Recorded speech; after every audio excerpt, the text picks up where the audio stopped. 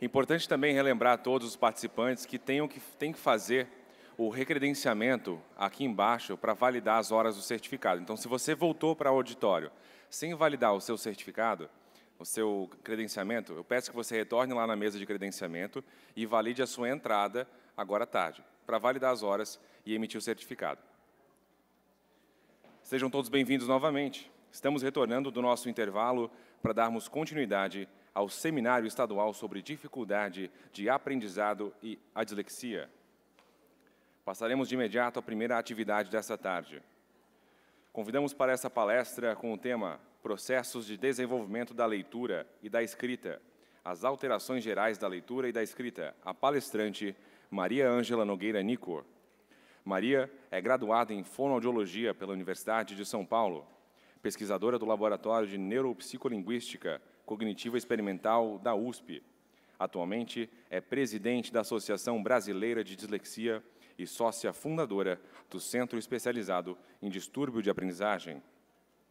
Participante das conferências anuais da International Dyslexia Association e das reuniões com a Global Partners, é autora também de livros e e-books sobre dislexia e coautora da cartilha facilitando a alfabetiza alfabetização multissetorial, fônica e articulatória com Áurea Maria Estavale Gonçalves. Doutora,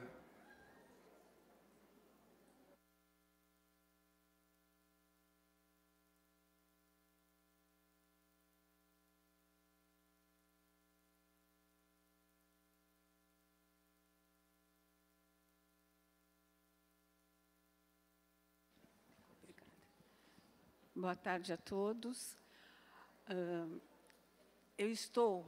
Vocês viram que a Inês falou que o primeiro caso de dislexia foi em 1886, mais ou menos há mais de 130 anos.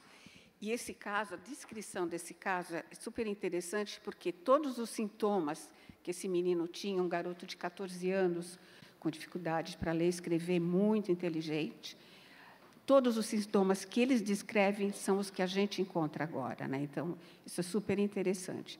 E também estou aqui para falar, então, há mais de 130 anos foi descoberto esse primeiro caso, e a nossa associação, esse ano, está fazendo 40 anos. Então, 40 anos que a gente recebe crianças, adolescentes e adultos, desde criança pequenininha, que são as crianças de riscos, e, e que a nossa luta é bem grande. Então, então, eu vou falar para vocês sobre o desenvolvimento da leitura e da escrita e vou comparar bastante com os disléxicos. Então, agradecer muito o convite da Assembleia e da nossa querida amiga Lucimara.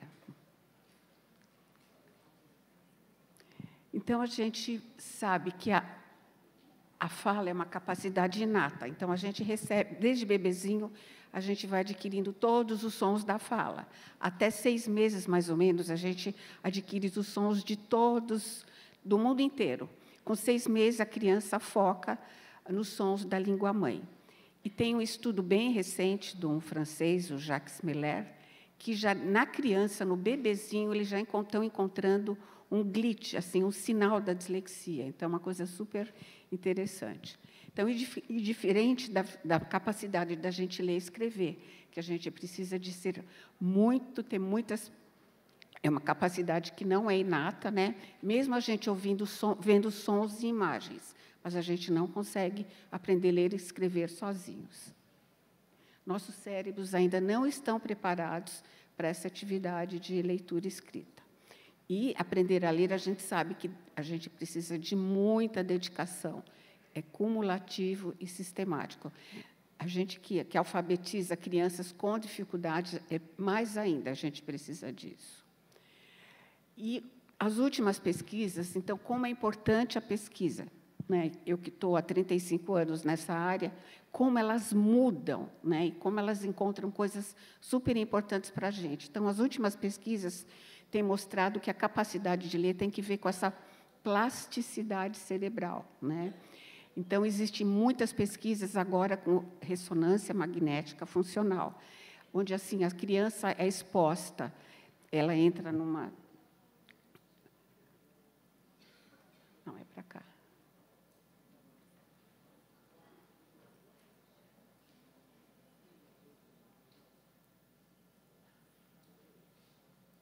Ai, meu Deus.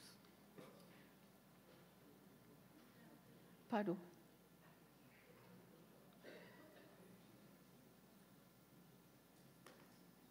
Bom, depois eu passo. Então, daqui a pouquinho eu falo da ressonância magnética. Né? Então, eu vou falar das áreas importantes do cérebro da leitura, né? que é o lobo occipital, que também tem que ver muito com a visão parietal e temporal. Né?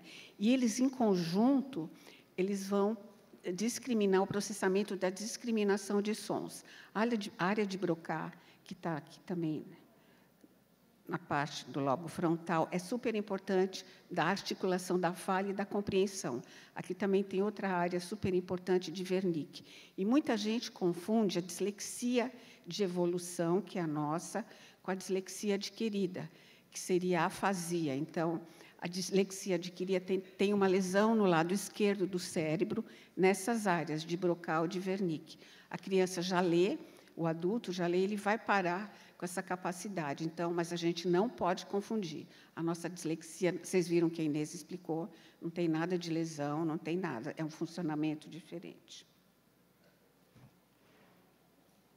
O giro angular também e o supramarginal são super importantes, né, que estão aqui, o giro angular e, sur, e eles, assim, em conjunto, né, eles vão mostrar como são essas formas da letra. E o córtex motor, né, que vai também ver a gente quando a gente lê mentalmente os sons que a gente deve pensar nesses sons para ler. Né? E além dessas regiões, outras muito importantes para o processo da leitura escrita é a percepção, a memória e o raciocínio. E a gente percebe nas nossas avaliações, principalmente na parte da memória, que o disléxico ou tem dificuldade de memória de curto prazo ou de longo prazo, né? às vezes até nas duas memórias. Isso depois assim vai importar muito para a gente na área de, na hora da intervenção. Então aqui é a ressonância magnética que eu falei para vocês, né? Então as crianças, acho que todo mundo conhece esse exame de ressonância. As crianças entram no tubo e tem provas, eles têm bastante atividades de leitura escrita para ver as áreas que os cérebros estão sendo ativados. Ai, Ai, meu Deus do céu. Aqui, né? Então, aqui já tem até para criança pequenininha, né? Então, são diversas tarefas de leitura, de fala e de escrita para ver essas áreas ativadas. Né? E uh, a gente percebe que a criança que tem menos competência para ler e escrever, as áreas não vão ascender como são as dos disléxicos. E as que têm mais competências, as áreas uh, vão ascender mais rapidamente. Né? E com essa pesquisa também eles estão vendo quais melhores estratégias para intervenção. Então, não para, as pesquisas não param. Então, aqui, sem dislexia, né, que nem, parecido com a que Inês mostrou, áreas ativadas, hospital temporal, frontal, e com dislexia. Né, então, bem menos. Aqui a mesma coisa, o não disléxico, com áreas nos dois lados do cérebro, e o disléxico praticamente só nessa.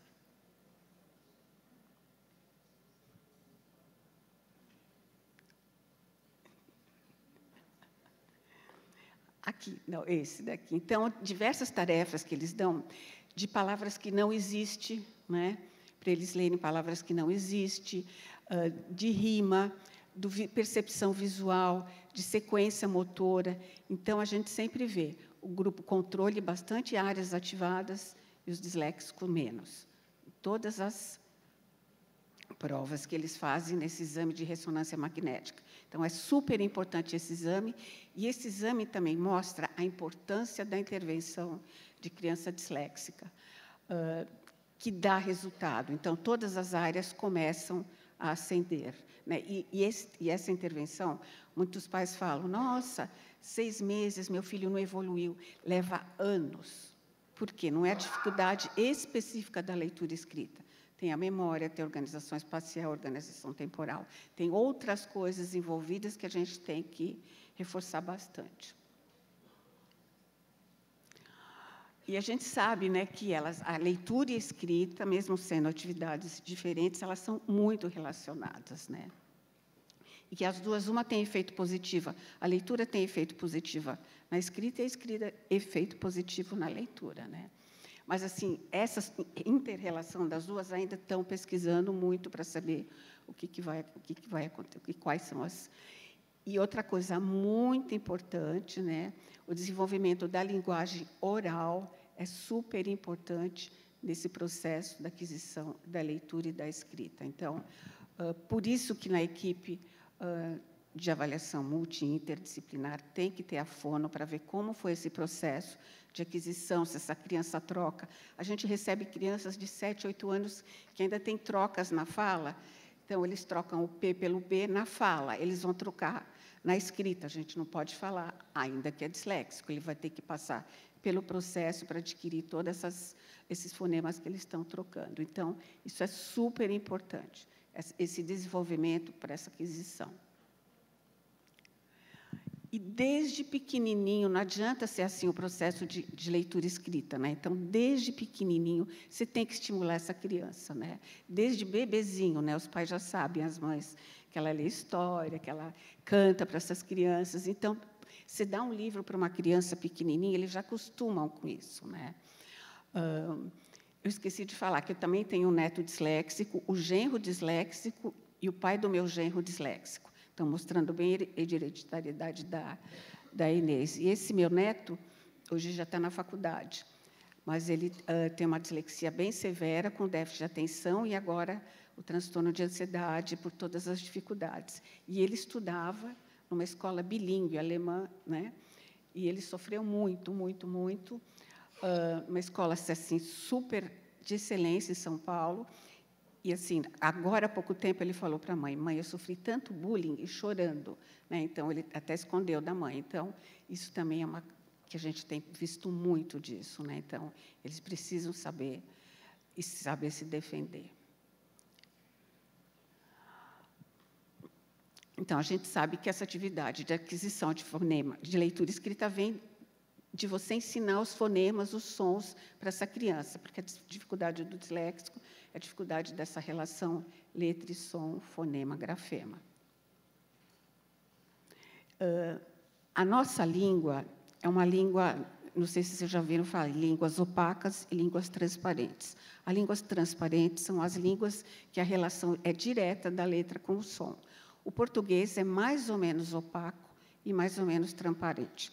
Por exemplo, o som do s tem 11 representações gráficas. Então, o português já não é uma língua fácil para o disléxico. Uh, que nem Inês falou, o finlandês é a língua mais transparente que existe, mas a língua mais opaca que existe é o inglês. Então, o disléxico tem muita dificuldade para aprender, principalmente, uh, a escrita e a leitura em inglês. Eles se desenvolvem bem, com muita ajuda, até com, com aulas especiais de um professor de inglês, mas eles nunca vão conseguir, vão conseguir escrever e nem ler direitinho. Como o nosso adulto, né, Inês? Ele chega, depois de muita terapia, eles melhoram muito, muito, mas assim, sempre fica alguma coisa, né? Não tem cura, então sempre fica. Então, por isso, quanto antes for feita essa avaliação nessa criancinha de risco. Na pandemia, a gente recebeu muita criança de risco, porque os pais estavam do lado dessas criancinhas, então começaram a perceber todas as dificuldades. Então a gente recebeu muita criança de risco. Então a criança de risco passa pelo mesmo processo de avaliação, só que a gente não vai falar em dislexia. Então, mas que nem Inês falou, né, esse, ela já inicia no processo de intervenção. Nessa idade, eu acho que o melhor é a fono ou uma psicopedagoga que saiba bastante, né, especializada bastante nesse processo. Depois de dois, três anos que ela passou pelo processo de alfabetização, ela volta para a gente fechar o caso. Né? Se for uma dificuldade de aprendizagem, em seis meses ela não tem mais nada. Mas se for a dislexia, ela volta ainda com muita dificuldade, mesmo com a intervenção que melhorou. Né? Então, isso é super importante. Então, quanto antes, melhor, porque o adolescente e o adulto que chegam na BD chegam com o emocional acabado. Acabado. Então, aí precisa entrar na terapia a fono, a fono não, a psicóloga, e às vezes até tratamento com, com neurologista para dar remédio de ansiedade. Então, a nossa língua também é difícil para ele. Então, aqui eu já falei das línguas transparentes e opacas. Né? E aquilo que a gente falou, né? assim, você ensina, por exemplo, todas as vogais, você tem que ir e voltar, é cumulativo e sistemático. Né? Você não pode passar assim levemente por esse processo de alfabetização. A gente vai, ensina a letra e volta, vai, ensina a letra e volta, principalmente para o disléxico. E muitas crianças, também estou alfabetizando crianças assim com deficiência intelectual. Então, a gente vê bem a diferença, né? Uma criança típica, de uma atípica, né? E do deficiente intelectual, né? Leva mais tempo ainda, né? E, além de tudo, o disléxico é muito lento. Então, ele é muito lento nesse processo, né, nesse processo da aquisição, nesse processo de cópia, nesse processo de compreensão. Então, é um por isso que a gente fala um tratamento de anos. Né? Então, os pequenininhos, até os seis anos, são, eu acho que a pré-escola é a época mais importante para essas crianças, porque essas crianças pequenininhas, dos zero aos seis anos, têm o que a gente chama janela do aprendizado, onde assim tem o tempo para aprender números, o tempo para cor, o tempo para aprender até um segundo idioma. E eles têm as podas neurais de zero a seis anos, se eles não são estimulados nessa época, eles não vai, vai ser ruim para eles embora mais tarde eles vão adquirir, mas muito mais lentamente do que se adquirissem na pré-escola. Né? Então, desde pequenininho, estimular esses bebês, essas crianças, né, mostrando livros, já cantando musiquinhas que rimam, que pequenininho na pré-escola de risco já tem dificuldade para reconhecer. Né?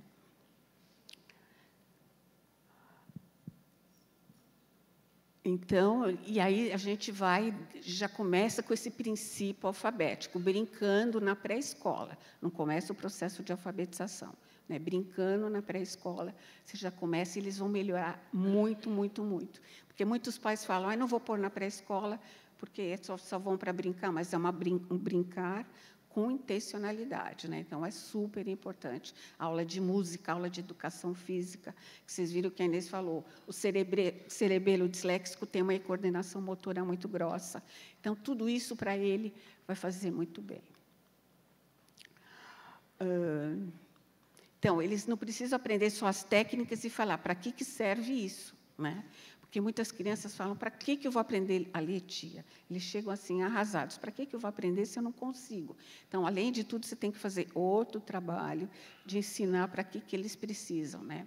Uh, muitas crianças com TDAH também falam: tia, eu não vou tomar mais o remédio, os mocinhos. Eu falei: você que sabe, você já está grandinho para né, para resolver. Aí eles voltam na semana seguinte, não, eu vou continuar. Então eles percebem. Então por isso que é muito bom você explicar desde pequenininho todas essas dificuldades que eles têm para os pais, para os professores, sempre. Né? E, e assim, e o sucesso é a família, os pais e os professores. E não adianta um, um disléxico está na terapia se ele não vai à escola, que a escola sozinha não vai conseguir ajudar esse disléxico. Então, para cada um que você trabalha, para cada um você tem uma estratégia, o tipo de terapia, você vai ter a escola e fala, me ajuda, né? por favor, me ajuda com essa terapia, com essa... Né? E que beneficia todos os outros aluninhos. Ah, as fases da leitura tem a logográfica, que é mais, né, assim, a primeira fase, que a criança bate o olho, já reconhece o M do McDonald's, o M de Coca-Cola. Né? Então, eles veem que tem letra, mas não sabem para que, que ela serve, mas eles já começam a, no processo. Né? Depois tem a alfabética, que é a mais difícil para o disléxico. Né? Muitos disléxicos demoram para sair dessa fase, porque eles não conseguem fazer essa relação com a letra com som. Né? Você tem que dar todas as pistas né? Vocês estão vendo aquele garotinho ali, né? então ele está com a, é o né? ele tem que sentir se vibra ou não vibra as pregas vocais. Você tem que dar todas as pistas, né? E, e, o disléxico, a maior dificuldade dele é nessa rota. Né? Então, muitos demoram para sair, já grandinhos, com 14, 15 anos, demoram para sair dessa rota. A ortográfica, né, que já é a mais. Uh, já é o estágio superior, né? Uh, aí eles já também já fica bem mais difícil para o disléxico, né? Então eles têm que reconhecer a palavra, falar a palavra e ele já não consegue, né? Uh, quando ele conseguir colocar no léxico interno essa palavra, ele já começa a, a ler, né? E tem que ter repetidas exposições, aquilo que a gente falou, as mesmas palavras, né? As mesmas palavras. Ah, você sabe, você pergunta para os pequenininhos, o que, que você sabe escrever? É casa, ovo? São sempre três palavrinhas que ele lembram desse léxico, né? Desse, dessa biblioteca que eles têm guardado, mas eles precisam do fonológico, né? Nesse princípio, não só do léxico. Então, aquilo que eu falei, nem todos os leitores passam dessa, frase, dessa fase, principalmente os disléxicos, né? eles ficam, e a gente tem que ajudar muito nessa fase. Na pré-escola, né, assim, muitas crianças chegam na pré-escola, nem sabem o que é letrinha, então os professores uh, têm que ver como que está esse grupo para começar a ensinar o que é as letrinhas. Né? Então, aquilo que eu falei é super importante pela janelas da aprendizagem e da prova neural, né? Ah, muitas crianças entram, né? E são cada uma está num, num grupo, então o professor é importantíssimo, né? Saber organizar todas essas crianças para aprenderem direitinho as mesmas coisas.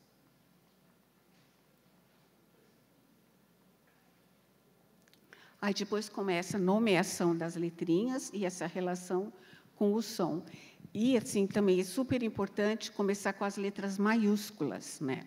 O disléxico tem, que nem a Inês falou, né? 99% tem a letrinha feia, irreconhecível. Então, os adultos já conseguem passar para a letra maiúscula, né? Porque os menorzinhos, as escolas, assim, em São Paulo, elas não deixam né, passar para a letra maiúscula. Então, eles sofrem muito, porque o professor... Tia, eu escrevi, mas o professor não, não entendeu. Então, uh, mas assim, a gente já começa né, com os nossos, com a letra maiúscula e depois vai para a minúscula. Né? Mas todo esse processo é muito demorado para eles, por causa da memória, é muito demorado. Né? E aí começa o princípio alfabético, né? eles têm muita dificuldade. Esse, que letrinha é essa? É o B. E esse que o som é o A. B com A, eles não conseguem, é uma coisa impressionante. Né? Então, uh, é muito sofrido para eles isso, muito sofrido. Eles choram até. Né? Agora, quando consegue, um adulto, um adulto falou que o dia que ele leu pela primeira vez a palavra pato, ele até desmaiou. Né? Tadinho, né? de tanto tentar, tentar. Então, é um processo muito sofrido para eles. Muito obrigada.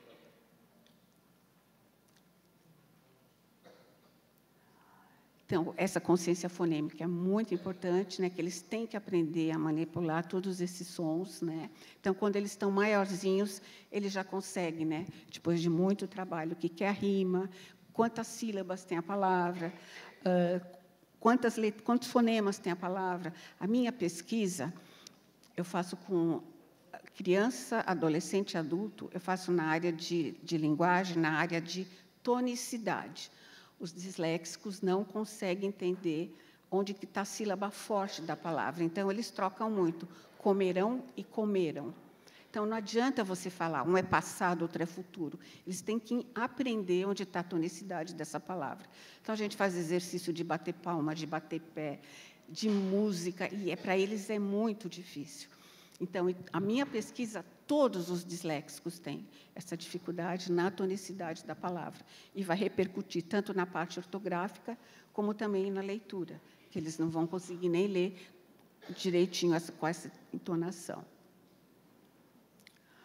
Uh, Então, assim, exercício de consciência fonêmica é muito importante na época da alfabetização para essas crianças com dislexia, né? Uh, e muitos disléxicos também não vão conseguir aprender no tempo que tem que aprender. Então, tem que fazer muito exercício, que letra começa, que letra acaba. Uh, eles acham até interessante você trocando, por exemplo, prato, tirando o R. Nossa, tia, então você tem que. Assim, o importante numa terapia com o disléxico, eu acho que qualquer paciente, são os jogos e as brincadeiras, que a gente fala, ludicidade. Né? Não adianta você ser dura, você exigir que eles choram muito. Né? Adultos meus, eles transpiram, ficam todos molhados. Né? Então, você tem que ir com calma. Tem muitos jogos maravilhosos uh, para ajudar essas crianças.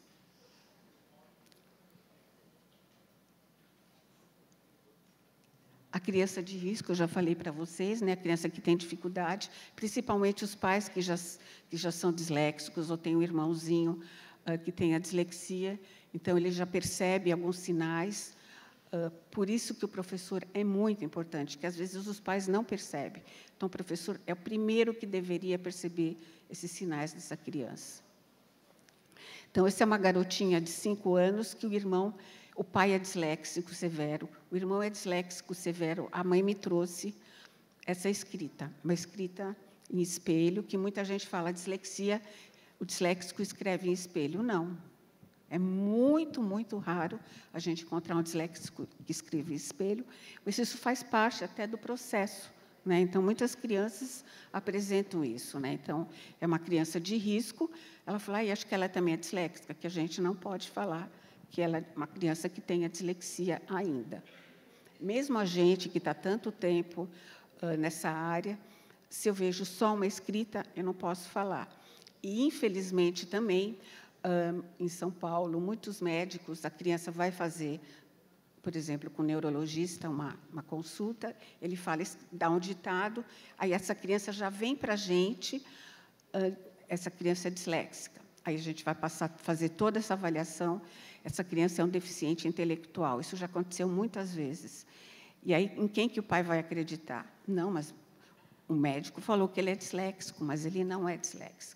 Então, tem que tomar muito cuidado. Hoje em dia, os, eles já estão melhores, né? Ele, a gente conversa assim com muito carinho que tem que ser equipe, né? Não adianta você olhar e falar, né? Diferente de um garoto de sete anos, é uma criança bem de risco, né? porque ele já aglutina, já separa, já omite, de novo, aglutina, que as não palavras, né, as pseudo-palavras também, é do EPO, PEBADE. Então, ele já é uma criança bem de risco, mas ainda eu não posso falar em dislexia. Né?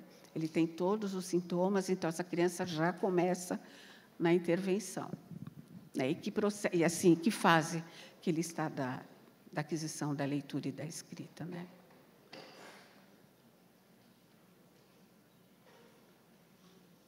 No ensino fundamental, as instruções já são assim bem mais formal, né? Então essa criança, se não for avaliada agora, a gente, a gente mais recebe criança do sétimo ano. Então uma criança que tem chegam com muita dificuldade. Então vai ter jeito, mas assim, se ela, se ela tivesse vindo que nem um menininho de sete anos, ela já, te, já estaria bem melhor, né? Então, a importância da avaliação precoce que a gente fala. Aqui, um garoto de nove anos, esse é disléxico, né? Uh, era uma vez uma mãe que tinha medo de largatixa. No resto, era uma valente. Uh, ficava sozinha. Então, todas as trocas, inversões. Aqui ele está com a letra de forma, né? E então aqui a gente já pode fechar com todo o resto da avaliação. Não é só isso, né? Que a gente pode fechar como um disléxico. Outro garoto de 10 anos, a mesma coisa, né? Olha quantas trocas. E uma coisa também assim que a gente encontra muito: cachorro com X, cachorro com CH. A inconstância nessas trocas ortográficas também é muito comum no disléxico, né? Então, uh, floresta aqui também, né? Então, eles trocam tudo por tudo. Né? Então, um garoto de 10 anos também disléxico, que a gente conseguiu fechar com toda a avaliação. Aí começa o processo de leitura. Agora, vocês imaginam uma criança que escreve daquele jeito, como que é esse processo de leitura. Né? Uh, até as neuropsicólogas falam, agora você vai, você vai uh, fazer prova de leitura escrita. Então, tem adulto que chora na sala, tem adulto que esconde o que ele está fazendo para eu não ver. Né? E o processo da leitura é o pior. Né? Então, na minha prova, eu faço três provas de leitura. Uma que eu leio e ele me dá compreensão. Um que ele lê em voz alta, me dá compreensão.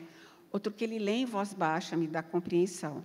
E aonde que o disléxico vai melhor? No que eu leio para ele. E o TDAH, aonde que ele vai melhor? Né? O que eu leio para ele, ele não, já não entende, ele já não focou. Né? Então, aí já, a gente já consegue ver bem. Né?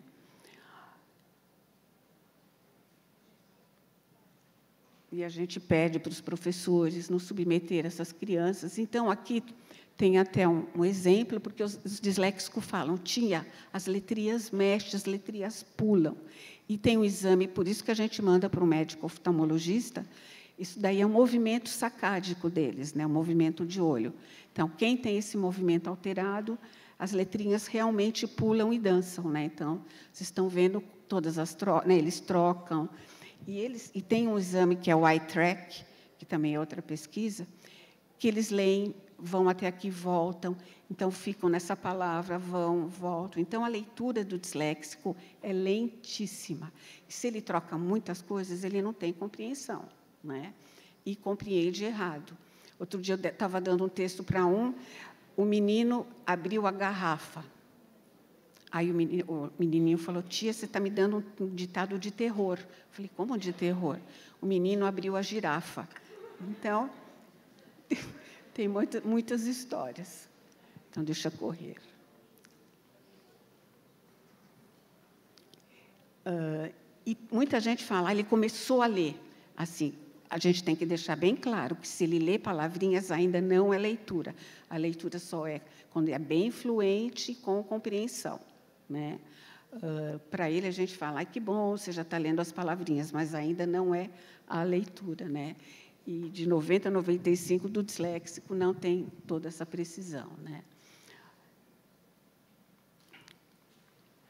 Uh, e assim, e, os, e, as crianças também, elas já vão conseguindo né, utilizar todas as estratégias metacognitivas dela. Né? Então, quando ele já está mais avançado na terapia, ele já percebe que ele erra, ele volta, fala, não, aqui não é isso, né? não é a girafa, é a garrafa. Então, ele já consegue, com toda a instrução que você dá, com todos os anos, ele já consegue ler, autocorrigir, reler, né? questionar-te, isso está certo, é isso mesmo? Né? E, então, quando chega nesse ponto, é maravilhoso para a gente mas demora um pouquinho, conforme o disléxico ser mais severo, mais médio. Uh, aí depois começa a sintaxe, né? Então, imagina a escrita do disléxico, né? Então, outro dia eu estava dando pontuação para um disléxico que a gente nem trouxe eu devia ter trazido a, a, escrita dele. Então, ele punha ponto em tudo, no começo, no meio, no fim. Né? Então, você tem que explicar até ela compreender. Então, essa fase, depois de toda a leitura, depois de toda a escrita, também é muito complicado. De novo, por causa dessa memória. Né? Uh, então, tem muito que ensinar. Né? Por isso que leva, de novo, muitos anos nessa terapia desse disléxico. Né? Então, fatores para leitura, né, análise, fonética da palavra, essa relação letra e som, o vocabulário, né, você tem que fazer muito vocabulário com eles, muita compreensão. Eu dou muita lógica para eles, para os maiorzinhos, né? A escrita, ortografia, né? A diversidade do vocabulário para eles formarem esse essa escrita espontânea, né? a sintaxe das frases e a estrutura da escola. Eu fui falar com o professor de inglês, porque eles têm muita dificuldade de inglês. Eu falei, por favor, do português a gente sempre pede, não desconta o erro ortográfico. Eu estou trabalhando isso, estou trabalhando dígrafo, isso, isso com eles, não descontam, por favor. E do inglês a mesma coisa. Aí o professor falou, tá bom, mas eu vou mandar eles soletrar. Gente, dá no menos, até pior, né? Então, assim, a importância da capacitação dos professores. Que bom que tem muita gente aqui, né? Isso é super importante. Uh, e existem também as crianças diferentes, né? são boas na decodificação, chega uma fase que elas conseguem decodificar direitinho, mas não compreende a leitura. Outras compreendem a leitura, mas a ortografia é ruim. Então, cada disléxico é um, você tem que fazer o programa para cada um, não adianta para fazer um programa para todos os disléxicos, né? Tem idade, tudo. E os adultos falam: ainda eu tenho jeito? Sim, ainda tem jeito. Chegou, já chegou um adulto com 72 anos que falou: eu não quero morrer sem saber o que eu tenho. Né? Então chegam médicos, advogados que contam tudo o que eles passaram e ainda querem uh, saber o que tem e fazer essa intervenção. E melhora, melhora. Né? Assim, para o adulto é mais lento ainda, porque ele já tem né, outras coisas que atrapalham. Né? Uh, então, a instrução ortográfica, lógico, a gente tem que instruir bastante. Meus pacientes, principalmente assim os adolescentes e adultos, eles fazem muitas assimilações. Por exemplo, um não conseguia escrever chuchu, escrevia com, chu, com X, com S, com Z. Aí a gente fala, o que é o chuchu? Ah, é uma árvore. Como que é essa árvore? Se agarra na parede. Então, já fez associação, CH, nunca mais esqueceu. Então, sempre. E eles, eles falam, tia, achei outra associação. Aí eles põem lá no quadro, dá para esse aluninho, né? Chinelo, né? assim, o havaiano, que é com CH, ele desenha né? o chinelinho. Então, eles fazem muitas associações para não esquecer a ortografia, que é super importante também para essas palavras. Né? E tem professores que ajudam também. Fala assim, Ângela, qual é a dificuldade dele? Então, fala, é dígrafo, é CH, LH. Tá bom, então ela faz, fixa né, as palavrinhas para toda a turma. Né? Então, essa parceria é maravilhosa. Né?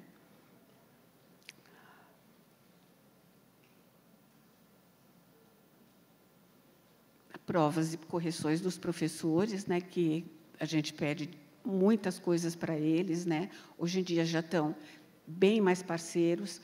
E durante o tempo eu fiz um trabalho no MEC e o ministro da Educação falei para ele: uh, os professores têm medo de fazer estratégias diferentes porque tem medo da coordenadora, da diretora.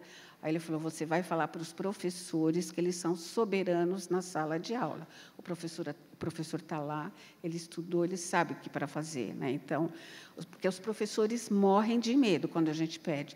Ai, será que eu vou poder fazer? Será que eu não vou poder? Então, isso é super importante, né? Porque eles precisam muito da ajuda dos professores.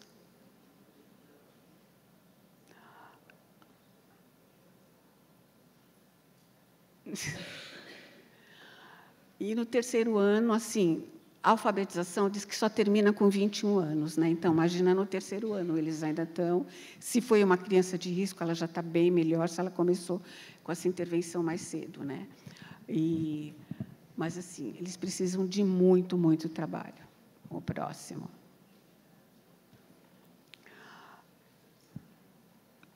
Aí ele já tem, assim, já consegue né, decodificar, ele já consegue aprender palavras novas, mas tudo se eles tiverem, assim, o professor do lado e esse profissional especializado, a fonoaudióloga, a psicopedagoga. O próximo. Ai, meu Deus. E os disléxicos, quais são as maiores dificuldades dele? Desde pequenininho, combinar a letra com som, fazer essa... Qual, qual o som que tem essa letrinha e o símbolo dessa letrinha, né? Dificuldade para decifrar palavras inteiras em sílabas e fazer toda a consciência fonológica da palavra. Os pequenininhos, dificuldade em rimar, conhecer, fazer essa relação, contar as sílabas, né? E no fundamental e adulto, eles ainda têm no adulto, no adolescente, mais para frente, muito problema de leitura, né, que é bem lenta, decodificando ainda e de compreensão. E assim, os pacientes, eu não sei se acontece com vocês, a gente dá uma alta provisória, né? Se trabalha cinco, seis anos, mas quando eles vão para a universidade, eles sempre pedem ajuda para os trabalhos, para os trabalhos. e quando chega no ensino médio também, quando começa a química, a física, que é outro código muito difícil para eles aprenderem, então aí tem que ir com o professor de química, de matemática, que conheça a dislexia, porque a gente não dá conta de tudo.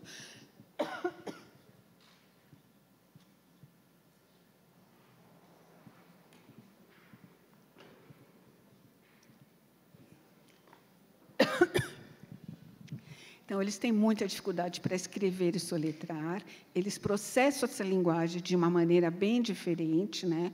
Então, a sala de aula para eles é muito estressante, muitos choram, mas quando eles começam a intervenção, eles já vão melhor. Os pais falam, ele já está indo melhor, né?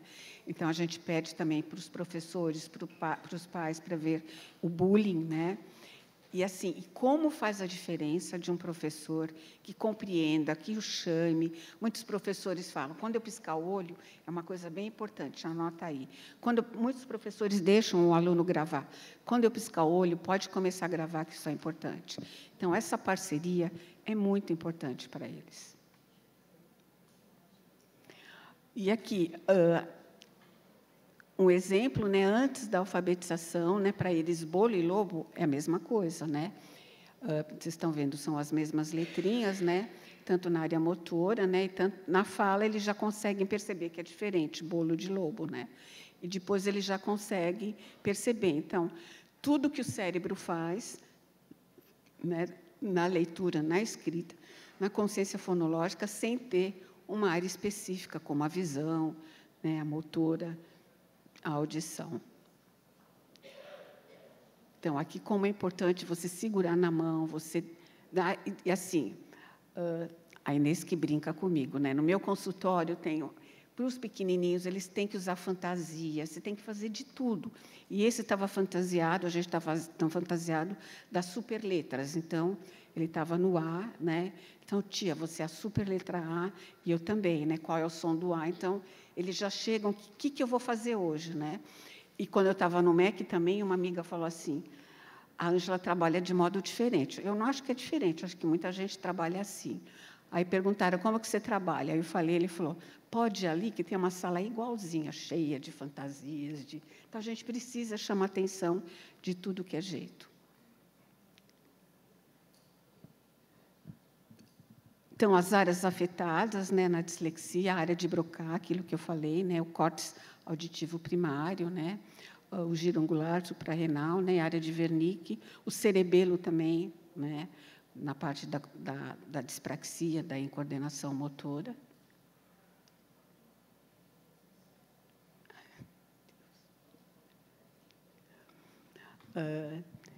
Ah, esse já, esse já não foi? Então, o que é importante né, na investigação da leitura escrita? Não sejam processos inversos, então são bem semelhantes. Né?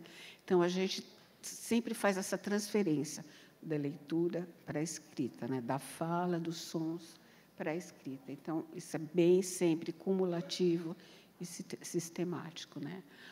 E assim, muita gente fala, ah, criança não tem dificuldade, deixa, não precisa dessa parte cumulativa e sistemática. Não é verdade. Eles precisam disso, principalmente ah, os disléxicos e os que têm transtorno de aprendizagem. Né? Então, e não é só a alfabetização, é tudo, né? A, que nem eu falei, a música, a ginástica é super importante por causa do ritmo, que eles não têm ritmo também. Né? A música. Então, tudo isso é um ambiente rico para essa criança com dificuldade de aprendizagem. Né? Então, a gente sempre pede para o pai colocar no esporte também, para eles não se sentirem isolados e para facilitar toda essa parte de, de cerebelo e etc. Teatro também é muito bom para a memória. Né? Teve um adulto que fez o teatro, foi fazer teatro, pediu para eu assistir a peça. Aí ele falava, Ângela, eu sou um morcego. Né? Então, fui lá para assistir o morcego. E ele esqueceu toda a fala dele, coitadinho. Né? Mas estava lá, e um super diretor lá em São Paulo, mas que compreendeu, que ajudou e que ainda deu esse papel para ele. Né? E a gente está vendo muito isso, que a neurociência está bem perto da educação.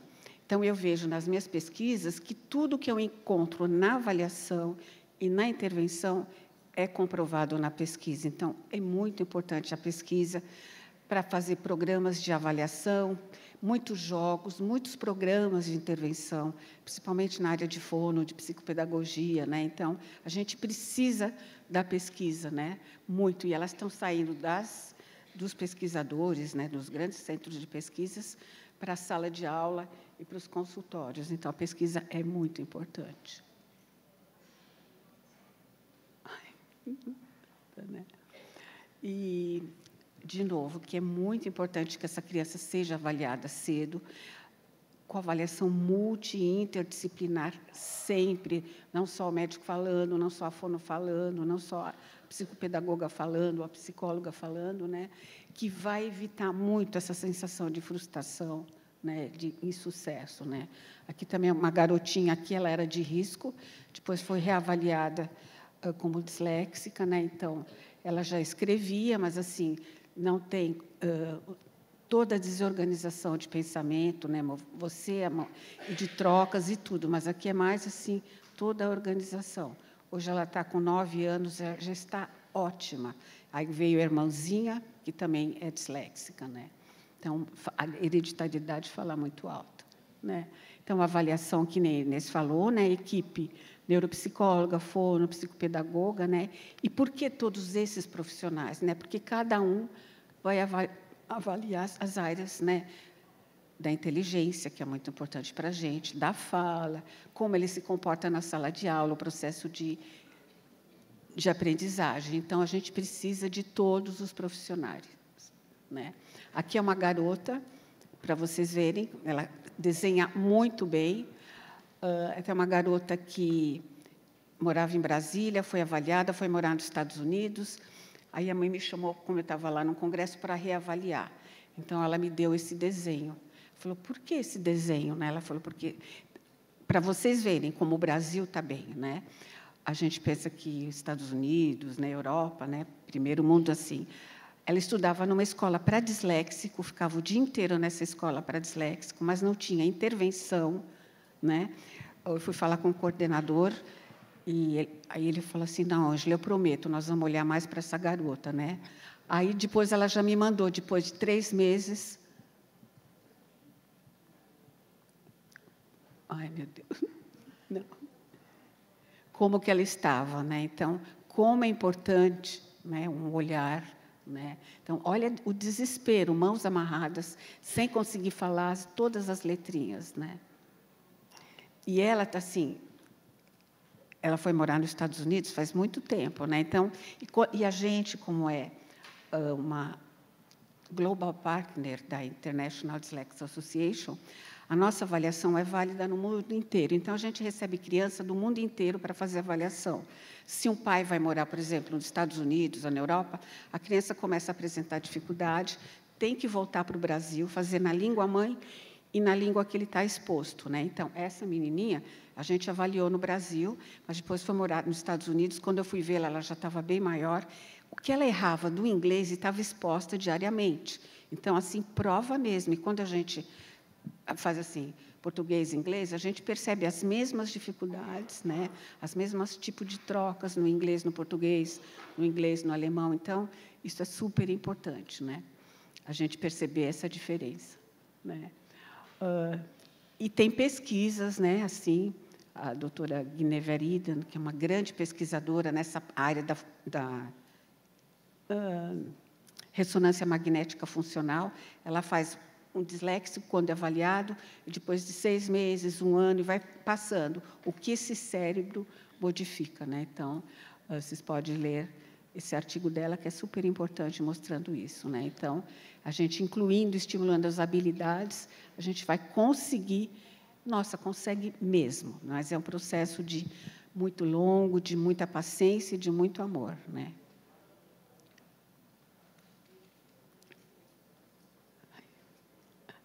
Então, a inter intervenção.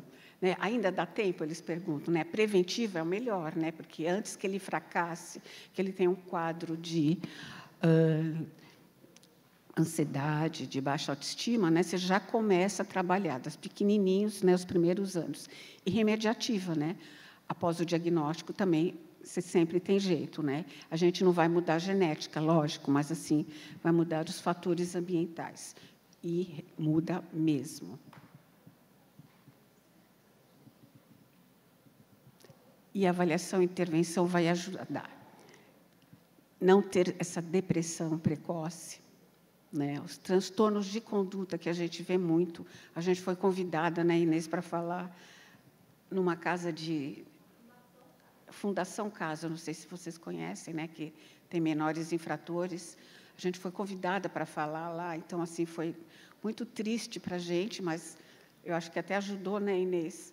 E porque estavam presos lá e lá eles têm escola, então a professora falou que achou que tinha alguns disléxicos.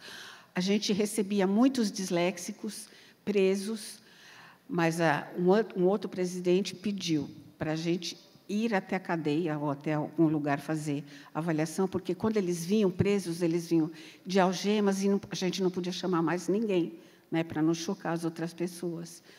E, então, é muito triste. Então, muitos juízes mandam, por favor, ver se é disléxico. E, na Inglaterra, tem uma pesquisa que a maior parte da população carcerária é disléxica. Né? Então, por isso, de novo, da avaliação precoce. Né? Então, para não irem para esses transtornos de conduta, né? para ter o alcance ocupacional, que agora a nossa grande luta porque a gente já teve muitas lutas, né, do vestibular, do exame de carta, do exame da ordem, é inserir esse disléxico adulto.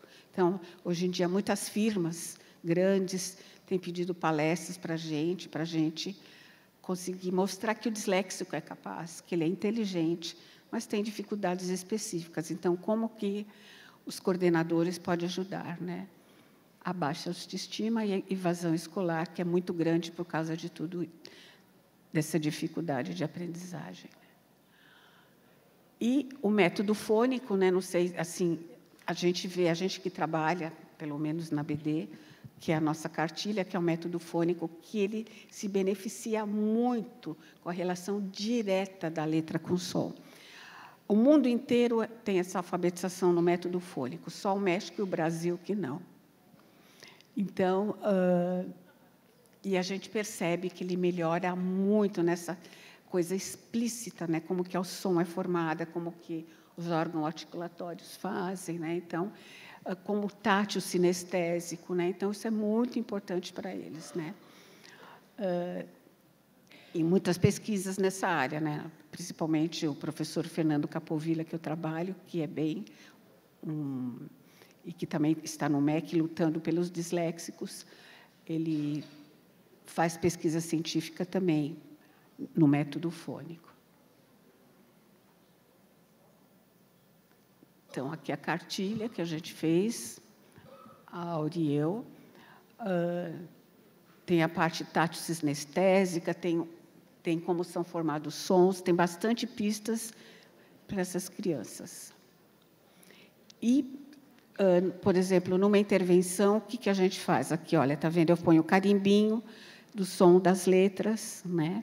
Aqui fala qual é a letra, aqui qual é a sílaba, a palavrinha e o desenho. Né? Então, para cada um que eu vou treinando, eu vou usando assim. Então, essa é a menininha né, que, que escreveu isso e que hoje em dia está muito melhor. Mas essa menininha, assim, como é importante o apoio dos pais também, né? Uh, estão sempre ao lado, sempre incentivando, né? E a menorzinha, além da dislexia, tem um déficit de atenção muito grande. Então, não, não consegue parar, parar, parar. Então, a mãe até me mandou, isso foi na pandemia, me mandou uma foto e falou assim: Ângela, olha como eu trabalho com a minha filha, para ela ficar quieta. Gente, vocês não acreditam. Tinha menininha e uma cinta assim. Ela não batia, mas para assustar. Falei, meu Deus do céu, né? Então, mas aí a menina já foi agora, já, ela era pequenininha para ser medicada, agora já foi, já foi medicada e fez, fez avaliação também.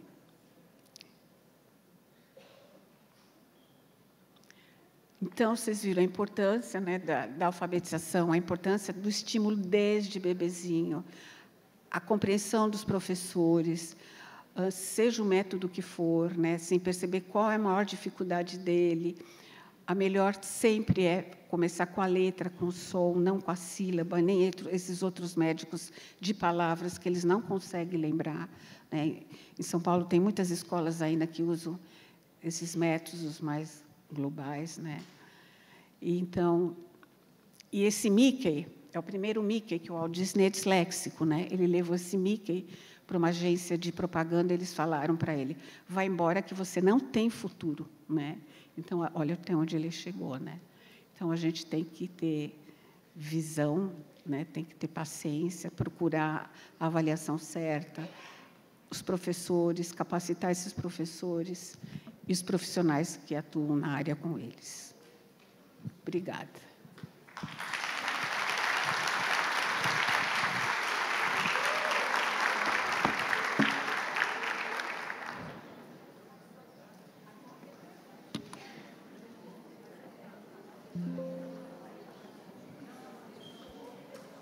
Muito obrigado, doutora.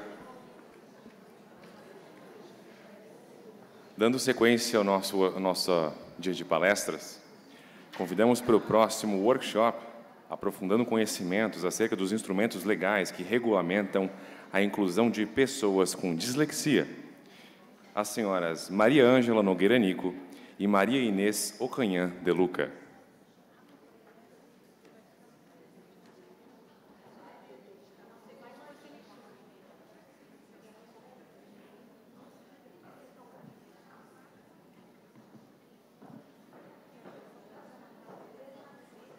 Ah, eu pego.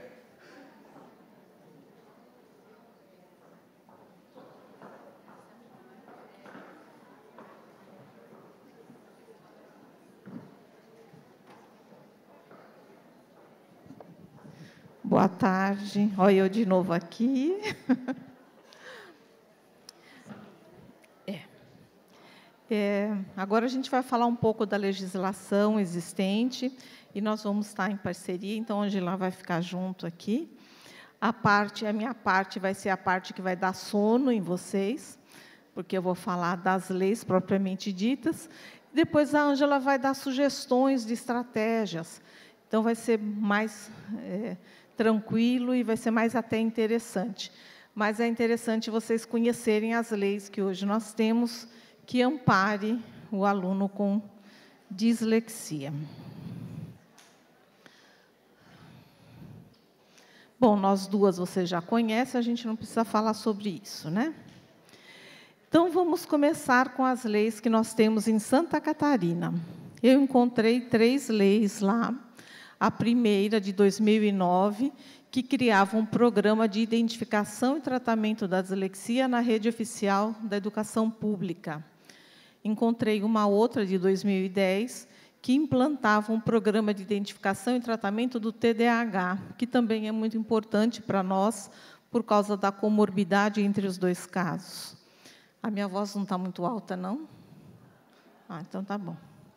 E essa mais recente, que foi assinada agora, em 2023, que institui a Semana Estadual de Identificação e Conscientização da Dislexia, que a deputada falou, assim, cravando de 3 até 10 de outubro, como sendo a Semana da Dislexia, para a gente conversar, para a gente lembrar, para a gente discutir e sempre estar aprendendo, pelo menos durante essa semana, as questões relacionadas a esse transtorno. Nós temos, para começar, a Constituição, a de 1988, a nossa Constituição, que fala. Então, aqui eu vou muito ler, porque eu acho que lei a gente cumpre, não interpreta. Então, eu vou ler o que está escrito na lei. Então, igualdade de condições para o acesso e permanência na escola. Liberdade de aprender, ensinar, pesquisar e divulgar o pensamento, a arte e o saber. Pluralismo de ideias e de concepções pedagógicas e coexistência de instituições públicas e privadas de ensino. Então, já traz aqui uma liberdade de ação por parte do professor, porque se a gente for seguir o que está escrito aqui, muito obrigada, a gente vai entender que nós temos uma certa liberdade aí para o ensino. Nós temos o ECA, que é o Estatuto da Criança e do Adolescente, que é de 1990, que fala de igualdade de condições para o acesso e permanência na escola, como está na Constituição, o direito de ser respeitado por seus educadores, e fala do direito de contestar critérios avaliativos, o que nos dá a liberdade, como professor, de usar métodos diferentes para avaliar. Se pode ser contestado, eu posso modificar a minha forma de atuar em relação à avaliação do meu aluno. Nós temos também a LDB, que é a Lei de Diretrizes e Bases da Educação Nacional, de 96, que fala de zelar pela aprendizagem do aluno, uma avaliação contínua e cumulativa do desempenho, com prevalência dos aspectos qualitativos sobre os quantitativos e dos resultados ao longo do período sobre os, as eventuais provas finais. Então, fala que a gente tem que considerar o todo, o que ele aprendeu durante todo o ano, a qualidade, o que ele consegue demonstrar, ao invés de só considerar a nota que ele tirou em uma ou outra prova que seja. Fala também do desenvolvimento da capacidade de aprender, tendo como meios básicos o pleno domínio da leitura, da escrita e do cálculo. E a escola deve prover meios para a recuperação dos alunos com menor rendimento. Então, a gente não precisa é, ficar implorando para a escola se meu filho não está com desempenho adequado. A escola tem que procurar um meio de ensinar aquele aluno. Se ele não aprende como eu estou ensinando, então eu tenho que ensinar de um jeito que ele aprenda. Essa frase já é bastante conhecida, né?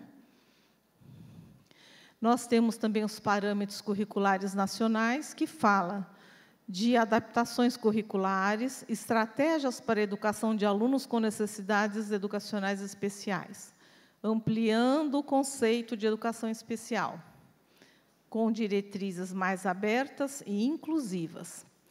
Pode ser dificuldades relacionadas à elevada capacidade ou à dificuldade para aprender, não vinculada à deficiência, porque nós temos uma regulamentação própria para os casos de deficiência.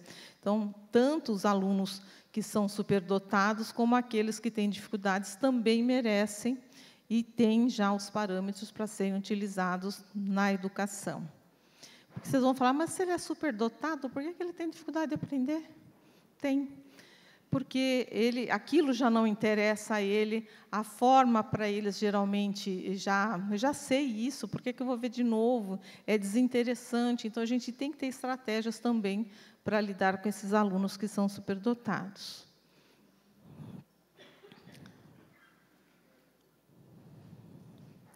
E aqui também destaca que requer recursos pedagógicos e metodologias educacionais específicas para cada caso. Eu sei que é cansativo, né? que é, um, é uma montanha a ser é, galgada, a ser escalada, porque cada aluno tem uma exigência, tem uma necessidade, mas dá trabalho no ingresso do aluno, dá trabalho no começo do ano letivo. Depois as coisas começam a, a entrar na rotina e você começa a aplicar aquelas estratégias e fica bastante mais fácil para o dia a dia. Nós temos também a resolução CNE do Conselho Nacional de Educação, que diz garantir a educação escolar e promover o desenvolvimento das potencialidades do aluno que apresentem necessidades educacionais especiais, desenvolvimento das potencialidades. A gente tem que buscar um meio para alcançar isso. Flexibilizações e adaptações curriculares que considerem o significado prático e instrumental dos conteúdos básicos, metodologias de ensino e recursos didáticos diferenciados e processos de avaliação adequados ao desenvolvimento dos alunos que apresentem as necessidades diferentes. Então, é a adaptação. Então, quando a gente fala que não tem a, a regulamentação, é só a gente ler o que está na lei. Tem uma outra norma do Conselho Nacional de Educação que fala normas para inclusão educacional, que reconhece as diferenças e propicia condições de aprendizagem e desenvolvimento pessoal e social do aluno, que tem altas habilidades, precocidade, superdotação, condutas típicas de síndromes, quadros psicológicos, neurológicos ou psiquiátricos e portadores de deficiência, ou seja, todos deverão estar incluídos, todas as diferenças, todas as potencialidades e habilidades. E nós temos a lei, finalmente, a Lei 14.254, de 30 de novembro de 2021, que é uma lei federal.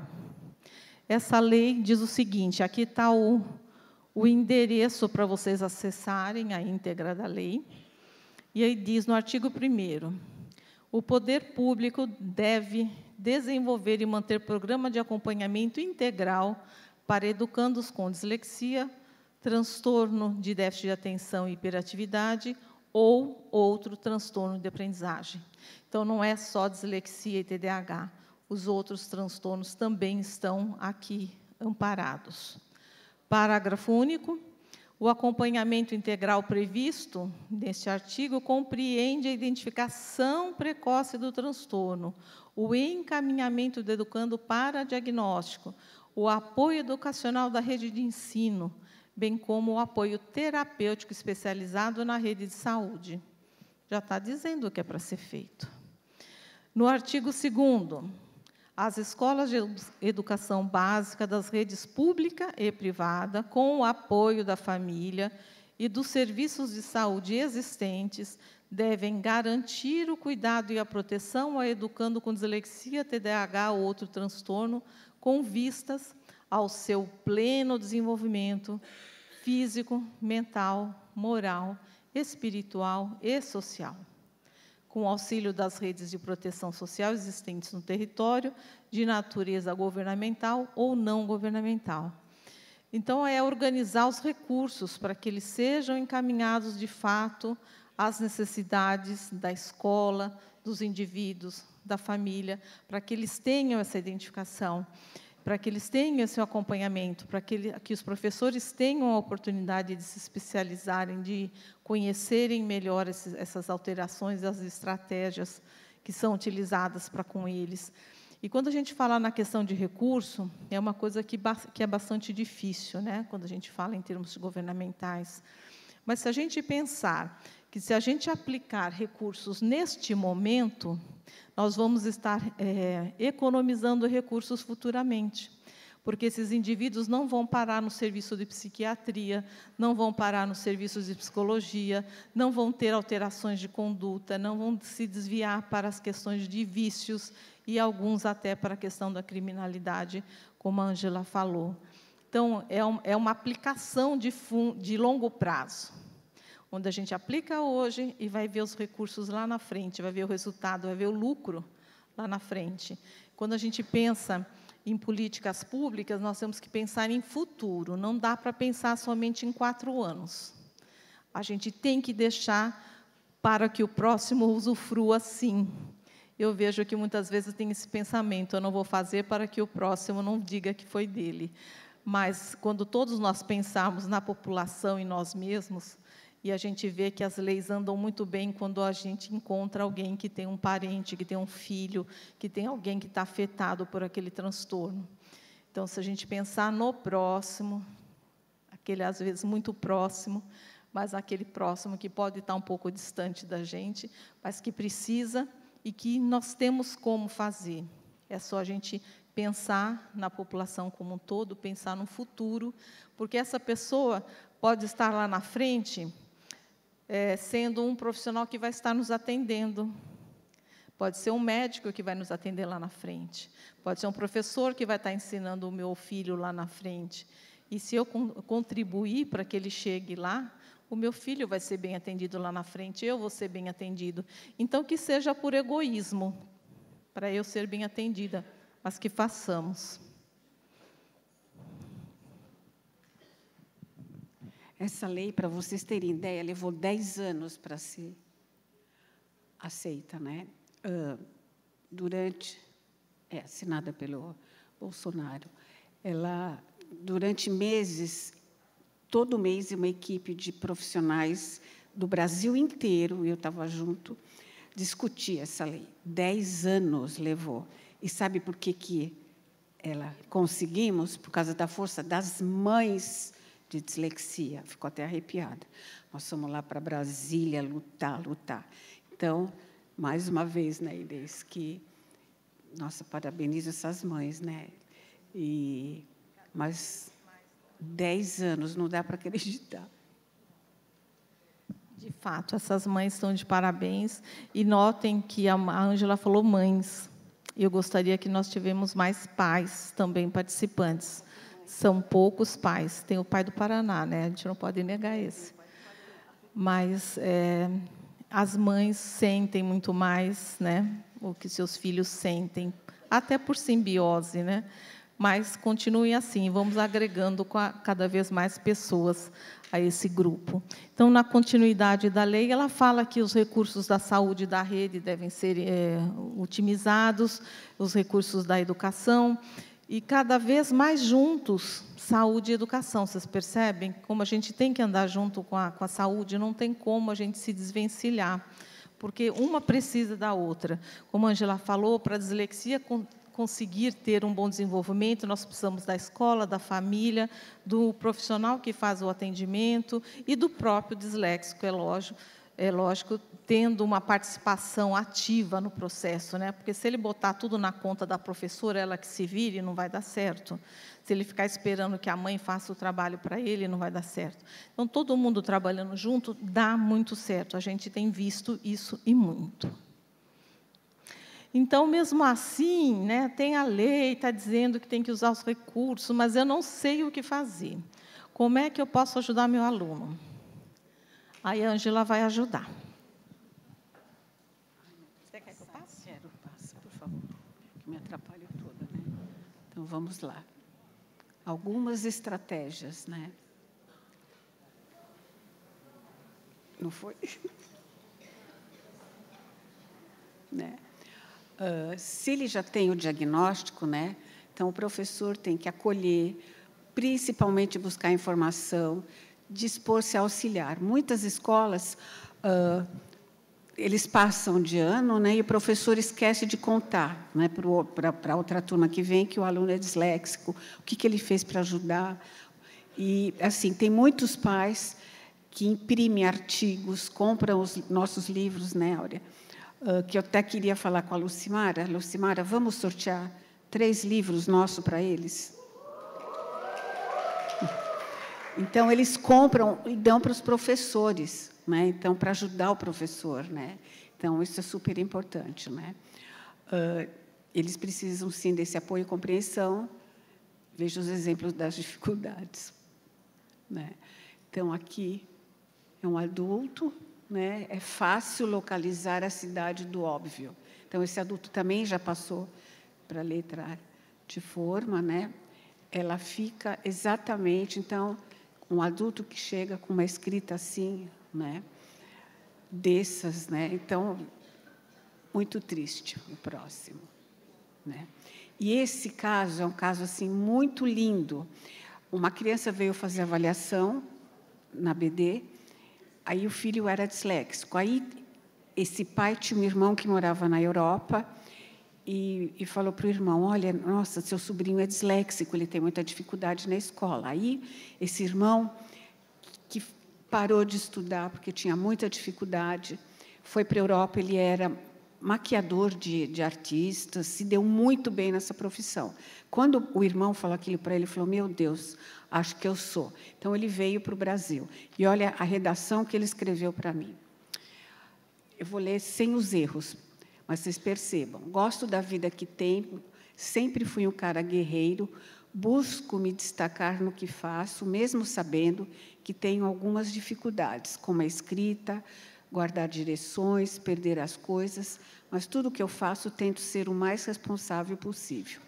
Mas de uns tempos para cá, tenho percebido que teria que buscar ajuda, pois me destaquei no que busquei trabalhar, que foi a arte e as pessoas me respeitam, me, respeitam, me consideram, mas até agora tinha escondido de todos e até da minha própria família. Tudo que, eu, que na verdade passo, ter vontade de escrever uma carta a alguém e não ter coragem, responder um e-mail, escutar que as pessoas me chamarem de lesado, entender por que perder tantas as coisas, me complicar com manuseios de telefone. E por isso não deixar as pessoas me conhecer a fundo, pois assim elas sempre me falavam que eu era uma pessoa encantadora e de demasiada inteligência. Me sentia mal, pois me achava uma fraude. Tenho resolvido que no Natal faria com minha, falaria com minha família e contaria toda a verdade, que queria buscar ajuda.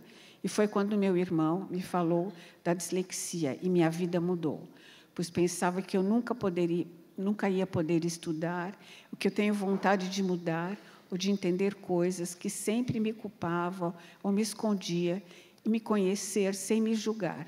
E quando estiver no meio de pessoas muito mais instruídas que eu, me falarem que eu sou inteligente, acreditar, não me culpar pensando que na verdade achar que sei na verdade atuar bem. Então imagina como chegou esse adulto, né, inteligentíssimo. Então vocês estão vendo desorganização, muitas trocas, alegria que ele ficou em saber que ele, o que, que, né, que tinha achado que ele tinha, que ele não era burro, né, principalmente, que muitos se acham. Né. Então, essa foi uma das histórias mais marcantes, né, Inês? Uh, que estratégias a gente vai, então, utilizar né, de, diante de tantas dificuldades? Né? Uh, aquisição de conhecimento por outros mãe, meios, né? Então, a gente usar muitos programas de computador, né? expressar-se de outras formas, trocar experiência com outros professores. Professor, o que, que deu certo com o teu aluninho? Me ajuda, né? Que eu tenho um aluninho assim, parecido com o teu, né? Trocas de profissionais, isso é importante, com o paciente, com, a, com o profissional que atende o seu aluninho. Isso é muito importante, e muito. Uh, direcionar o trabalho em grupo também. Muitos pais não querem que a escola saiba que ele é disléxico, outros pais já querem. Eu tinha uma aluna no ensino médio que a mãe me ligou que a menina estava chorando porque o professor, uh, o professor não, um coleguinha falou que ela tinha epilepsia, né, em vez de dislexia. Então a classe toda falou: "Nossa, que horror!" Me fizeram na escola conversar com os adolescentes. Então eu acho que sempre tem que explicar, sempre dar uma, mesmo para o pequenininho, olha, você é bom, você é bom nisso, você é bom naquilo, explicando conforme ele vai entendendo, né? direcionar o trabalho em grupo, né, contar para os aluninhos, né, ver sempre se algum ajuda, porque eles são posto fora, né, do grupo de trabalhos, né, eles não querem, né, fazer trabalho com aluninho, né, e impedir o bullying, que é muito, nossa, isso é muito triste. Uh, em São Paulo tem uma escola que, nossa, né, né Inês, a escola aqui, uh, todo ano ela faz todos os professores, todos os profissionais da faxina, Todo mundo sabe o que é dislexia e outras coisas, não só dislexia. Mas, assim, principalmente o pessoal que fica no recreio com as crianças, que eles xingam, ah, você é um disléxico, você é burro. Né? Então, todos são instruídos o que, que é a dislexia. Né? Então, isso é super importante. Permitir gravar e fotografar a aula. Muitos professores já estão deixando, né? então, isso é importante para eles. Né? multimídia, assim, trabalhos, né, assim, uh, ele não consegue fazer uma prova escrita, faz trabalho da matéria, faz desenho da matéria, né? Tinha um que desenhava super bem, estava aprendendo sobre feudos, né? Então na prova, o professor fazendo as perguntas, ele desenhou o feudo, desenhou o principal, então ele foi mostrando, ele tirou 10. Então, mas o professor tem que ter essa sensibilidade, saber o que, que ele pode né, ajudar essa criança. Né? Uh,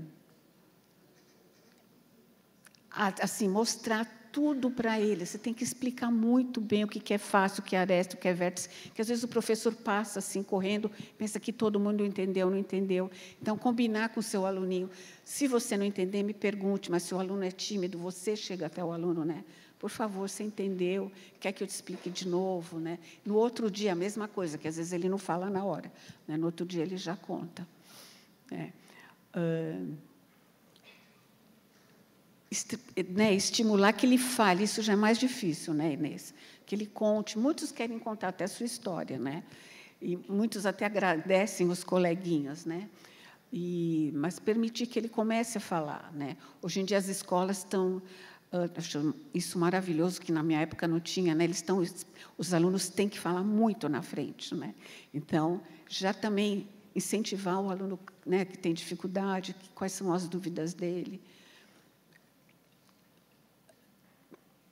Assim, qual é a dúvida que você tem? Né? Faça de outro jeito essa explicação. Não adianta a criança que vai para o reforço com o mesmo professor, né?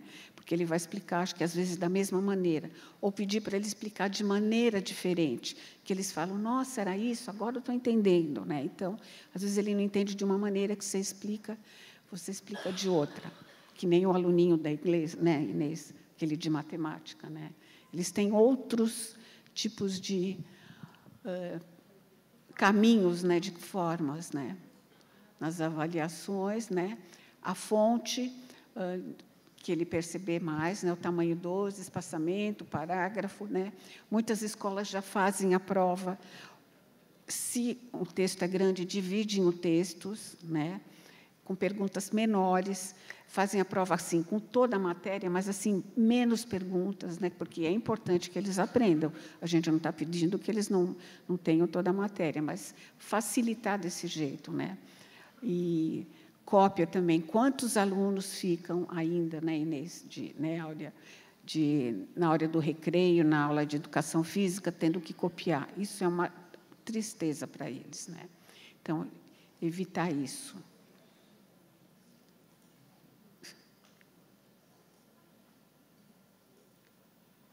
Aqui.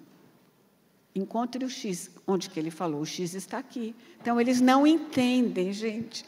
Eles não entendem, assim, lógica. Eu dou muito exercício de lógica. Eles não entendem, né? Então, piada, você tem que explicar tudo direitinho, né? Assim, dividir todas as coisas, né? Então, ele está certo, né? Encontre o X, ele encontrou o X. Então, questões bem claras, objetivas, né? E assim, menos estímulos, eles se cansam muito, porque o esforço deles com esse cérebro funcionando diferente cansa muito.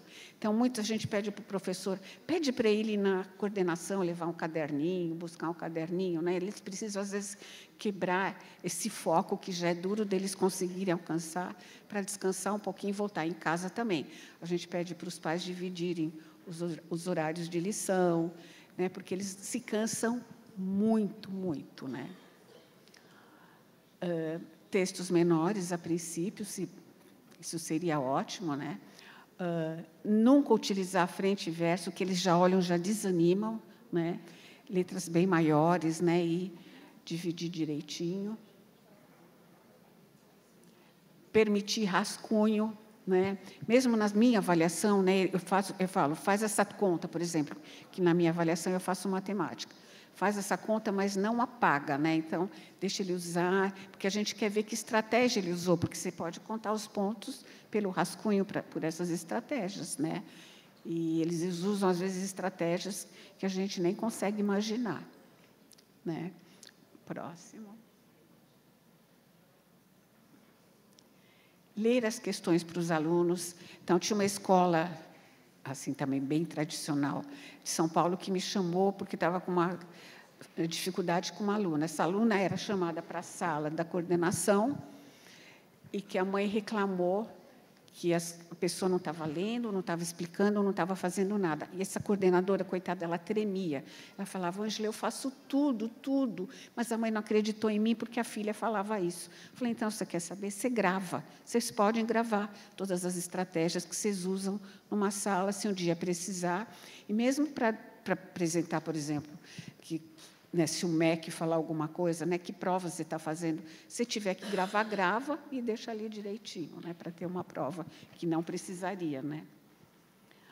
Ah, veja o que, que ele errou, né, o que, que ele quis dizer, se não entendeu, se ele não estudou, se ele assim, se ele estava com desatenção na hora. Teve uma professora de inglês também que eu falei a semana passada. A menina tinha uma, assim, ela tinha que escrever em cima os verbos no passado embaixo no pastense, assim, mas assim, era logo em seguida. Então ela continuou com a mesma informação. Eu falei: "Você esqueceu que ela pode, né? A memória dela, como que é o foco dela, porque ela sabia, né? Então você tem que ver por que que ele está errando. A professora, nossa, meu Deus, eu não, não pensei nisso. Então, sempre que puder, dê todas essas dicas para os professores, né? Na hora de corrigir, o que que eles podem ajudar, né?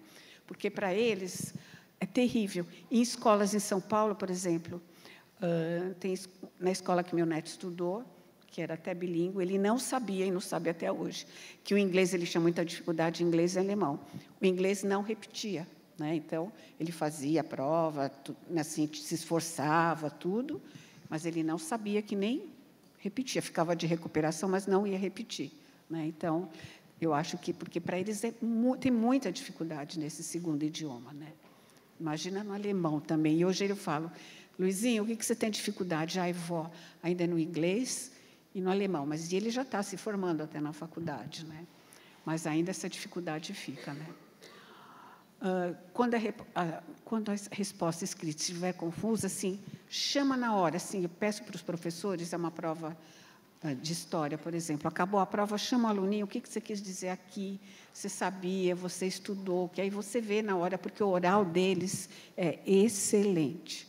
Né? Então, mas ele tem que estudar. Muitas escolas também ligam. Ah, a mãe falou que ele não pode repetir. Sim, ele pode repetir, porque o disléxico é inteligente, mas ele precisa da ajuda de um profissional com ele, precisa do olhar do professor, do olhar dos pais, né? Então, com tudo isso, se você fez tudo isso, né, tudo bem, mas assim não é porque ele é disléxico que ele pode repetir, né? Não pode repetir. Né? Então, ele é inteligente. Vocês não se esqueçam disso, né? Avaliações orais, né? Você quer contar aquele caso, Inês? da avaliação oral. Que o teu aluno, que ele contou da avaliação oral, que você falou, como você corrige professor? Ela está querendo que eu conte a história do meu filho. Quando ele estava na faculdade, ele não contou que ele tinha dislexia. E aí ele fez uma prova e o professor distribuiu a nota de todos os, de todos os alunos e pediu para ele, André, me espera quando todo mundo sair, eu quero falar com você. Aí entregou a prova para ele e ele tinha tirado um e meio. Valia 10 a prova. Aí ele perguntou: Você estudou? Ele falou: Estudei. Você entendeu? Ele falou: Entendi. Ele falou: Então me explica. Aí foi fazendo as perguntas de novo.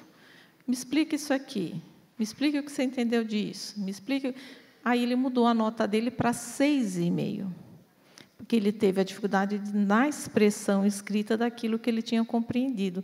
E oralmente ele deu conta. E o professor simplesmente alterou a nota dele para seis e meio e não explicou para ninguém o que ele tinha feito.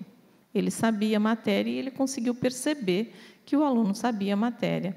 E é por isso que às vezes a gente fala: Fala para o professor que você tem dislexia, fala para o coordenador, para ele ter também essa percepção e, às vezes, não fazer um sacrifício maior para esse aluno. Né? Então, é isso. Né, que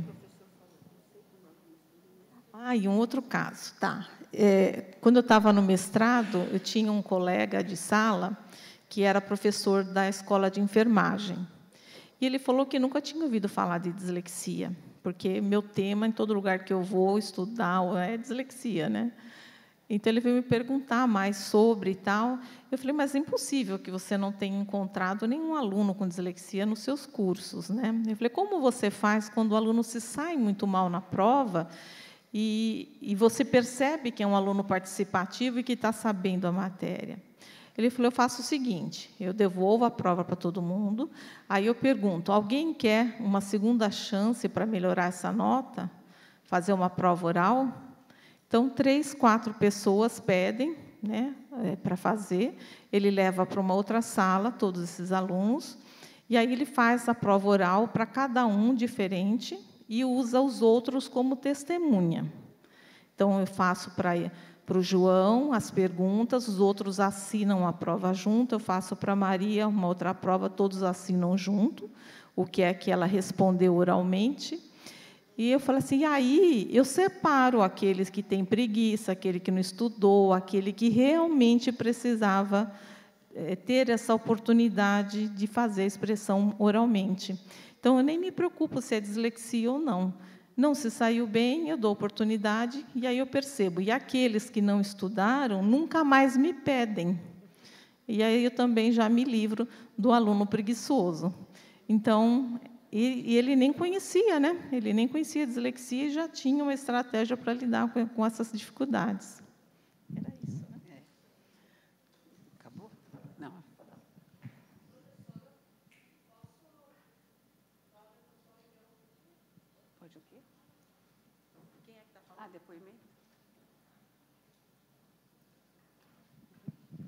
Estava demorando eu não falar, né?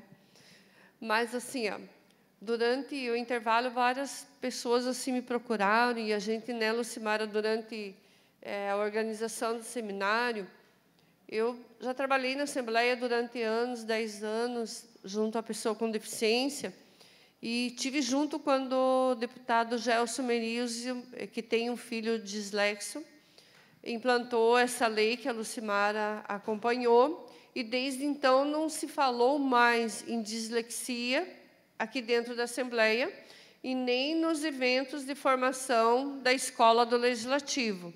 É o primeiro evento que a gente está tendo e está debatendo essa temática que é tão importante. E eu queria aproveitar que estão aqui dois representantes, um da Secretaria da Educação e da Secretaria da Saúde, porque essa temática não é educação especial, e sim temática da educação e da Secretaria da Saúde, que tem que trabalhar lado a lado para colocar, tirar isso do papel e fazer, lançar uma proposta, dar uma tarefa, com a ajuda de todos os colegas aqui, se vocês concordarem, de vocês tirarem isso do papel e tornar realidade e trazerem para Santa Catarina esse debate, essa formação e darem mais atenção para os alunos dislexos e com dificuldade de aprendizagem.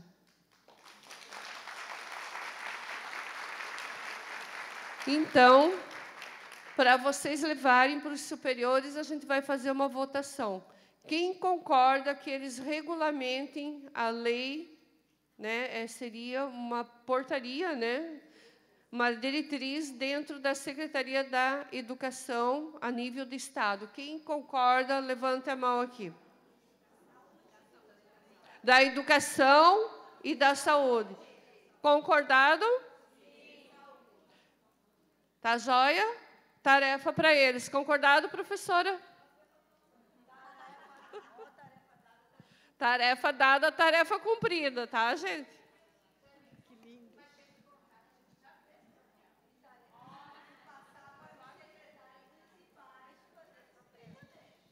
Vamos lá, vou passar para eles aqui, ó. Então, não sei se a Fabiola quer contar um pouquinho. Levanta a Fabiola, vem cá. Pode nos representar. Gente, é o momento da gente trazer esses debates. Vamos lá, Fabiola, seja bem-vinda.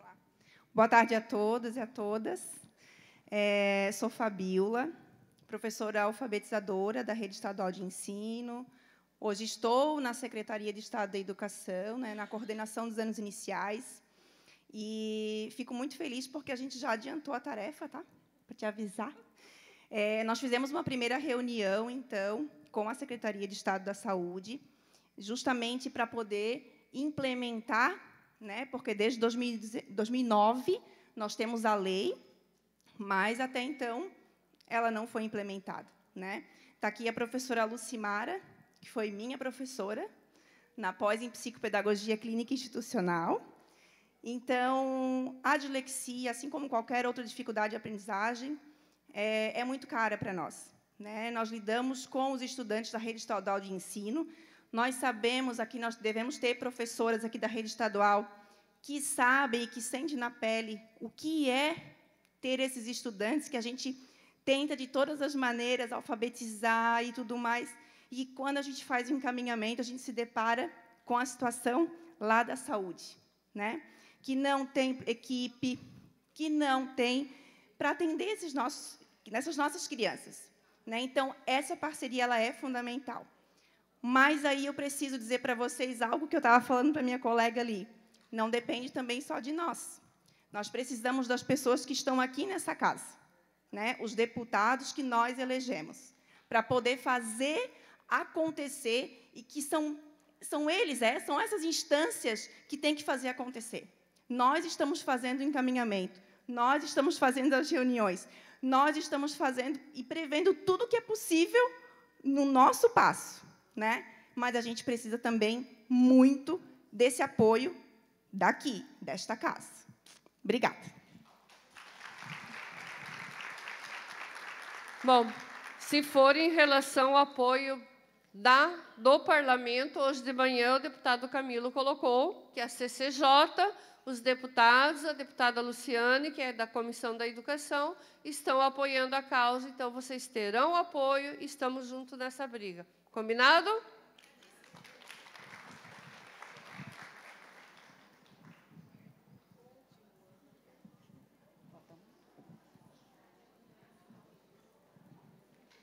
Então, quando possível, principalmente quando tem a dislexia e o TDAH como comorbidade, se puder, em salas separadas, que tem muitas escolas que misturam muitos. Então, aí também ele fala, ai, tia, eu fui lá, ele falava, ele não falava. Então, também prejudicava, né? Uh, e as pessoas com dislexias têm muitas dificuldades. Sim, eles têm muitas dificuldades, né? A gente falou muito de dificuldades. Então, vamos falar um pouquinho das habilidades. Não são só dificuldades, eles têm habilidades também. E a gente pode usar essas habilidades para reduzir as dificuldades. Então, a gente tem que conhecer as habilidades deles. Eles têm uma boa compreensão e percepção visual, que eu já falei que eles processam visualmente muito melhor. Então, se a gente puder trazer informação visual para eles, ok. Eles têm uma boa argumentação oral, então, por isso, a gente pede mais também provas orais, para que eles consigam expressar aquilo que eles conhecem e aprenderam. Eles são bastante observadores, percebem detalhes com facilidade, então, muitas vezes, eles, eles é, vão para profissões que pedem essa habilidade. Eles são bons para controle de qualidade, até por serem bastante observadores. Então, eles percebem muito o, o erro do outro, principalmente na atividade prática. Na leitura escrita, não tão bem, mas numa atividade prática, eles percebem e apontam com bastante frequência o erro alheio. E vocês percebam que eu estou colocando junto com a habilidade uma pessoa que teve ou teve dislexia, né? se, já, se é morto, né?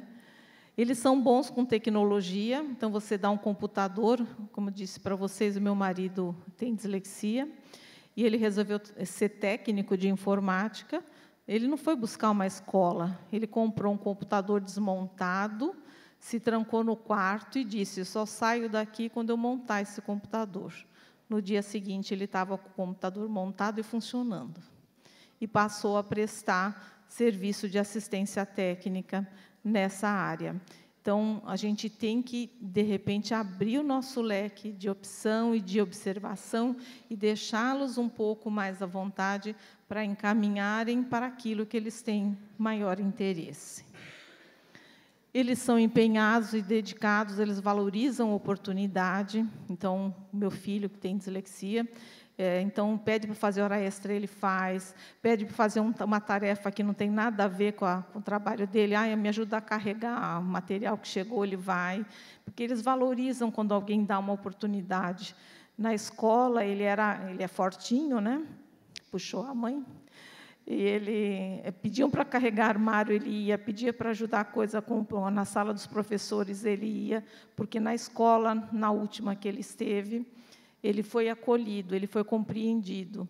Então, eles querem mostrar, eles querem devolver essa atenção que eles recebem. Eles são criativos. Esse rapaz aí é o Marangoni. Ele abandonou a escola na sexta série. Você quer falar dele? É, e ele diz que a escola abandonou ele, não foi ele que abandonou a escola. E hoje ele expõe trabalhos nas galerias mais importantes do mundo. Esse é um dos trabalhos dele. Ele é excepcional. Procurem na, no Google as obras dele. Hoje ele está morando em Portugal. E ele foi fazer o diagnóstico com a gente, ele tinha 50 e poucos anos, né? A Ângela vai falar um pouquinho mais.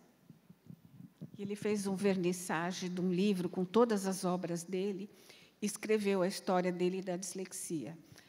Aí ele me deu o livro, eu falei, ah, põe uma dedicatória, né? Então ele escreveu, aí ficou arrepiado. Obrigada, Ângela, pela cura. Eu falei, mas eu não fiz nada, eu não, né, não, não te ajudei. Ele falou, mas só de você falar o que eu tenho, eu já estou curado. Porque ele sofreu muito. Mas, por outro lado, ele teve uns pais maravilhosos, né, que, que ajudaram muito, perceberam desde cedo né, essa capacidade que ele tinha. Vocês procurem para vocês verem. Né? E no YouTube também, no YouTube da BD, tem uma entrevista com ele, Marangoni. E, e Marangoni, né, com M, não é com N, Marangoni, né, que ele assinou assim. Então, e aí, eh, o que eu achei interessante em toda essa história dele é que ele disse assim: a escola me abandonou. Não fui eu que abandonei a escola. A escola não me entendia. Então, ele tinha repetido muitas vezes a mesma série e ele falou: não quero mais. E aí ele foi fazer o que ele gostava, o que ele sabia fazer de fato, e hoje ele é um artista reconhecido internacionalmente. Eu fui olhar, olhar o currículo dele, ele já expôs nas galerias mais importantes do mundo, inclusive em Nova York. É assim a questão da luz, né? Como é que ele coloca a luz nas obras dele? Vocês procurem lá, vale a pena. É um passeio você ver as obras dele. E ele pinta muito de memória também, que eu acho muito interessante. E ele tem um pitoquinho, um filho que na época que ele mudou, ele tinha uns dois, três aninhos, que diz que já pega os pincéis. Eu falei, pelo amor de Deus, manda para mim as obras que o pequenininho está fazendo, que eu já fiquei super interessada. Então, eles realmente podem, essas pessoas com dislexia. Eles podem estudar em qualquer escola, em qualquer faculdade, eles podem ter qualquer tipo de atividade profissional, eles podem constituir família, eles podem auxiliar a sociedade, eles podem exercer a sua cidadania. Eles são cidadãos como nós somos. Né? Então, a gente tem que dar esse espaço a eles. Então, nós contamos com vocês para que isso se realize, como já foi aqui também anunciado, que a casa vai dar continuidade nos trabalhos para ajudar vocês também a trabalharem nesta direção. E nós recomendamos, alguma coisa vai ser repetida aqui em relação à minha aula anterior. Esse filme, assistam é um, é um exemplo de um professor dedicado a um aluno com dificuldade. É maravilhoso. Esse aqui, como eu falei, para crianças que são, para adolescentes que se identificam mais com a questão da aventura e tudo mais, é bastante interessante. E tem livro também, né? não é só o filme, tem livro também. Esse aqui é aquela história que eu falei de manhã, a Destemida que é uma menina que tem dislexia e que conseguiu fazer a travessia do oceano num barquinho à vela, eu não sei o nome, é, não é motor, e ela tinha uma dificuldade com o cálculo, mas o treinador confiou nela, a família confiou nela, e ela conseguiu. E é uma história real, não é ficção.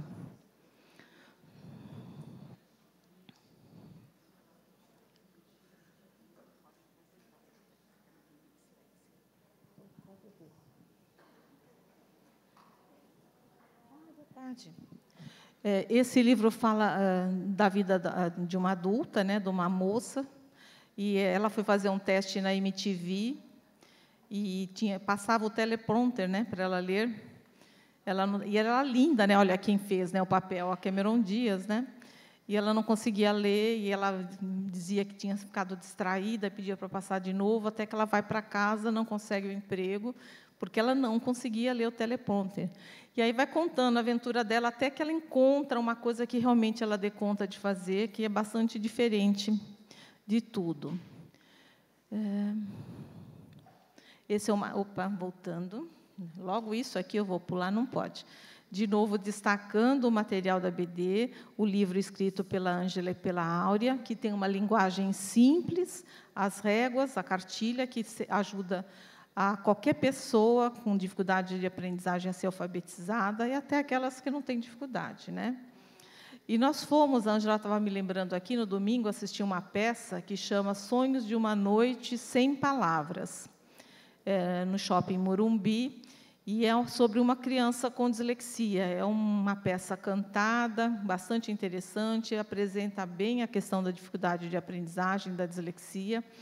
Eh, e, de repente, vocês podem também trazer para cá, para o município de Florianópolis, para vocês assistirem também, levarem pais, sensibilizar pais e professores, e eles fazem desconto para grupo, tem toda um, um, uma trajetória. é, essa é, no, é, o caminho para vocês chegarem nas nossas, uh, nos nossos arquivos, que vocês vão encontrar lá o compêndio de leis, que foi aquele comecinho da, da palestra. Vou encontrar lá também estratégias para alunos com dislexia, TDAH, dificuldades de aprendizagem, que vocês podem imprimir, apresentar para os pais, apresentar para as escolas, apresentar para, para, para estudos futuros de vocês. Não é? E uma frase para a gente terminar, que diz assim: a diversidade e a inclusão significam dividir, compartilhar e vivenciar ao mundo ao lado de todos, sem diferenciar ou mesmo classificar como diferentes ou, ou iguais. É fazer de fato a inclusão. Né? Obrigada.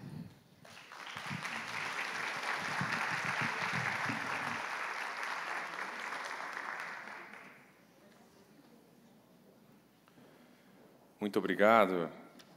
Convidamos para o próximo painel, a fim de debater acerca da aprendizagem, caminhos e possibilidades, os painelistas Eliane Costa Kretzer, João Carlos Chicota e Luciane Andrade do Nascimento. Eliane é graduada em Pedagogia pela Universidade Regional de Blumenau, especialista em Psicopedagogia pelo Centro Universitário Leonardo da Vinci, em Tecnologias EAD pelo Instituto Federal Catarinense e mestre em Educação, também pelo IFC. Atuou como coordenadora pedagógica escolar na diretoria de ensino da Secretaria de Educação de Gaspar e foi diretora da escolar, diretora escolar. Foi conselheira tutelar de Gaspar e pedagoga da Casa de Acolhimento Institucional Abrigo Feminino. Desde 2016 atua como psicopedagoga clínica no serviço de fonoaudiologia, psicopedagogia e psicologia escolar na cidade de Gaspar. Atualmente, atua na área de educação, com ênfase na psicopedagogia e na educação inclusiva, por meio do atendimento clínico, orientação, assessoria, consultoria e palestras para escolas, redes de ensino de diversos municípios catarinenses. Em 2009, tornou-se psicopedagoga associada, efetiva da Associação Brasileira de Psicopedagogia e, atualmente, é presidente estadual da, da associação. Perdão.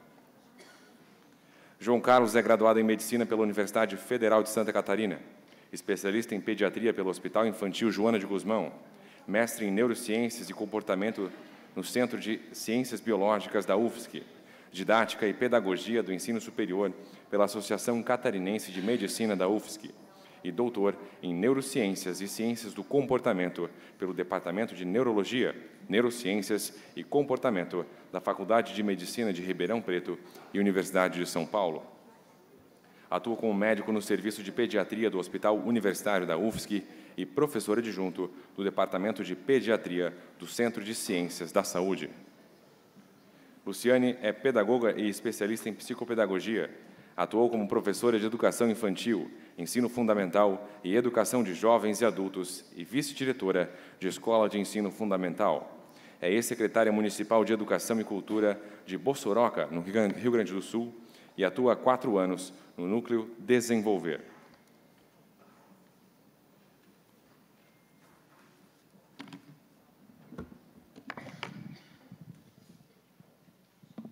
Boa tarde.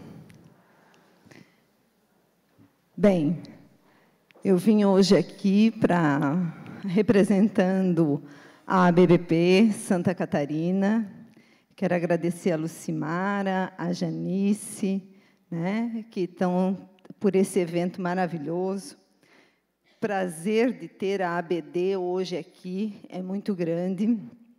Nós estamos, Santa Catarina está de parabéns de, desse evento, de ter esse auditório lindo, cheio aqui, hoje à tarde, com esse grupo de professores, educadores, preocupados com os nossos estudantes com dislexia e com dificuldade de aprendizagem, né?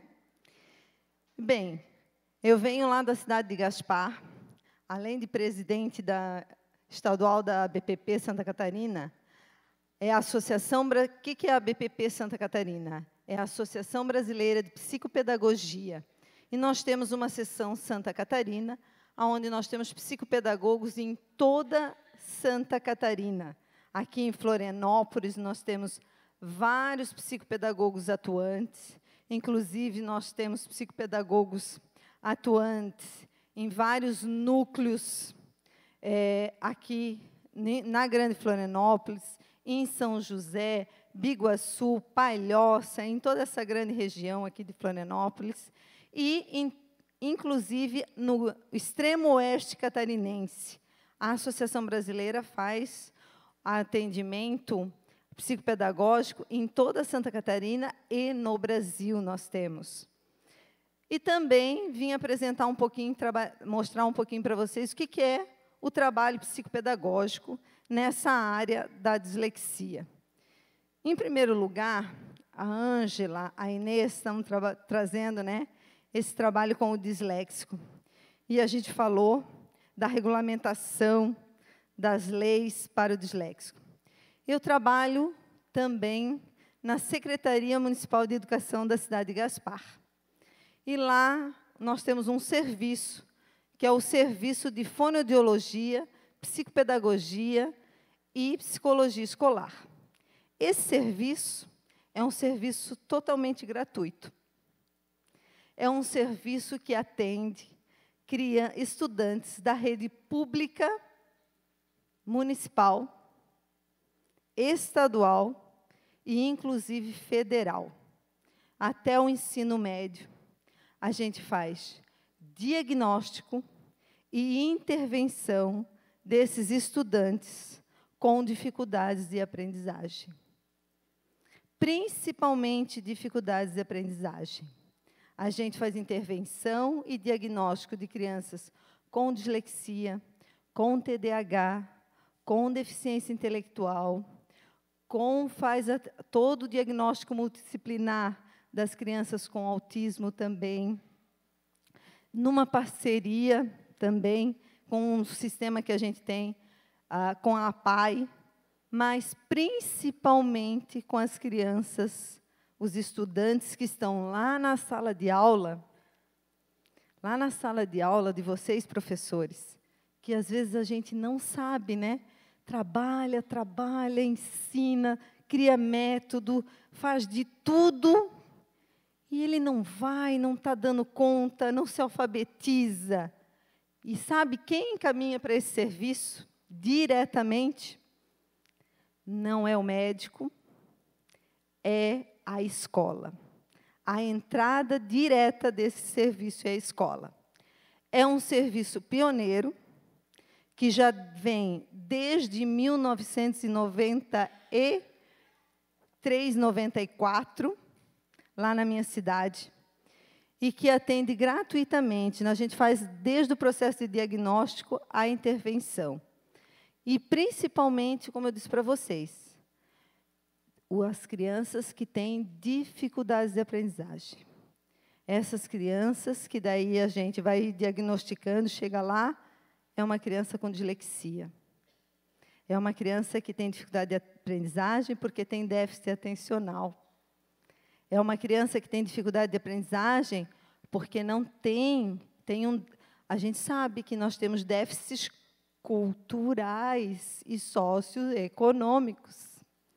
E esse serviço, o CEFOP, faz todo esse trabalho de intervenção psicológico, fonoaudiológico e psicopedagógico, gratuito para as três redes que a gente tem no nosso município. E o custeio, os profissionais, são todos pagos, não são pela saúde, são pela Secretaria de Educação. E hoje esse movimento que a Janice fez aqui, ó, está de parabéns porque o Estado, a rede estadual, aqui eu percebo que a maioria é da rede estadual que a gente tem aqui profissionais. A rede estadual está precisando realmente desse movimento para as nossas crianças e adolescentes, porque eu tenho lá no meu grupo de pacientes crianças e adolescentes da rede estadual. E as professoras dizem, Eliane, por favor, arruma um jeitinho na tua agenda para atender o meu aluno, o meu, o meu estudante. Mas às vezes a agenda está cheia, a fila de, tem fila de espera? Tem. Como em qualquer serviço público né, que a gente tem. Fila de espera. Então a gente está precisando de mais e mais movimentos. E a gente tem que começar hoje aqui, ó, a fazer um movimento de todo mundo começar a mandar e-mail para os nossos deputados, para eles começar a movimentar e regulamentar mesmo essas leis que a gente já tem no Estado de Santa Catarina. Como bem disse a Inês, leis nós temos bastante no Brasil. Basta agora a gente colocar em prática. E a psicopedagogia na dislexia. A psicopedagogia nesse trabalho com esses estudantes que vêm. Eu vou trazer primeiro uma primeira citação da nossa Alicia Fernandes. Alicia Fernandes, numa entrevista que ela deu, ela colocou uma, uma fala muito importante que eu acho que eu, enquanto, primeiramente, enquanto professora, eu passei por todas as etapas, eu acho que como a professora passa. Professora, coordenadora, diretora, todas as etapas que tem na escola eu passei nos meus 23 anos que eu fiquei só na sala, de, só dentro da escola. Antes de falarmos de dificuldades ou problemas, devemos falar de capacidades e possibilidades. Somente assim poderemos realizar essas duas tarefas tão importantes que nós temos. Primeiro, de tratar os problemas. A gente tem que tratar os problemas. Segundo, e o que é mais importante, evitar que às vezes eles apareçam. A aprendizagem não é um meio para se obter outra coisa, não, é um fim em si mesmo. Nós humanos, vamos pensar um pouquinho aquilo, trazendo um pouquinho aquilo que a Inês trouxe hoje de manhã, eu achei lindo, maravilhoso. Nós humanos nascemos carentes. Somos os mais indefesos da espécie animal. O filhote humano se faz humano graças à aprendizagem, é ou não é? Nós aprendemos na imitação a andar, não aprendemos? Vamos engatinhando, porque nós temos que aprender, nós estamos ensinados o tempo todo, não somos? Então, as nossas crianças têm potencialidades e têm capacidades. Uma das primeiras coisas que a psicopedagogia traz para a gente, enquanto atuação da, da nossa área, potencialidade e capacidade.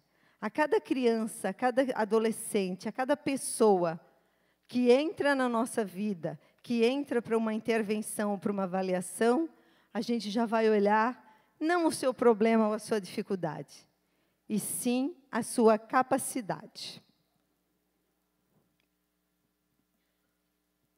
A aprendizagem é um processo complexo e ela exige do aprendente Há percepções do que se aprende e para que se aprende. A aprendizagem precisa ser significativa, ou seja, que tenha um sentido, uma motivação para aprender. Nenhuma criança na sala de aula, nenhum estudante, se ele não souber para que, que ele vai aprender, se ele não tiver motivação, ele não, ele não vai. Como é que a gente, o bebê, o bebê, quando ele, a gente bota, ele quer que ele engatinhe e que ele saia do lugar para gatinhar, o que, que a gente faz? Hum? Coloca o brinquedinho, o que, que lá? pouquinho mais lá na frente, para ele sair do lugar, uma motivação.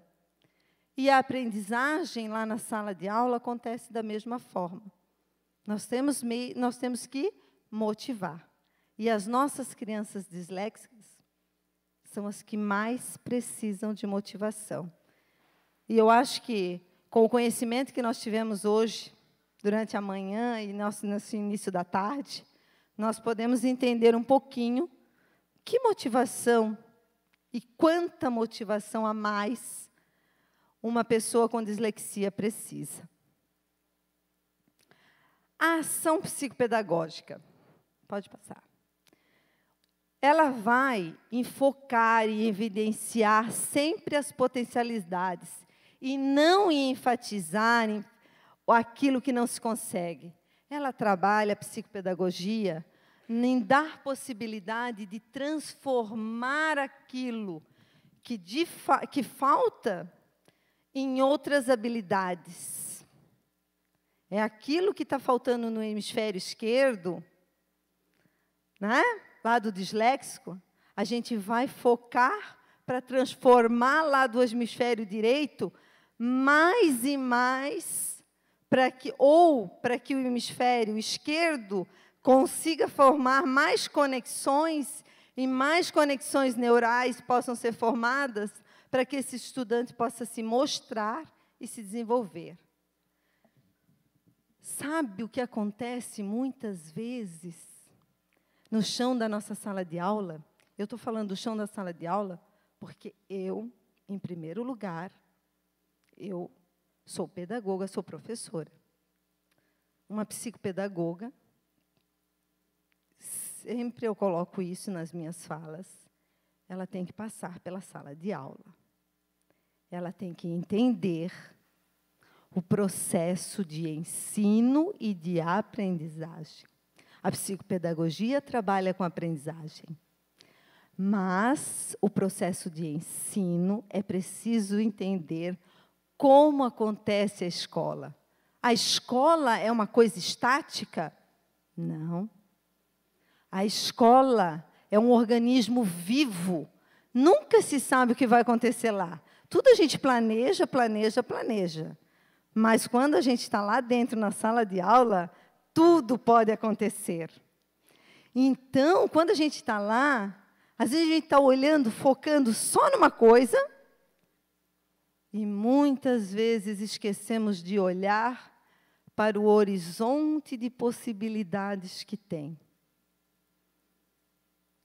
Muitas vezes a gente precisa fechar um pouquinho os olhos e abrir de novo para conseguir enxergar os horizontes. Muitas vezes aquele aluno, a gente às vezes tem que deixar ele um pouquinho de lado, dar aquele respiro, até mesmo para ele, para depois a gente pegar e focar nele de novo, porque a gente vai encontrar um horizonte. E professores? Professores, vocês são nós, professores, eu vou dizer nós, professores são muito criativos. E são os mestres em ensinar. Se nós, psicopedagogos, somos os especialistas na aprendizagem, no processo de aprendizagem, os professores são no ensinar, nos caminhos do ensinar, e vão também saber do ensinar. Então, é isso que a psicopedagogia faz no momento que está lá com aquele paciente, naquele momento de trabalho, de intervenção, dar acesso à leitura e à escrita. Quando a gente dá o acesso à leitura e à escrita, a gente teve tanta, tanta informação, tanto conhecimento hoje sobre como os processos acontecem, como a dislexia, como é o cérebro do disléxico. Né? Gente, como é importante os nossos, nossos estudantes saberem ler. Ler. Não apenas decodificar, ou não apenas juntar o B com o A, mas ler no sentido de compreender e dar significado àquela palavra que ele decodificou. Não apenas ficar naquela fase logográfica que ele já descobriu que para ele pegar o ônibus para ir para São José, né, ele, já, ele já gravou a escrita de São José o início da palavra São José e o final de São José ele já gravou. Não é esse ler que a gente quer. A gente quer um ler de dar acesso à leitura e à escrita. Um ler que promova autonomia. A autonomia para compreender aquilo que, que se está lendo, para fazer sentido, para aquilo. Quando a gente trabalha na intervenção psicopedagógica, na ação psicopedagógica, não se trabalha só apenas com técnicas, mas sim para compreender esse sujeito e desenvolver competências para a vida dele. Para auxiliar na trajetória acadêmica, sim, porque muitas vezes eles vêm assim, ó. Eliane, hoje tu não me ajuda porque eu vou ter uma prova. Tu não me ajuda hoje para estudar para essa prova? Ajudo, trouxesse material. Vamos lá. Auxilia na trajetória acadêmica? Sim. Não só trabalha com a, as coisas da vida. Então, a gente fomenta uma aprendizagem significativa, na qual se leva em consideração essa história da pessoa que aprende, desse sujeito que está ali com a gente. Se ele é, se ele tem dislexia, quando ele está na nossa, na nossa sala da, psico, da psicopedagoga, do psicopedagogo, ele é uma pessoa. Ele é a pessoa mais importante que está naquele momento. Vocês já pensaram? Ele não é com dislexia e ele não é sem dislexia. Ele é a pessoa, com a habilidade e com a potencialidade que ele tem. Ele tem uma família, ele tem uma história e ele tem uma aprendizagem para ser colocada no caminho porque ele tem um caminho dessa aprendizagem. Por isso que o trabalho psicopedagógico, gente, ele perpassa não apenas um trabalho de desenvolvimento ou de reeducação de habilidades é, dos estudantes com dislexia. Eu vou trazer para vocês um tra o trabalho psicopedagógico ele traz como o Bartolomeu Campos de Queiroz trouxe nesse livro para criar passarinho. Bartolomeu Campos de Queiroz, eu acho que ele colocou muito felizmente nesse livro como que o trabalho psicopedagógico pode ser. Eu gostaria assim que hoje que na, eu acho que eu vou trazer só uma reflexão de tudo que de conhecimento e informação que a gente teve hoje, para vocês verem quão é importante vocês terem um contato com esse profissional, às vezes, que trabalha com o aluno de vocês, com o psicopedagogo, com o fonodiólogo, certo? Com o psicólogo, né? com o terapeuta ocupacional, que às vezes trabalha com o estudante de vocês. Tenham um contato com eles, conversem, troquem, dialoguem, compartilhem. Para bem criar passarinho, é bom ter asas na alma, imensa inveja dos voos, e viver leve com as penas. Isso se consegue descobrindo a alegria de possuir um céu aberto como casa e ter como caminho a distância do nascente ao crepúsculo sempre. Gente, uma pessoa com ou sem dislexia, todas as pessoas podem viver leve com as penas que têm. Todos nós temos penas e temos pedras também.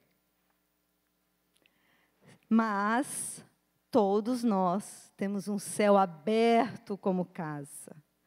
Todos nós temos capacidade de aprendizagem. Todas as pessoas têm capacidade de aprendizagem. É isso que se pensa. A distância do nascente ao crepúsculo sempre. Só paramos de aprender quando quando o crepúsculo chega.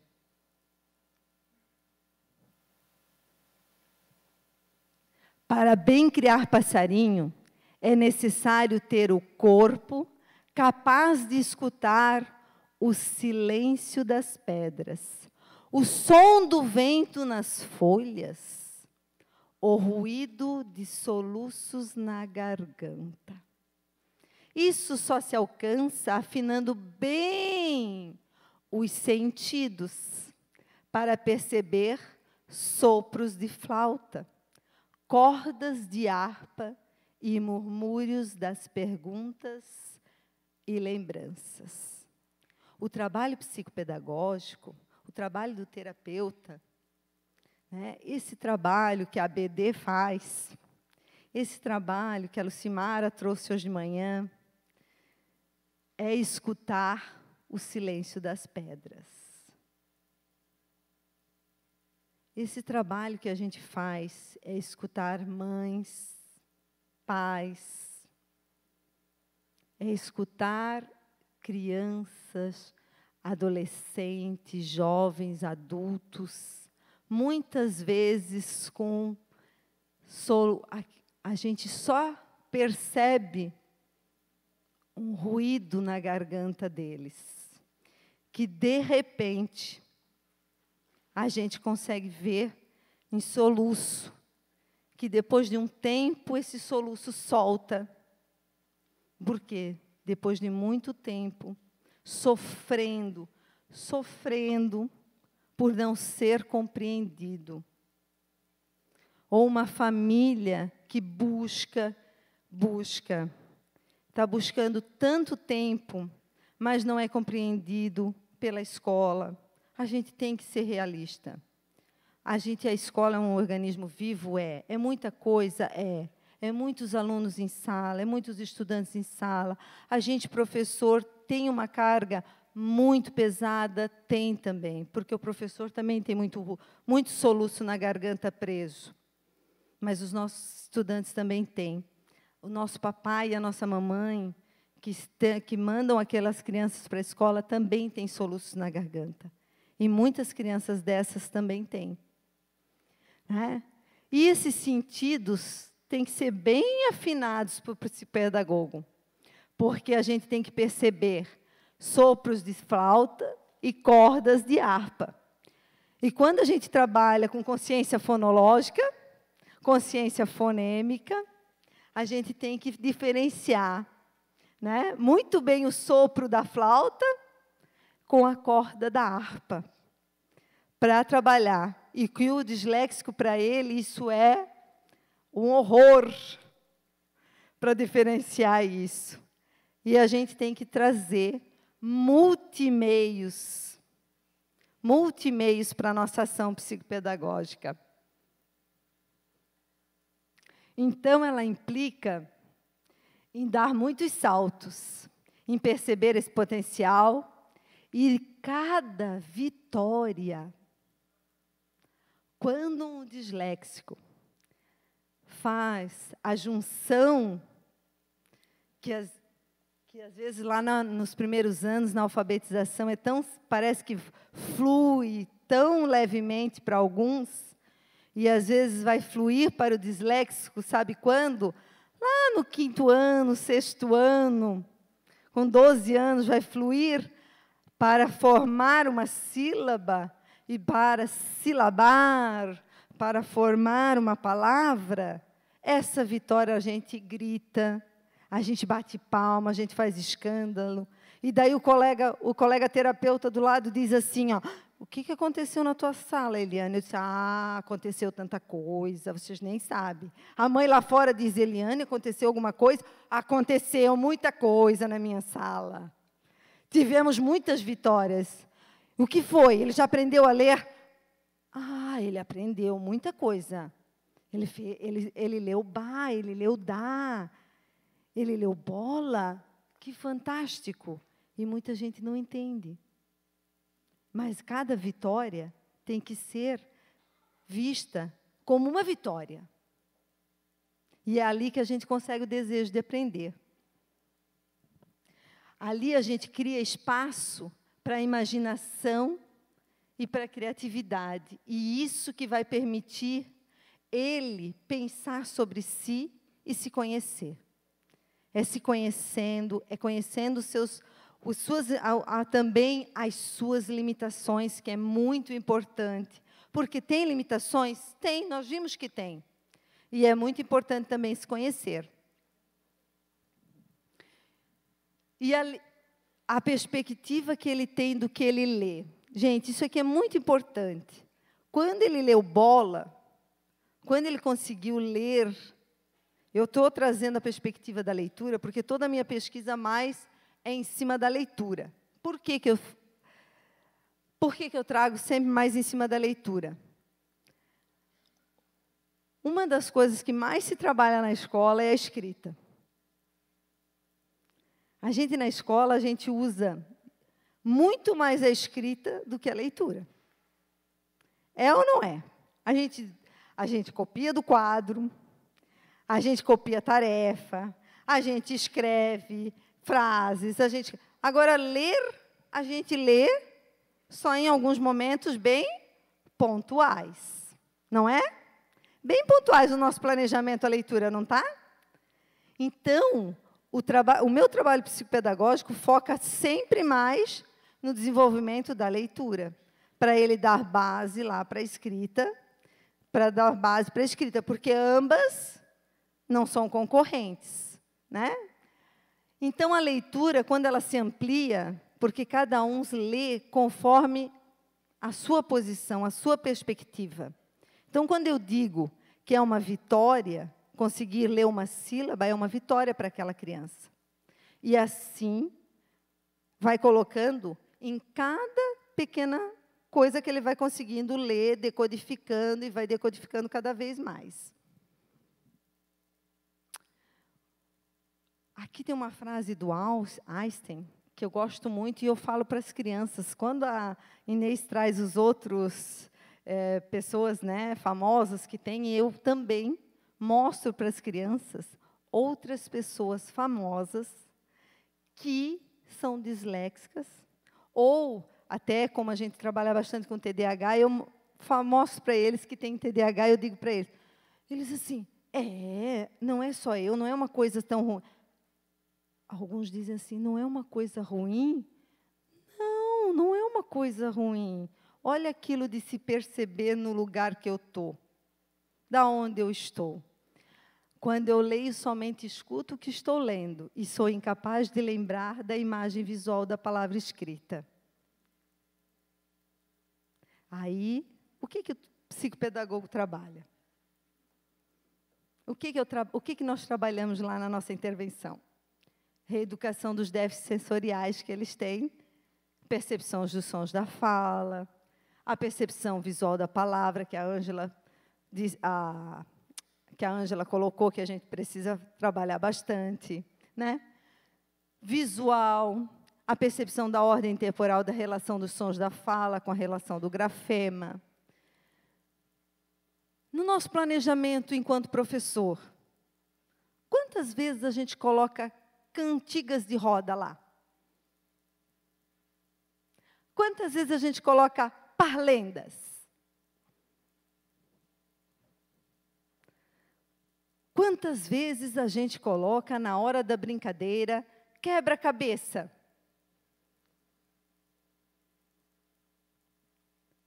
Como é que eu como é que eu posso trabalhar com o disléxico? Hã? Como que eu posso trabalhar? Como é que eu posso auxiliar na sala de aula o disléxico? Como é que eu posso trabalhar? Quantas vezes eu trabalho com pequenas aliterações, pequenos poemas que tudo começa com a mesma letra? ou pequenas rimas orais que tudo começa, que tudo termina com o mesmo som. Eu só tenho cinco minutos, a Lucimara disse. Consci, pode, consciência fonêmica, rimas, aliterações, que eu acabei de falar, ó. Segmentação, transposição. E por que precisamos trabalhar essas habilidades? Porque o sistema visual, porque quando a gente processa a leitura, né, a gente desmembra, o sistema visual desmembra e reconstitui tudo de novo para dar a cadeia de letras, né? Para reconhecer uma cadeia de letras. E progressivamente ele vai extraindo o conteúdo dos grafemas, das sílabas, prefixos, sufixos. E depois, muito depois, é que a gente vai trabalhar, o nosso cérebro vai trabalhar os sistemas de tratamento da informação. Pode passar. E as etapas da leitura, que já também já foi colocado um pouquinho. A pictórica, né, a logográfica, que é aquela que a gente aprende, que a criança já aprende a identificar Coca-Cola, do McDonald's, né? Depois a fonológica, decodificar, que quando a gente fala B com A da ba, a criança lê ba, ela não está lendo, ela está só decodificando. A leitura é uma etapa muito à frente, né? e a ortográfica, que já tem uma automatização, que é um reconhecimento rápido da palavra. Esse trabalho é feito também no trabalho com os disléxicos. É um trabalho psicopedagógico que é muito feito com o disléxico. Não é apenas ler eficientemente, é preciso compreender. Isso eu sempre coloco para as minhas crianças. Não adianta a gente aprender a ler mas sem a gente compreender o significado dessa palavra. Então, cada palavrinha nova tem um sentido para eles, de vida. Como eu falei para vocês, o estudante disléxico é o que mais precisa de motivação, porque na sua caminhada e na sua trajetória, é uma trajetória que vem com muitas histórias de fracasso. Eu coloco isso porque é o que eu escuto das crianças que eu atendo.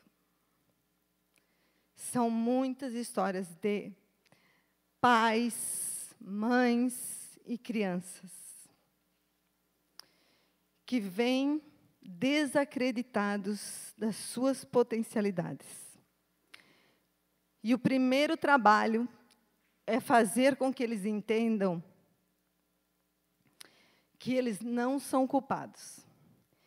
E eu trago da Rene, que é um neurocientista, quando ele diz que toda essa citação dele, ele diz que a leitura já é uma combinação difícil, gente. É uma combinação difícil para o ser humano. Não era para né, o nosso cérebro primata, de anos de aprendizagem escolar, que reciclam nossos neurônios, tá? Em virtude de um novo uso. Basta que alguns grãos de areia deslizem dessa mecânica neural que está aqui, ó, e esse frágil processo de reciclagem, já difícil para todas as crianças. O processo de leitura e escrita é difícil para todas as crianças em fase de alfabetização. Professores, lembre-se disso. Lembre-se disso. Pode se tornar fonte de um enorme sofrimento para alguns. Esses alguns são as crianças disléxicas. Isso pode ser um sofrimento muito grande. Lembre-se disso quando vocês estão vendo uma criança lá que está passando por um sofrimento grande para se alfabetizar. E como nós fizemos a diferença? Atitude positiva, incentivando essa criança, sentindo a nossa presença, ela percebendo que ela pode tentar, gente, ela vai que a gente está ali, ela vai tentar, ela vai conseguir, mesmo sendo difícil, ela vai tentar. A imagem da, que a Ângela trouxe, pegando na mão da criança, peguem na mão dos seus estudantes, dos seus alunos e alunas. É preciso, sim, é preciso, sim, nós, enquanto professores, profissionais da educação, sabermos que as nossas crianças têm dificuldades e que é para isso que a gente está ali. Por isso que nós somos profissionais do ensino. Eles não, as crianças não adivinham tudo. E aqui é a transcrição de um depoimento do meu paciente, de um estudo de caso, de uma pesquisa que eu fiz, e eu levei essa pesquisa para vários lugares, e que essa pesquisa depois deu uma origem ao meu mestrado. Por isso que eu disse para vocês que eu fui afinco na leitura, num trabalho de leitura, de estudo da leitura, por que, que a leitura era tão difícil. Um paciente que chegou para mim com 12 anos, nem silabava. Nem silabava. Por quê? Porque para sete, oito anos ele ganhou um laudo de disléxico. E sabe onde é que ele ficou? No fundo da sala. Ah, ele é disléxico. Ele vai passar. Não, ele não, ele não precisa, a prova dele é assim, ele não precisa fazer a prova, e isso ele ficou escutando, escutando. E quando ele chegou para mim, ele tinha 12 anos, ele só disse assim para mim: ruído na garganta, soluço na garganta. Quando eu escutei aquele soluço, ele só disse assim: Eu quero ler. Eu só quero ler, porque copiar ele copiava. Tinha letra, menino, tá? Letra lindíssima.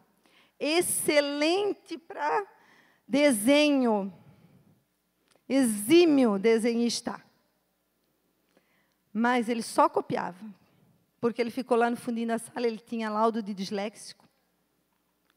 E ele disse, no final do trabalho de intervenção, ele disse para mim assim, ó, eu disse, o que, que você diz para mim agora, que eu já estou te, te dando tchau, eu disse para ele, eu vou te dar uma alta, eu vou te dar tchau.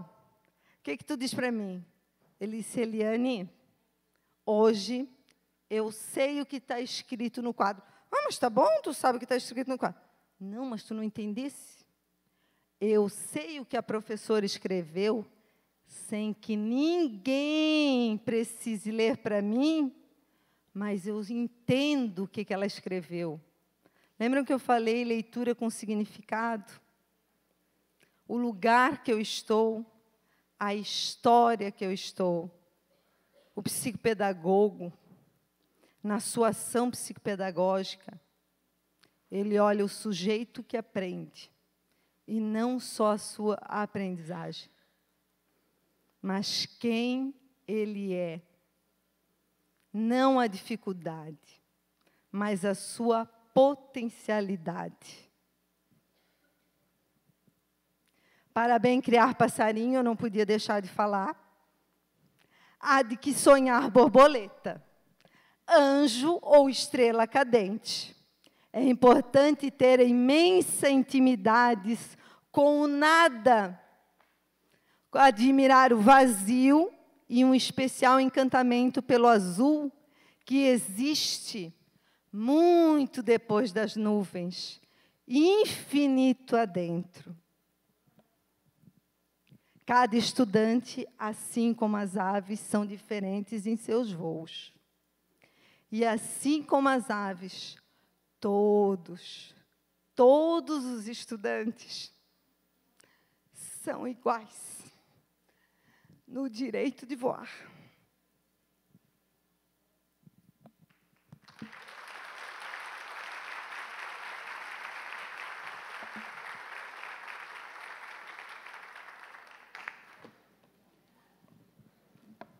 Gratidão E parabéns. Ok. Depois a gente abre para perguntas, tá? Doutor Chicota e Luciane, do Núcleo Desenvolver. Com vocês a palavra.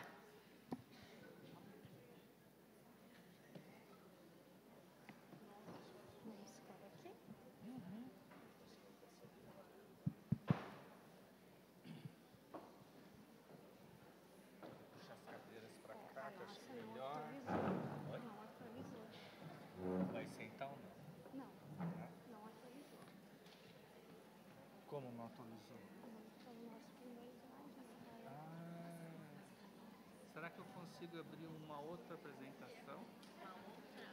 É. Já, é que eu atualizei e não salvou ali. Tá Tenta abrir de novo o mesmo link que eu mandei. Não tem? Agora já vai. É? Podia ter lido antes. É, boa tarde a todos. Gostaria de dizer que a gente vai fazer uma apresentação, então, em dueto, ou a apresentação foi feita a quatro mãos. A gente vai pedir desculpa porque a gente não conseguiu atualizar os slides, mas fica aqui um agradecimento pessoal à questão da comissão organizadora, principalmente em nome da Lucimar, que fez todo o esforço possível para que o Núcleo Desenvolver estivesse presente, e, de certa maneira, a gente não vai falar somente da dislexia. A gente vai falar características também gerais sobre as dificuldades e os transtornos da aprendizagem e trazer bastante um pouquinho do que, que a equipe multidisciplinar do Núcleo Desenvolver apresenta e atende as crianças ali no Hospital Universitário, que é um hospital conveniado ao SUS. Todas as crianças são atendidas de maneira gratuita e que também a gente tem hoje em dia gestão em relação ao EBSER. Então, boa tarde a todos. Eu sou a Luciane, sou pedagoga do Núcleo Desenvolver. e como a colega acabou de dizer, professora. Professora que sofreu muito tempo sem saber como ajudar aquela criança, me sentindo sozinha lá, desamparada diante de uma criança que tinha dificuldade, e eu, na minha boa vontade, na minha intenção, na minha paixão como profissional, não tinha condições ir além das minhas capacidades. Eu me sentia com a minha boa vontade, com a minha paixão, mas eu precisava de algo mais. Eu precisava de que alguém me ajudasse a saber o que aquela criança tinha. E daí, eu, em 2019, fui abençoada e entrei no Núcleo Desenvolver. Desde já, a gente coloca o seguinte, que a nossa intenção no núcleo não é laudar, certo? Não é laudar, nós queremos sim apresentar um trabalho, um, um diagnóstico, uma hipótese diagnóstica para essas crianças que faça a diferença na vida delas, que norteie a prática do professor.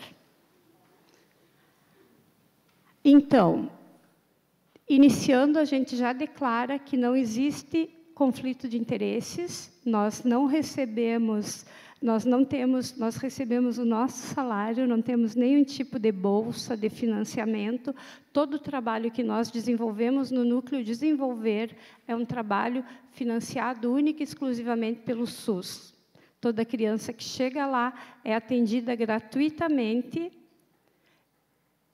Vocês agora vão acompanhar todo o processo. Então, é, nós somos uma equipe multidisciplinar que temos a Tânia, que está aqui, por favor, a colega, levante para o pessoal conhecer nossa colega Tânia, fonoaudióloga, pessoal, voluntária. Aposentou-se e está lá fazendo um trabalho voluntário junto conosco. A Sofia, que é a nossa outra fono, eu, Lucianinha, a Edna, que também está lá, outra voluntária, por favor, para o pessoal conhecê-las. A doutora Cláudia, nossa pediatra.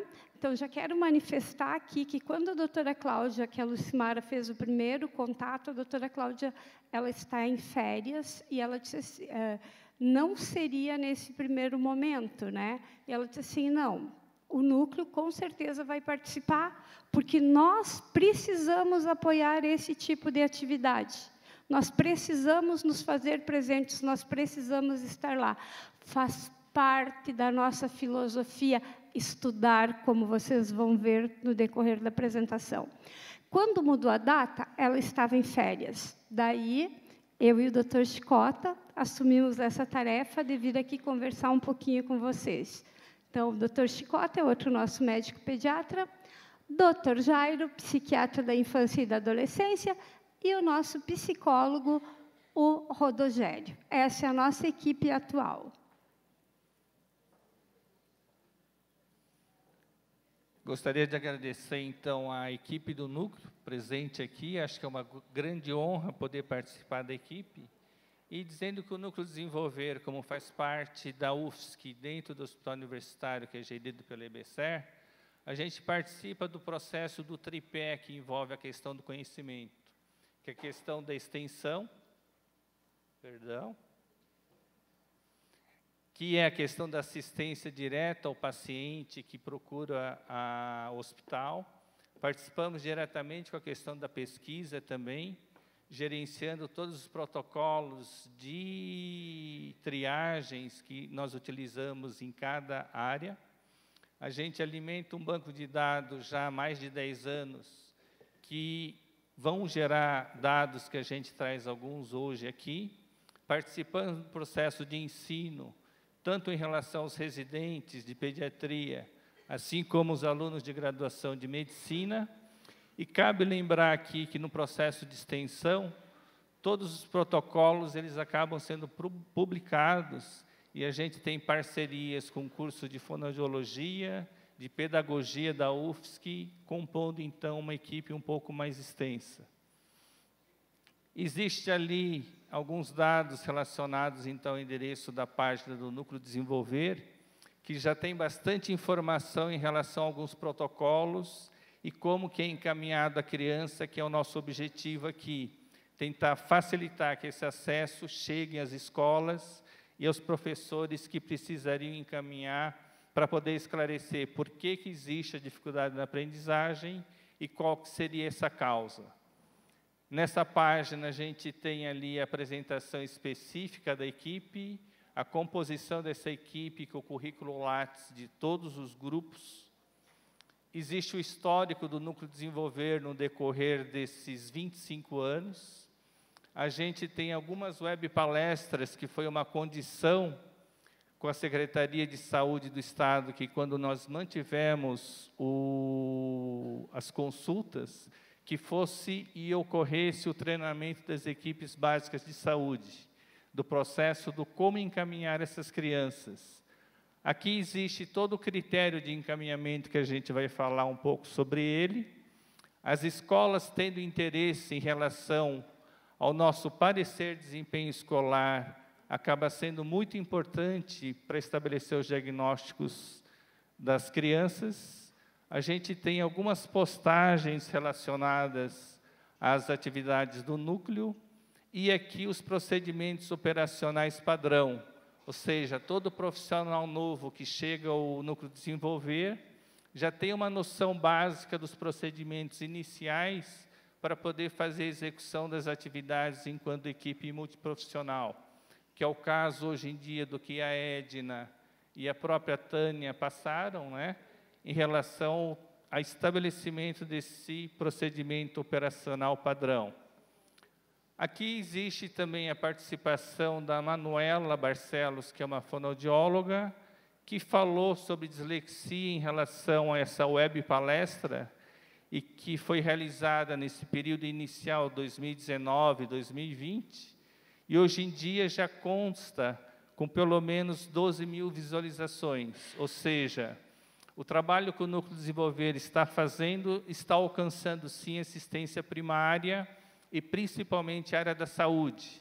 Queremos estender que esse processo também ocorra com as equipes em relação da educação. Pena que não apareceu ali foi o vídeo mostrando um pouquinho a Manu. Exato. Então, uh, o núcleo ele começou a partir de 2019 a ser um serviço regulado pelo SUS. Nós atendemos, a nossa entrada são de duas crianças por semana e a nossa abrangência são os municípios da Grande Florianópolis. Como encaminhar? Então, nós recebemos praticamente todos os dias essa pergunta lá no núcleo. Por quê? Porque as famílias chegam nos postos de saúde e dizem assim: nós precisamos encaminhar para o núcleo desenvolver. A nossa agenda não se chama núcleo desenvolver. A nossa agenda, por uma questão burocrática, se chama consulta em pediatria, programa saúde na escola. Então, quando for feito o encaminhamento, essa aqui é a agenda que a criança tem que ser encaminhada. O código unificado dessa agenda que o profissional de saúde vai lançar no sistema, vai lançar no CISREG, é o 030 101 0072. Tá? Então, não existe agenda no sistema, no CISREG, com o nome de Núcleo Desenvolver. É Consulta em Pediatria, Programa Saúde na Escola. Se vocês nos ajudarem a difundir isso aí, nosso trabalho já vai se reduzir muito, porque as pessoas é todo santo dia ligando para saber. A gente não se importa de dar informação, tá? Mas a gente sabe que quanto mais rápido a, a informação for difundida, mais celeridade também vão ter nos encaminhamentos. Talvez é importante relembrar que os municípios contratualizados seriam os 22 municípios da Grande Florianópolis. A abrangência não é do estado todo, até porque acaba sendo injusto alguém sair do interior do estado, viajar por mais de 10, 12 horas para uma avaliação de dificuldade na aprendizagem. Mas mesmo assim a gente tem a preocupação do que está sendo feito por crianças que moram de outras regiões. Os critérios, então, de elegibilidade que a gente tem no momento a gente considera, então, os casos elegíveis para encaminhamento ao núcleo desenvolver, crianças de 7 a 11 anos com dificuldades de aprendizagem escolar, secundárias os transtornos do neurodesenvolvimento, que seria o TDAH, a dislexia, descalculia, disgrafia e desortografia, e também a suspeita do desenvolvimento da linguagem compreensiva e expressiva. Ou seja, o professor lá na ponta, na sala de aula, não tem um diagnóstico, mas na suspeita desses, dessas causas, como dificuldades na aprendizagem, a gente considera como casos elegíveis. Em relação à regulação da Secretaria Estadual de Saúde, eles começaram a encaminhar as crianças com 11 anos, mas a gente já percebeu no início do semestre, no primeiro semestre desse ano, que muitas dessas crianças já chegam com agravos secundários em relação à depressão, ansiedade ou ainda o sofrimento psíquico. E a gente está vendo o quanto que já existia de sofrimento e pouco a gente poderia estar, tá, de repente, ajudando. A gente está revendo esses critérios junto à secretaria e uma série de negociações a gente já tem feito aí nas últimas semanas, né? Casos que a gente considera não elegível, ou seja, criança que tem o transtorno intelectual grave ou moderado, já previamente estabelecido, o transtorno do espectro do autismo, já com certeza também, ele não seria, ele não teria nenhum benefício em passar por uma avaliação novamente. O transtorno psiquiátrico que não seja do neurodesenvolvimento, no caso a depressão, transtorno da ansiedade, a ideação suicida, né? A gente sabe que pode concorrer junto à dificuldade na aprendizagem, mas não seria um caso eletivo. As deficiências de aprendizagem escolares, onde exista suspeita de condição neurológica específica ou sindrômica. E também não seria, obviamente, elegível a criança com ausência de dificuldade na aprendizagem. Tá? Aqui os casos não elegíveis, o que fazer? A gente indica que na suspeita do transtorno de desenvolvimento intelectual grave ou moderado ou transtorno do espectro do autismo, contratualizado com a Secretaria de Saúde, que eles sejam encaminhados para o serviço de reabilitação intelectual ou do autismo no Centro Catarinense de Reabilitação. Eles também têm os seus critérios de avaliação com uma classificação de risco. Os casos com transtorno psiquiátrico, sejam ele depressão, ansiedade ou sofrimento psíquico, devem ser encaminhados aos serviços de psiquiatria da infância e adolescência e ao CAPSI, que também é uma outra negociação que a gente faz junto ao Estado para que criarem políticas públicas associadas a isso, porque o problema só é crescente e a gente está trabalhando com a ponta do iceberg. Quanto mais a gente deixar essas crianças na fila, pior vai sendo a associação de agravos secundários. Os casos, então, de encaminhamento que devem ser relacionados à neuropediatria seriam aqueles que a crise convulsiva, a epilepsia, os casos de cefaleia que precisam de investigações, encefalopatias progressivas ou aquelas crônicas, os distúrbios do movimento, doenças neuromusculares e síndromes neurocutâneos, distúrbio do sono, afecções neurovasculares e suspeitas dos erros inatos. Ou seja, por que, que aparecem os encaminhamentos que vão para neuro e não para o núcleo desenvolver? Porque toda essa negociação em 2018 ocorreu porque a fila da neuropediatria estava em duas mil crianças e eles não conseguiam atender o que é prioritário para a neuropediatria. Aí criou-se então a necessidade, em conjunto, de equipe multidisciplinar que atenda às dificuldades na aprendizagem. Tá?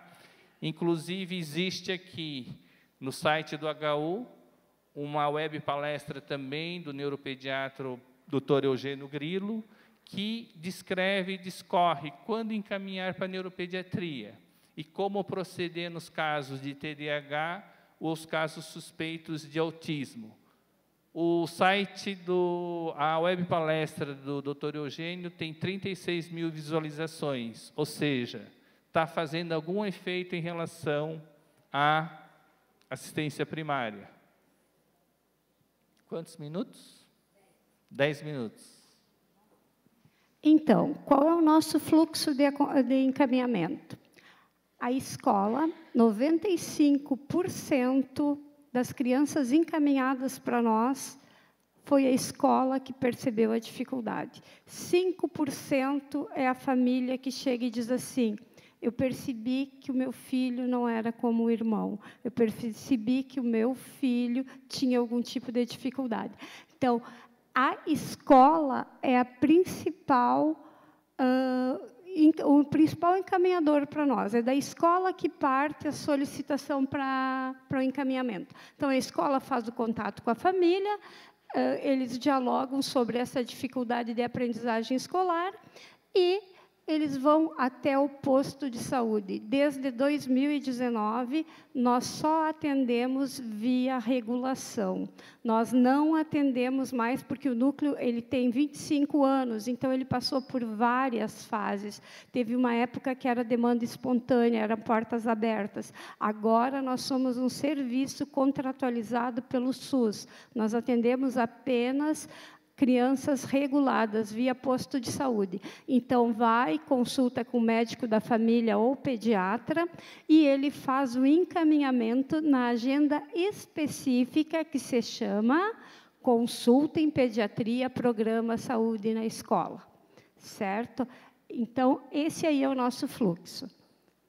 Fica a dica e um pedido de ajuda que se a escola puder encaminhar já um relatório de desempenho escolar no modelo do núcleo desenvolver, já é um passo à frente que a gente está dando. Facilita muito o nosso papel durante a triagem na primeira consulta, que vai ser o momento que a Lu vai falar agora. Então, como é que é a dinâmica do núcleo desenvolver? Primeiro momento, a criança e a família chegam, nós denominamos avaliação breve. Então, essa avaliação breve é o primeiro atendimento. No nosso espaço vai ficar o pai irresponsável com o médico ou psicólogo, ou médico e psicólogo. Já a criança vai ficar conosco, com a pedagoga e a fonoaudióloga, ou uma ou outra. Nós temos ah, protocolos específicos de triagem. Então, a gente faz, o médico conversa com a família, faz a, a, a consulta breve com a família, e nós com a criança, depois a gente reúne e define se a criança é elegível ou não para uma avaliação ampliada. O que é a avaliação ampliada? A avaliação ampliada é um processo de seis semanas. Então, quando o doutor Chicota disse que não é justo a criança vir, não é que não seja justo a criança lá do interior ou de outros municípios virem, é que é muito difícil. Principalmente depois da pandemia, nós estamos, inclusive, fazendo esforços, a nossa equipe, porque a dificuldade financeira é muito grande. Então, isso a gente considera bastante. Então, esse processo, em torno de seis semanas, vai passar, do, no mínimo, duas vezes com os médicos pediatras, psicólogo, seis vezes, no mínimo seis. Pedagogo também é, é, gira em torno de seis atendimentos. A fono, o protocolo da fono é um pouquinho menos extenso, em quatro ou cinco sessões a fono dá conta. E a partir desse ano, o psiquiatra da infância e da adolescência a nos, começou a nos acompanhar durante as avaliações. Isso deu uma celeridade muito grande no processo. Porque, como o doutor Chicota falou, nós, com a função de nós estarmos recebendo criança de 11 anos, essa criança já vinha com, no mínimo, cinco anos de sofrimento da escola. Essa criança já trazia muitos agravos, além do transtorno de desenvolvimento do transtorno específico de aprendizagem. E nós temos também algumas reuniões, as nossas reuniões de equipe multidisciplinar, que a gente vai falar na sequência. Então, pessoal, o que eu trago aqui são apenas alguns exemplos do que a gente, de que cada área faz, certo? Porque o que a gente considera primeiro? Gostei muito quando a Eliane falou a gente considera aquele ser que está ali, aquela criança que está ali, aquela família que está ali. Tanto é que a nossa nosso protocolo de triagem, ele pega todos os antecedentes, a gente todos nós fizemos entrevista com a família, a gente tem esse cuidado, porque a nossa visão enquanto hospital é de humanização. A nossa questão do SUS tem esse viés de humanização. Então, a nossa proposta é baseada em protocolos, sim, mas são protocolos que os estudos nos levaram a eles e que, mas sempre com aquele vínculo. Tanto é que a gente sempre diz assim, ó, a energia dessas famílias nos alimenta. Porque eles se sentem tão agradecidos, a gente tem um retorno tão grande. E no nosso WhatsApp vem, porque a mãe do fulaninho disse que vocês realizaram e hoje ele melhorou. Então, isso aí nos alimenta. Isso aí nos move. Então, a psicologia faz a hora lúdica, faz HTP, figuras complexas de rei, BPA, VISC-4 e faz a entrevista com a família.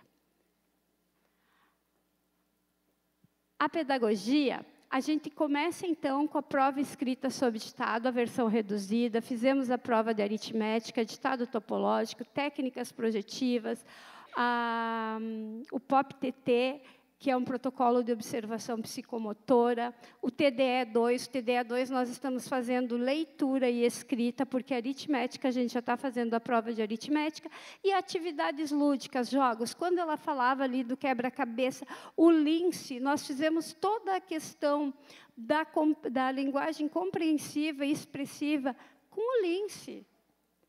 É, então, assim, o lince é um jogo de tabuleiro. Então, e, e isso aí é, é encantador para a criança e para nós também.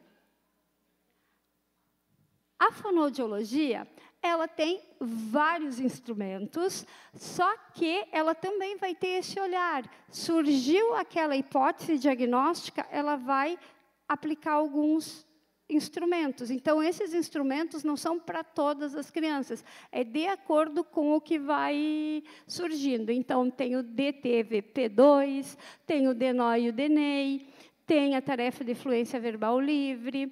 Uh, faz também toda criança que entra no núcleo de desenvolver para avaliação, faz a otoscopia e a gente garante audiometria, imitanciometria e timpanometria. Nós temos uma parceria com a nossa fono ali que faz a, a, questão audiológica e temos também uma parceria com a Clínica Escola de Fonoaudiologia que faz para nós o teste do do processamento auditivo central, que é o PAC.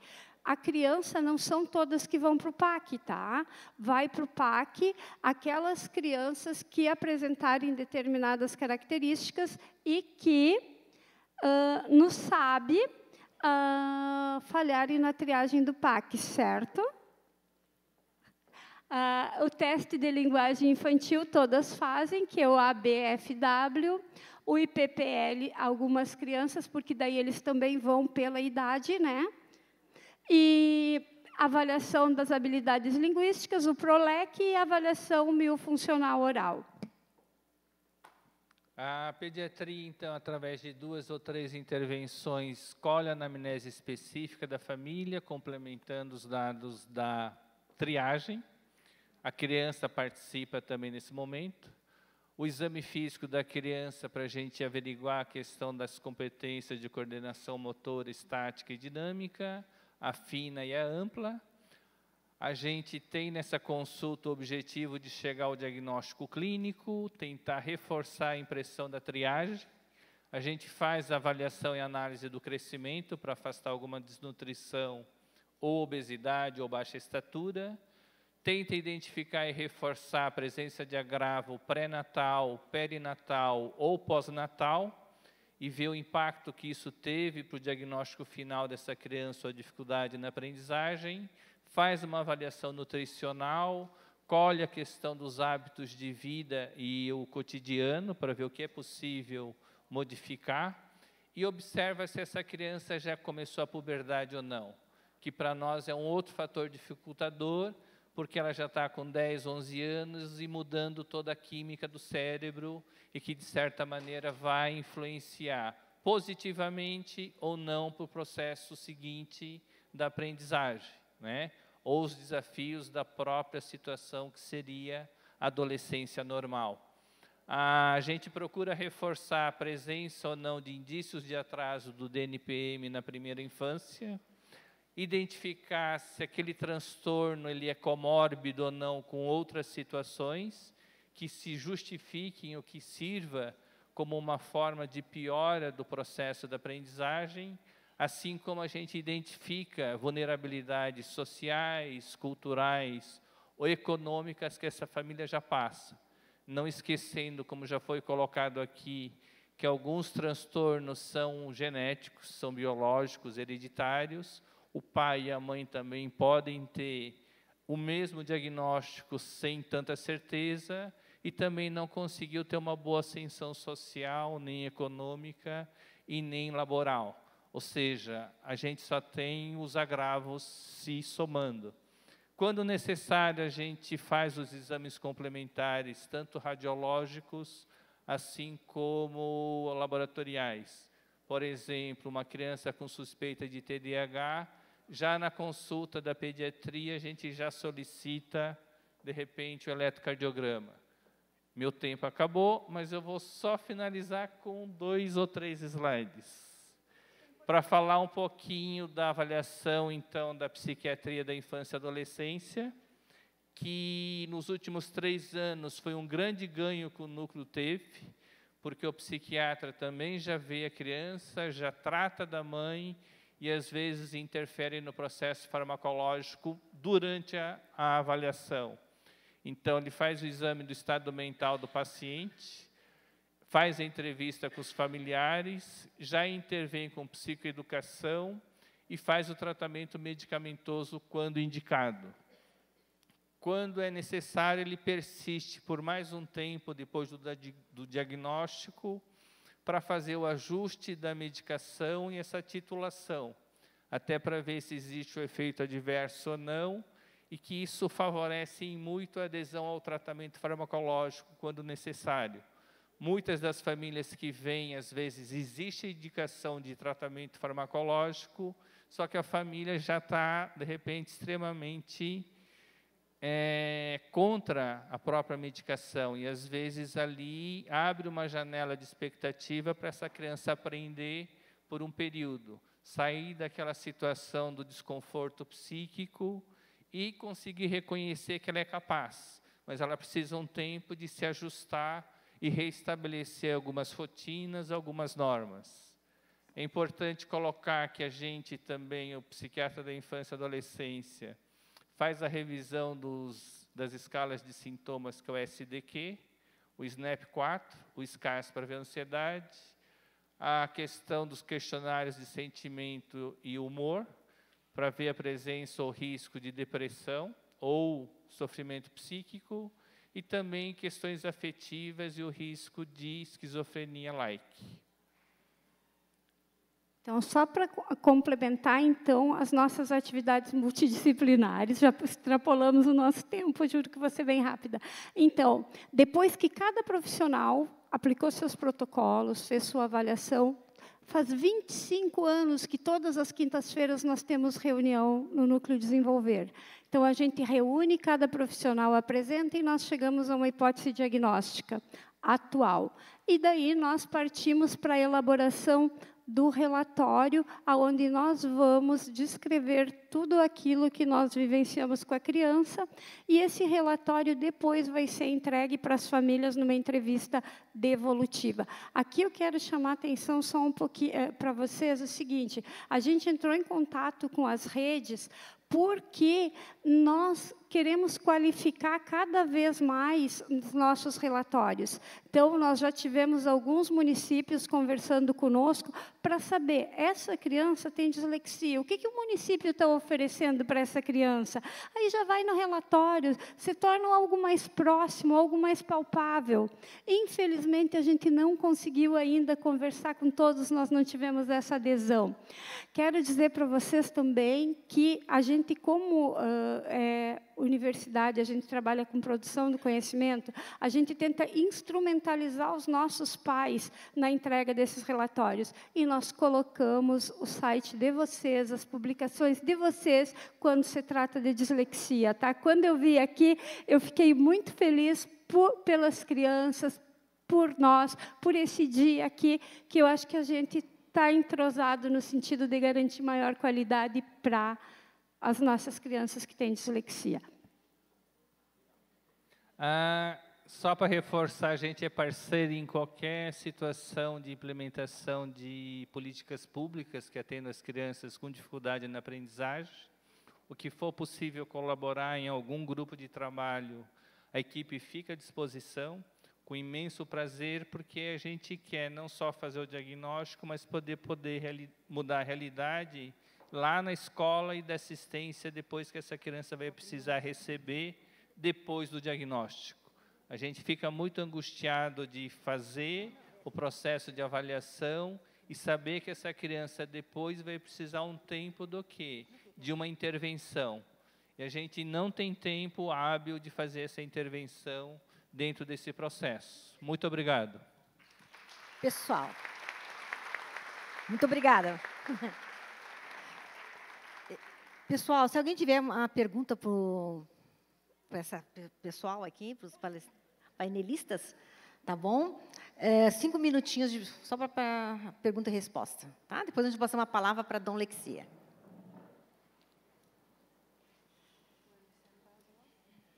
Ok? Então tá bom, obrigada. Vamos anotando as perguntas.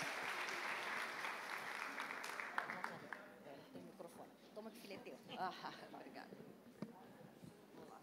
Convidamos para essa palestra com o tema Aspectos Pedagógicos do Disléxico e Intervenção Pedagógica com Disléxico em Sala de Aula. A palestrante Palestrante Nadine Heisler Wassmer. Nadine é graduada em Engenharia de Alimentos pela Universidade Estadual de Campinas e especialista em comunicação com o mercado pela Escola Superior de Propaganda e Marketing. Ao longo de mais de 25 anos de carreira, coordenou, colaborou e prestou consultoria para projetos de educação corporativa em grandes corporações. Foi head de mercado de tecnologias educacionais na Arco Educação. Lá, atuou também em projetos do Arco Instituto, com foco em jovens em vulnerabilidade. Na Associação Catarinense de Tecnologia, coordenou o grupo EdTex, Vertical Educação.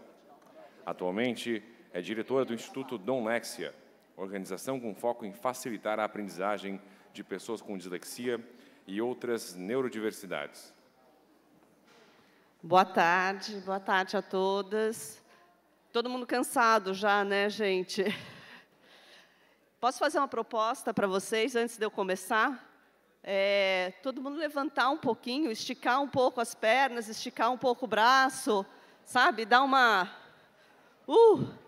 Abraça o colega do lado, fala o que, que veio fazer aqui hoje. Ah, que pena. Abraço amigo, isso.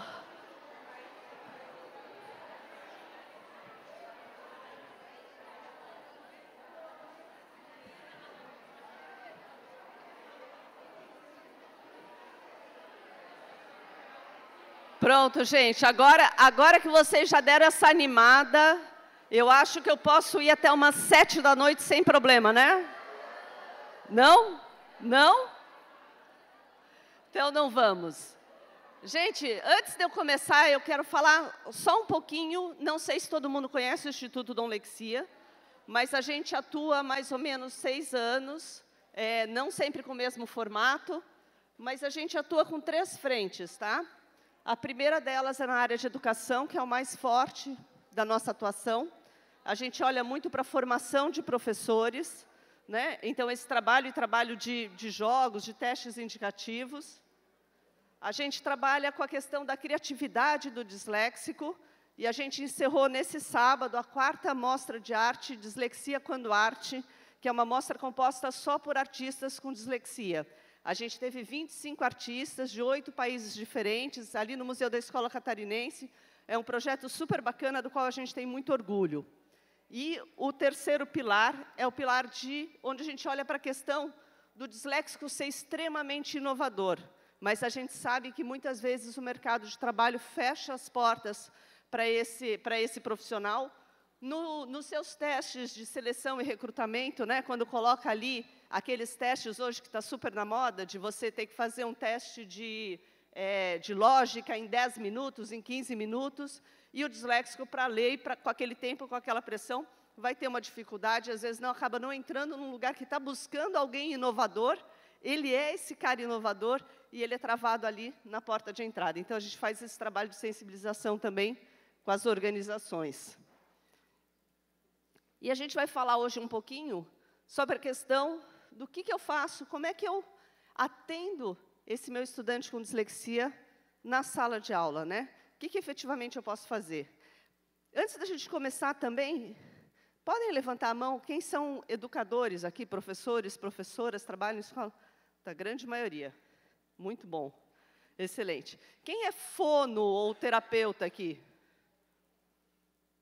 Tá, legal, gente. Bacana. Então, vamos lá. É, eu vou pedir agora para ele fazer uma troca. Eu vou começar com um vídeo, gente. Esse vídeo a gente recebeu para a mostra de arte.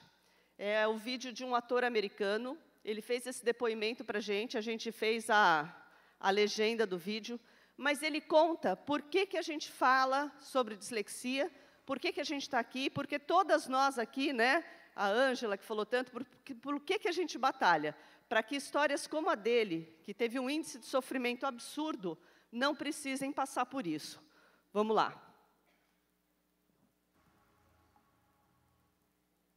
Hey guys, my name is Amir Baraka. Bem baixinho. I'm an author and I'm an advocate for dyslexia. Things started off very difficult in my life. At the early age of around eight or nine, I knew that school wasn't for me. I began to cut school because I couldn't read. I couldn't uh, pass the spelling test, and I was very frustrated. My mother called me stupid and dumb, and my siblings also uh, called me dumb because I couldn't read, and I was as competitive as they were in the classroom. They would bring home trophies and all kind of reading, math awards, and I didn't bring home anything. I became very, very frustrated early on. And so I started committing crimes. I started stealing. I started just rebelling, smoking marijuana, just rebelling because I was depressed that I couldn't read. I was frustrated that I couldn't read. And I didn't understand why this was happening to me and not them. And as my life began to evolve, I began to get into more crime, more violence, lashing out more and more frustration. And I found myself in jail, serving four years in jail, and I couldn't read. One night I said to myself, I said, Amir, you must face your fears and try to learn to read. So I started writing words down, that, though, tomorrow. And for four years, I did that. And I attained my GED at the end of my four-year prison sentence. Learning to read changed my life. It changed the trajectory of my life. I felt good about myself that I could read a little bit. I stopped committing crimes and I started dreaming of becoming someone. I got into modeling and acting and things just began to slowly take off for me. Now I'm an Emmy nom nominated actor. I've been in a lot of films. I'm working currently. I'll be working on three TV shows once we get back to work after the strike. Uh, I speak around the country about dyslexia. I have a great life now. And it started when I said to myself, Amir, you have to learn to read. Even if you're struggling, even if you can't get the help that you need, know this, that you're still somebody. There's still greatness inside of you. You have to find it. You have to find it. Find your gifts and talents and be bold. And if you can't read something, just tell someone, hey, I'm dyslexic. Can you read this for me? Don't be ashamed. That's the winning mindset. You can't be ashamed.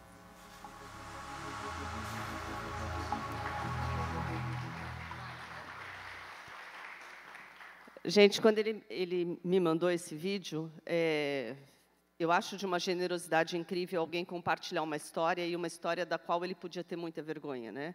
Ele foi para a cadeia, é, ele cometeu crimes, ele, enfim, é, teve, ele foi reincidente. Ele não conta a história toda aqui, mas ele foi reincidente nesse processo de cadeia. É, e na cadeia ele teve um pastor que, percebendo que ele não conseguia ler, desconfiou da dislexia dele e resolveu ensiná-lo a ler e o ajudou nesse processo quando ele decidiu que ele ia aprender a ler. Mas até chegar lá, o que ele passou, né? Um cara que fala um troço desse que ele, né, ele era chamado de burro pelos pais, pela mãe, pelos irmãos, ele ia para a escola e só era exposto a mais situações de fracasso. É lógico que ele quer abandonar a escola. É lógico que ele não quer ficar lá, né? Porque aquele lugar não faz sentido para ele. Então, assim, é, eu acho que diz tudo. Diz por que a gente está aqui hoje, por que a gente luta e o que a gente quer que ninguém mais tenha que passar por. Né? Uh, então, agradeci muito, e lógico, fiquei também mega emocionada quando ele me mandou, assim, mandei mensagens em prantos, assim, para ele. E eu queria propor, eu não consigo, né, senão não sou eu, tem que fazer algumas atividades. Então, eu queria que vocês se juntassem em dupla. Eu vou fazer uma atividade muito rápida com vocês. Eu preciso que todos estejam, fiquem em pé e fiquem em duplas. Todo mundo com uma dupla. Muito simples, gente, vai ser rapidinho.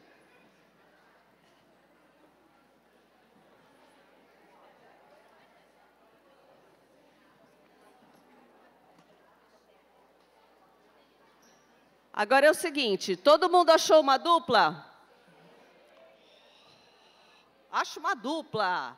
Tem gente sem dupla ali, ó. Gente, uma pessoa da dupla levanta a mão. Tá?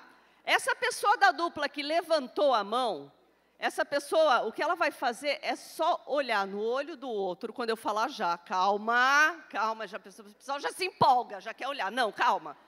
Vai olhar no olho da outra pessoa da dupla, né? E vai sorrir, não vai gargalhar, vai só olhar com um olhar empático e sorrir. E a outra pessoa que não levantou a mão, ela vai ter que se manter séria. Ela não pode rir. É rápido, é jogo rápido, jogo rápido. Ó, essa pessoa tem que conseguir se manter séria. É 10 segundinhos, gente. 10 segundinhos. Vai, vocês vão conseguir se manter sérios, pelo amor de Deus. Não é só porque alguém está dando uma risadinha para você que você vai rir, né? Então vamos lá. Um olhando no olho do outro, um sorrindo e o outro tentando se manter sério. Um, dois, três, valendo!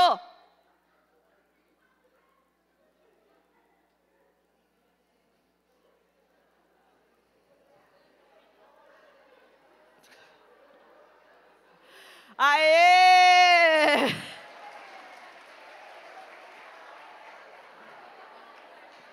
Difícil, né?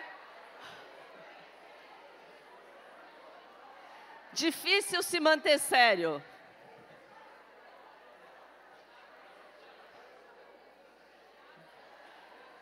Gente, é... Gente, é muito difícil a gente se manter sério ou a gente se manter inacessível a quem nos dá algum tipo de afeto. Né? A gente responde ao afeto. Quando a gente fala de afeto, a gente fala que a gente pode dizer assim, a gente é afetado, né? A gente recebe afeto, a gente é afetado. Não tem como resistir a isso. E por que, que eu trouxe isso aqui? A gente não vai falar de o que, que eu faço na escola com meu estudante com dislexia, né? Vamos lá? Eu trago isso porque a aprendizagem, ela é uma combinação de duas coisas simples. Eu aprendo quando eu tenho afeto e estímulo. Eu preciso ter estímulo para aprender, mas eu preciso ter uma ligação afetiva com aquilo ou com quem me ensina. Né? Aquele assunto precisa significar para mim. E aí, quando a gente fala disso, que, que eu estou querendo dizer com afeto? Eu estou querendo dizer que a gente precisa trazer para o nosso dia a dia na escola empatia com esses nossos alunos. Especialmente a gente está falando desses nossos alunos, desses nossos estudantes com dislexia. E o que, que a gente está falando de trazer empatia? Esse aluno ele precisa ser ouvido. Né? Muitas vezes, é, a Inês aqui, a Ângela, muita gente falou, a Eliane falou, Olha, cada disléxico é único. Né? Depende de uma série de fatores, depende de como foi a intervenção, depende se a dislexia é severa, se não é severa. Cada disléxico é único. E a gente quer a gente chegar e dizer para ele como é que é a melhor maneira dele aprender? Acho que não, né? Acho que a gente pode ouvir esse aluno. Principalmente se ele já está numa idade que ele fala. Se ele não está numa idade ainda que ele fala, a gente está falando de cinco, seis anos, que ainda ele não vai conseguir se expressar tão bem, ele fala, mas não vai se expressar de uma forma tão concreta, a gente observa, né? que é a mesma coisa que ouvir. Observar também é a mesma coisa que ouvir. Então, assim, e isso faz com que ele tenha um espaço de segurança, onde ele possa falar, aqui eu estou tendo dificuldade, eu preciso de ajuda. A escola, a sala de aula, ela precisa ser um espaço onde os estudantes, não só os com dislexia, mas qualquer estudante, tenha segurança de poder levantar a mão e falar: olha, isso eu não estou entendendo. Né? Ou isso está difícil para mim. E para isso a gente precisa ouvi-lo. Uma outra questão é que está relacionada com afeto é a questão de pertencimento. Ser aceito e ser incluído. E aí vem a história, que eu volto na história do Amir. Imaginem vocês, qualquer um de vocês, se você vai para a escola todos os dias, e todos os dias você fica, é, eu brinco que eu falo assim, você fica com o modo selva ligado, né? Que você fica assim, naquela coisa da apreensão, será que eu vou ser chamado lá na frente? Será que vão me cobrar minha tarefa? Será que vou, vou ter que ler em voz alta? Será, será que vão me, me, questionar alguma coisa que eu fiz na prova? Será que vão mostrar a minha redação, que está cheia de erro de ortografia? Se eu estou o tempo todo preocupado com essas situações, aquele é um lugar onde eu tenho o quê? Fracasso atrás de fracasso. Eu gosto de ir para um lugar onde eu fracasso constantemente? Algum de vocês já tentou algum esporte e não foi, não foi bom naquele esporte? Continuou ou parou? Pergunto a vocês, tem gente rindo para mim aqui. Pergunto a vocês, continuou ou parou? Parou, né? Lógico, você acha que eu vou... Ninguém gosta de sofrer, né? A gente não vai ficar dando murro em ponta de fraca, faca. Se eu não sinto pertencimento, se eu não sou incluído nas atividades, se eu não percebo, se eu só percebo que eu tenho fracassos, aquele ambiente escolar não me pertence. Isso gera evasão. Né? Eu quero ir embora da escola. Né? E aí a gente entra naqueles dados que foram falados. Se eu gero evasão, o que, que eu tenho? Se a pessoa não completa o ensino fundamental, sequer, ou não completa o médio, a gente sabe que vai ter um subemprego. Né? Não vai conseguir um emprego bacana. Né? Então, vai entrar para uma estatística ruim. Mas essa não é a pior de todas. Do subemprego para a gente ir para a criminalidade, é um passo. Já foi falado aqui que quando a gente faz uma medição em população carcerária, os números que normalmente a gente encontra, a gente já viu várias pesquisas, né? tem pesquisas em vários países, a gente não tem no Brasil, mas a gente tem pesquisa na Inglaterra, a gente tem pesquisa na Bélgica, tem na França, tem nos Estados Unidos, tem no Canadá. O número nunca é menor do que 30%, 40% das pessoas que estão presas com dislexia. Porque se eu não pertenço à escola, eu abandono a escola. Na hora que eu abandono a escola, ou eu vou para o subemprego, ou eu vou para o crime.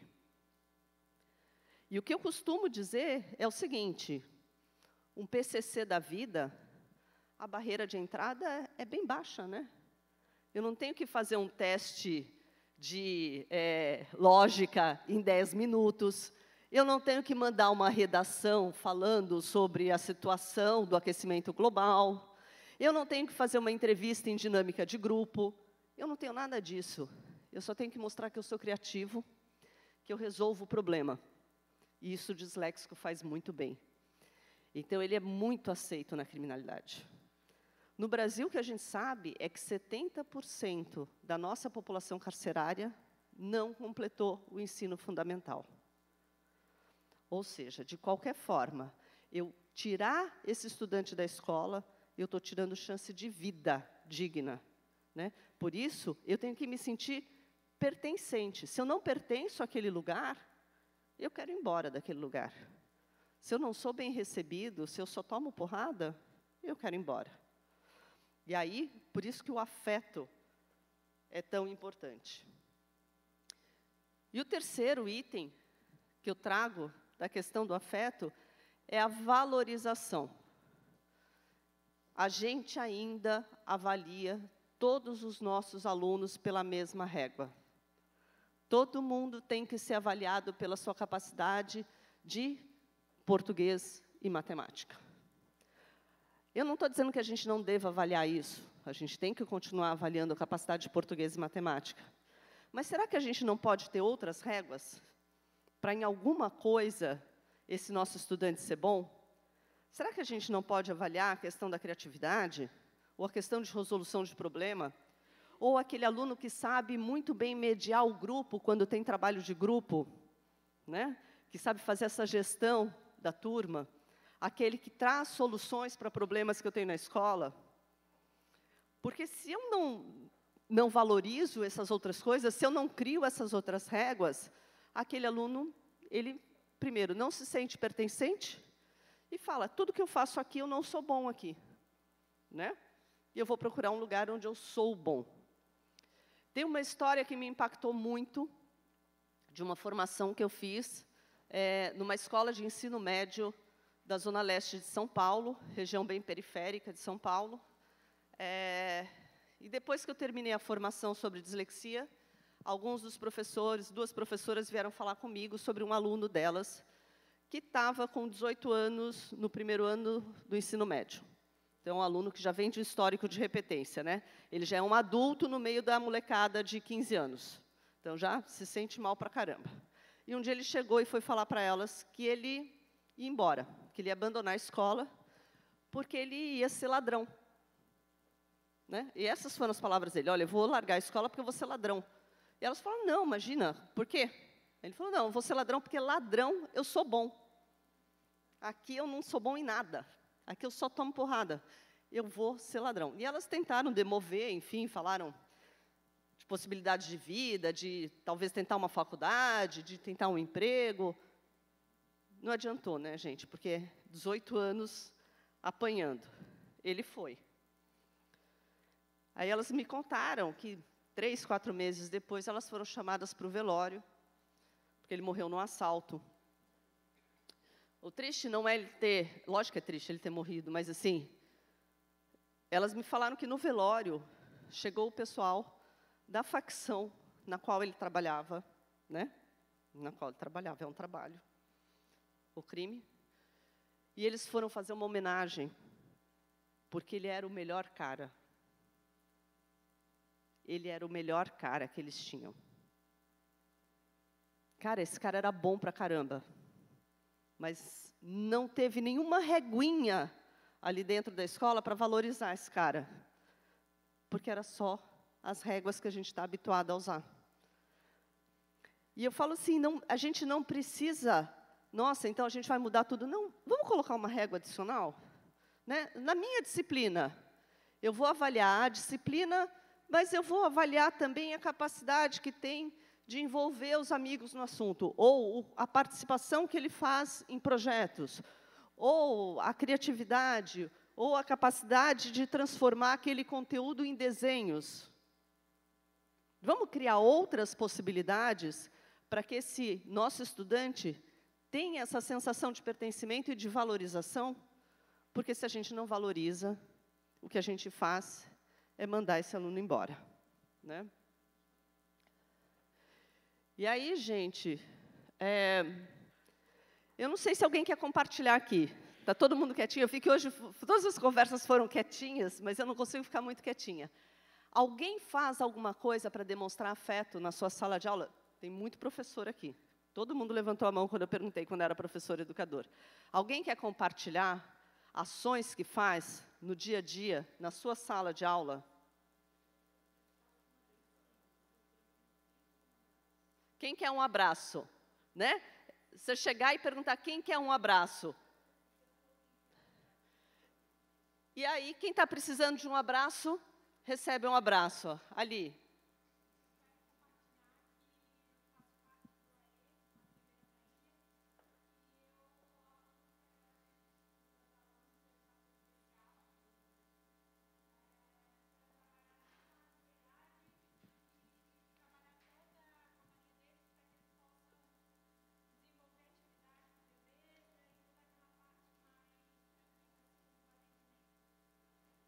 Bárbaro. Bárbaro, mais alguém quer falar? São ações ah, simples, né, que a gente pode tomar no dia a dia.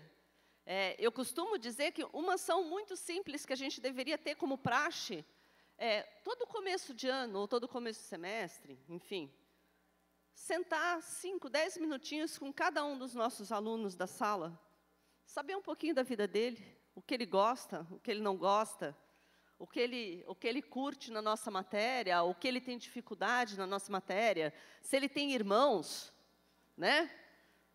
Se ele apanha quando ele chega em casa, né? Porque eu já tive aluno que falava para mim, oh, não posso porque eu vou apanhar de vara quando chegar em casa. Se ele apanha quando chega, o que que acontece, né? Então são ações simples que a gente pode trazer para o nosso dia a dia Perguntar aquele, a, a coisa do, do, Até a própria coisa do, do quadro lá de. Eu estou com um carômetro na cabeça, não vai vir o nome. Mas de humor, onde você fala, poxa, hoje eu estou. Isso. Aí você fala assim, hoje eu estou meio. Não mexe comigo, não fala comigo que hoje eu não estou legal. Né? Então, são ações que a gente pode ir trabalhando para gerar esse afeto, para gerar essa conexão. Que às vezes a gente está lá dando aula e a gente não está se conectando. Né? Com esse meu aluno, com esse meu estudante. E aí eu tenho que ouvir e observar para poder descobrir, então, pontos fortes, reconhecer interesses, perceber as barreiras, as dificuldades que eles talvez tenham, né?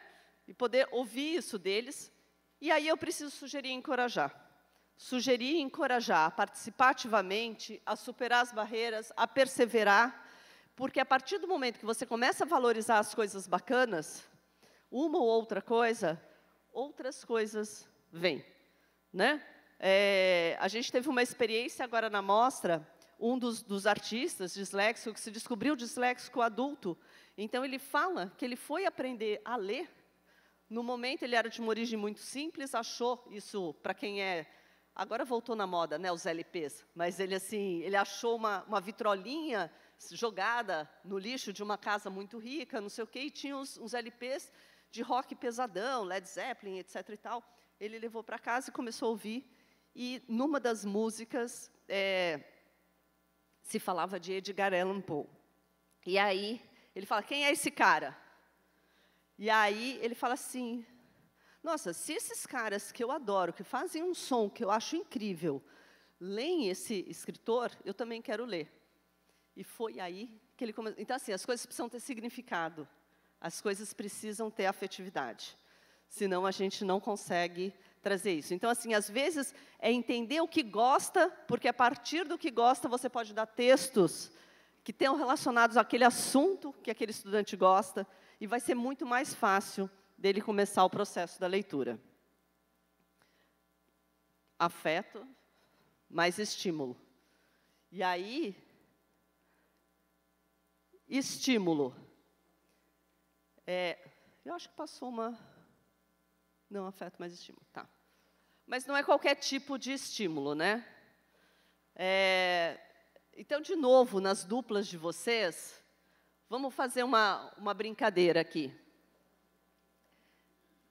Voltem às suas duplas, não precisa nem levantar, pode ser até sentado. Uma pessoa da dupla levanta a mão também, a pessoa que levantou a mão, já que é muito animada, essa pessoa que levantou a mão, essa pessoa vai estimular o colega, tá? Então você estimula a pessoa que está do teu lado, a tua dupla. Você vai estimular a pessoa do jeito que você quiser. Você vai estimular a pessoa a ler, tá? E vamos pedir para ela ler. Então, por favor, estimulem a pessoa a ler.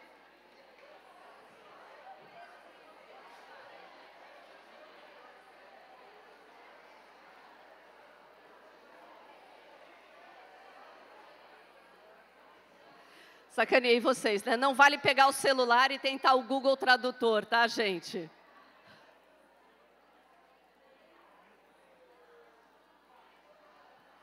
Não é qualquer estímulo, né, gente? Não adianta eu ficar do lado da pessoa, vai lá, vai lá, lê, lê, lê, lê, lê, lê, lê, lê. Não, tenta agora, vai ler, vai ler. Não vai, não vai dar certo, não é isso, né?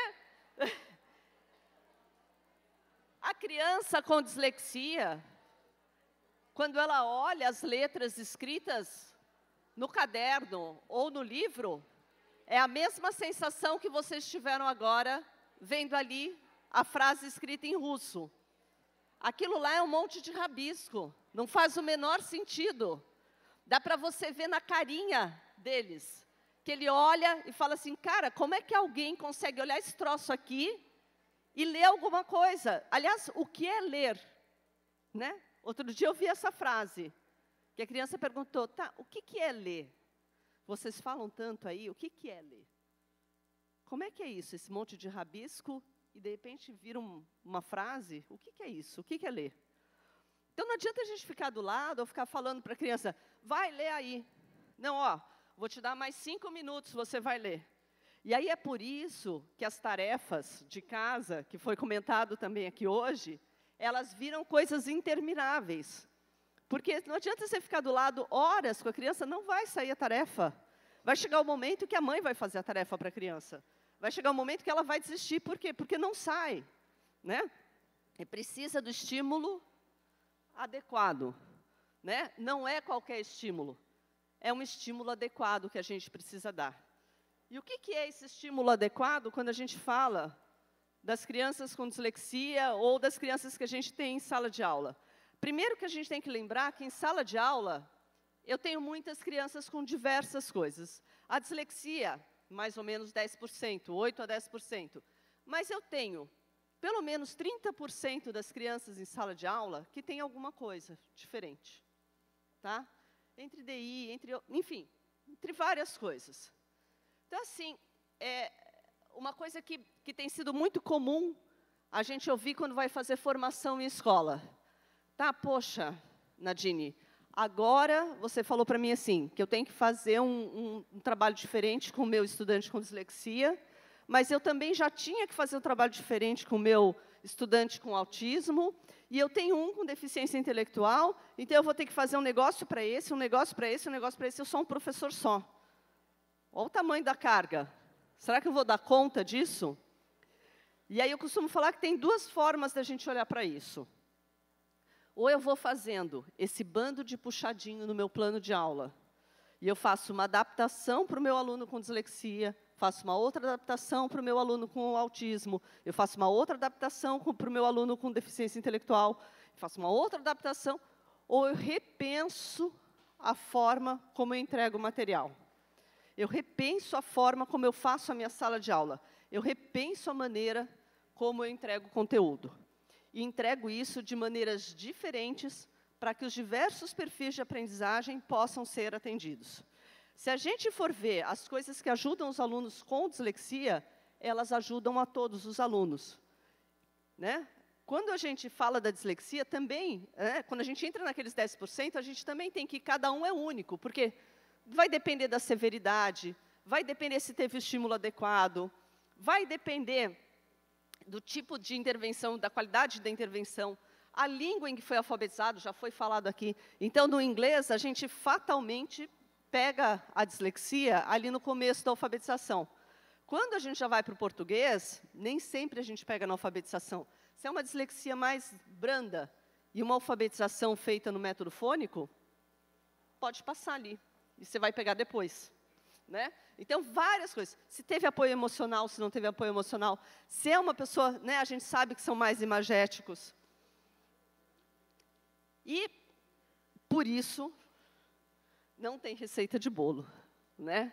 Todo mundo gostaria que eu chegasse aqui, talvez, e passasse uma receita de bolo. Faz isso, isso e isso, vai dar tudo certo. A gente já viu que cada um é único, mas tem algumas coisas que a gente já sabe. E isso a gente tem certeza, e isso ajuda o meu aluno com dislexia, mas ajuda todos os outros. Método fônico. E a gente falou de explicitação dos fonemas. Para o disléxico é muito importante que eu explicite né, os sons das letras, para que ele possa compreender, ativar a consciência fonológica dele e iniciar o processo de leitura com um pouco mais de facilidade. Isso é ruim para os outros alunos? Não, isso é bom para todo mundo, porque todo mundo precisa ativar a sua consciência fonológica para aprender a se alfabetizar. Apoio visual. A gente falou também já hoje aqui que os disléxicos são muito imagéticos.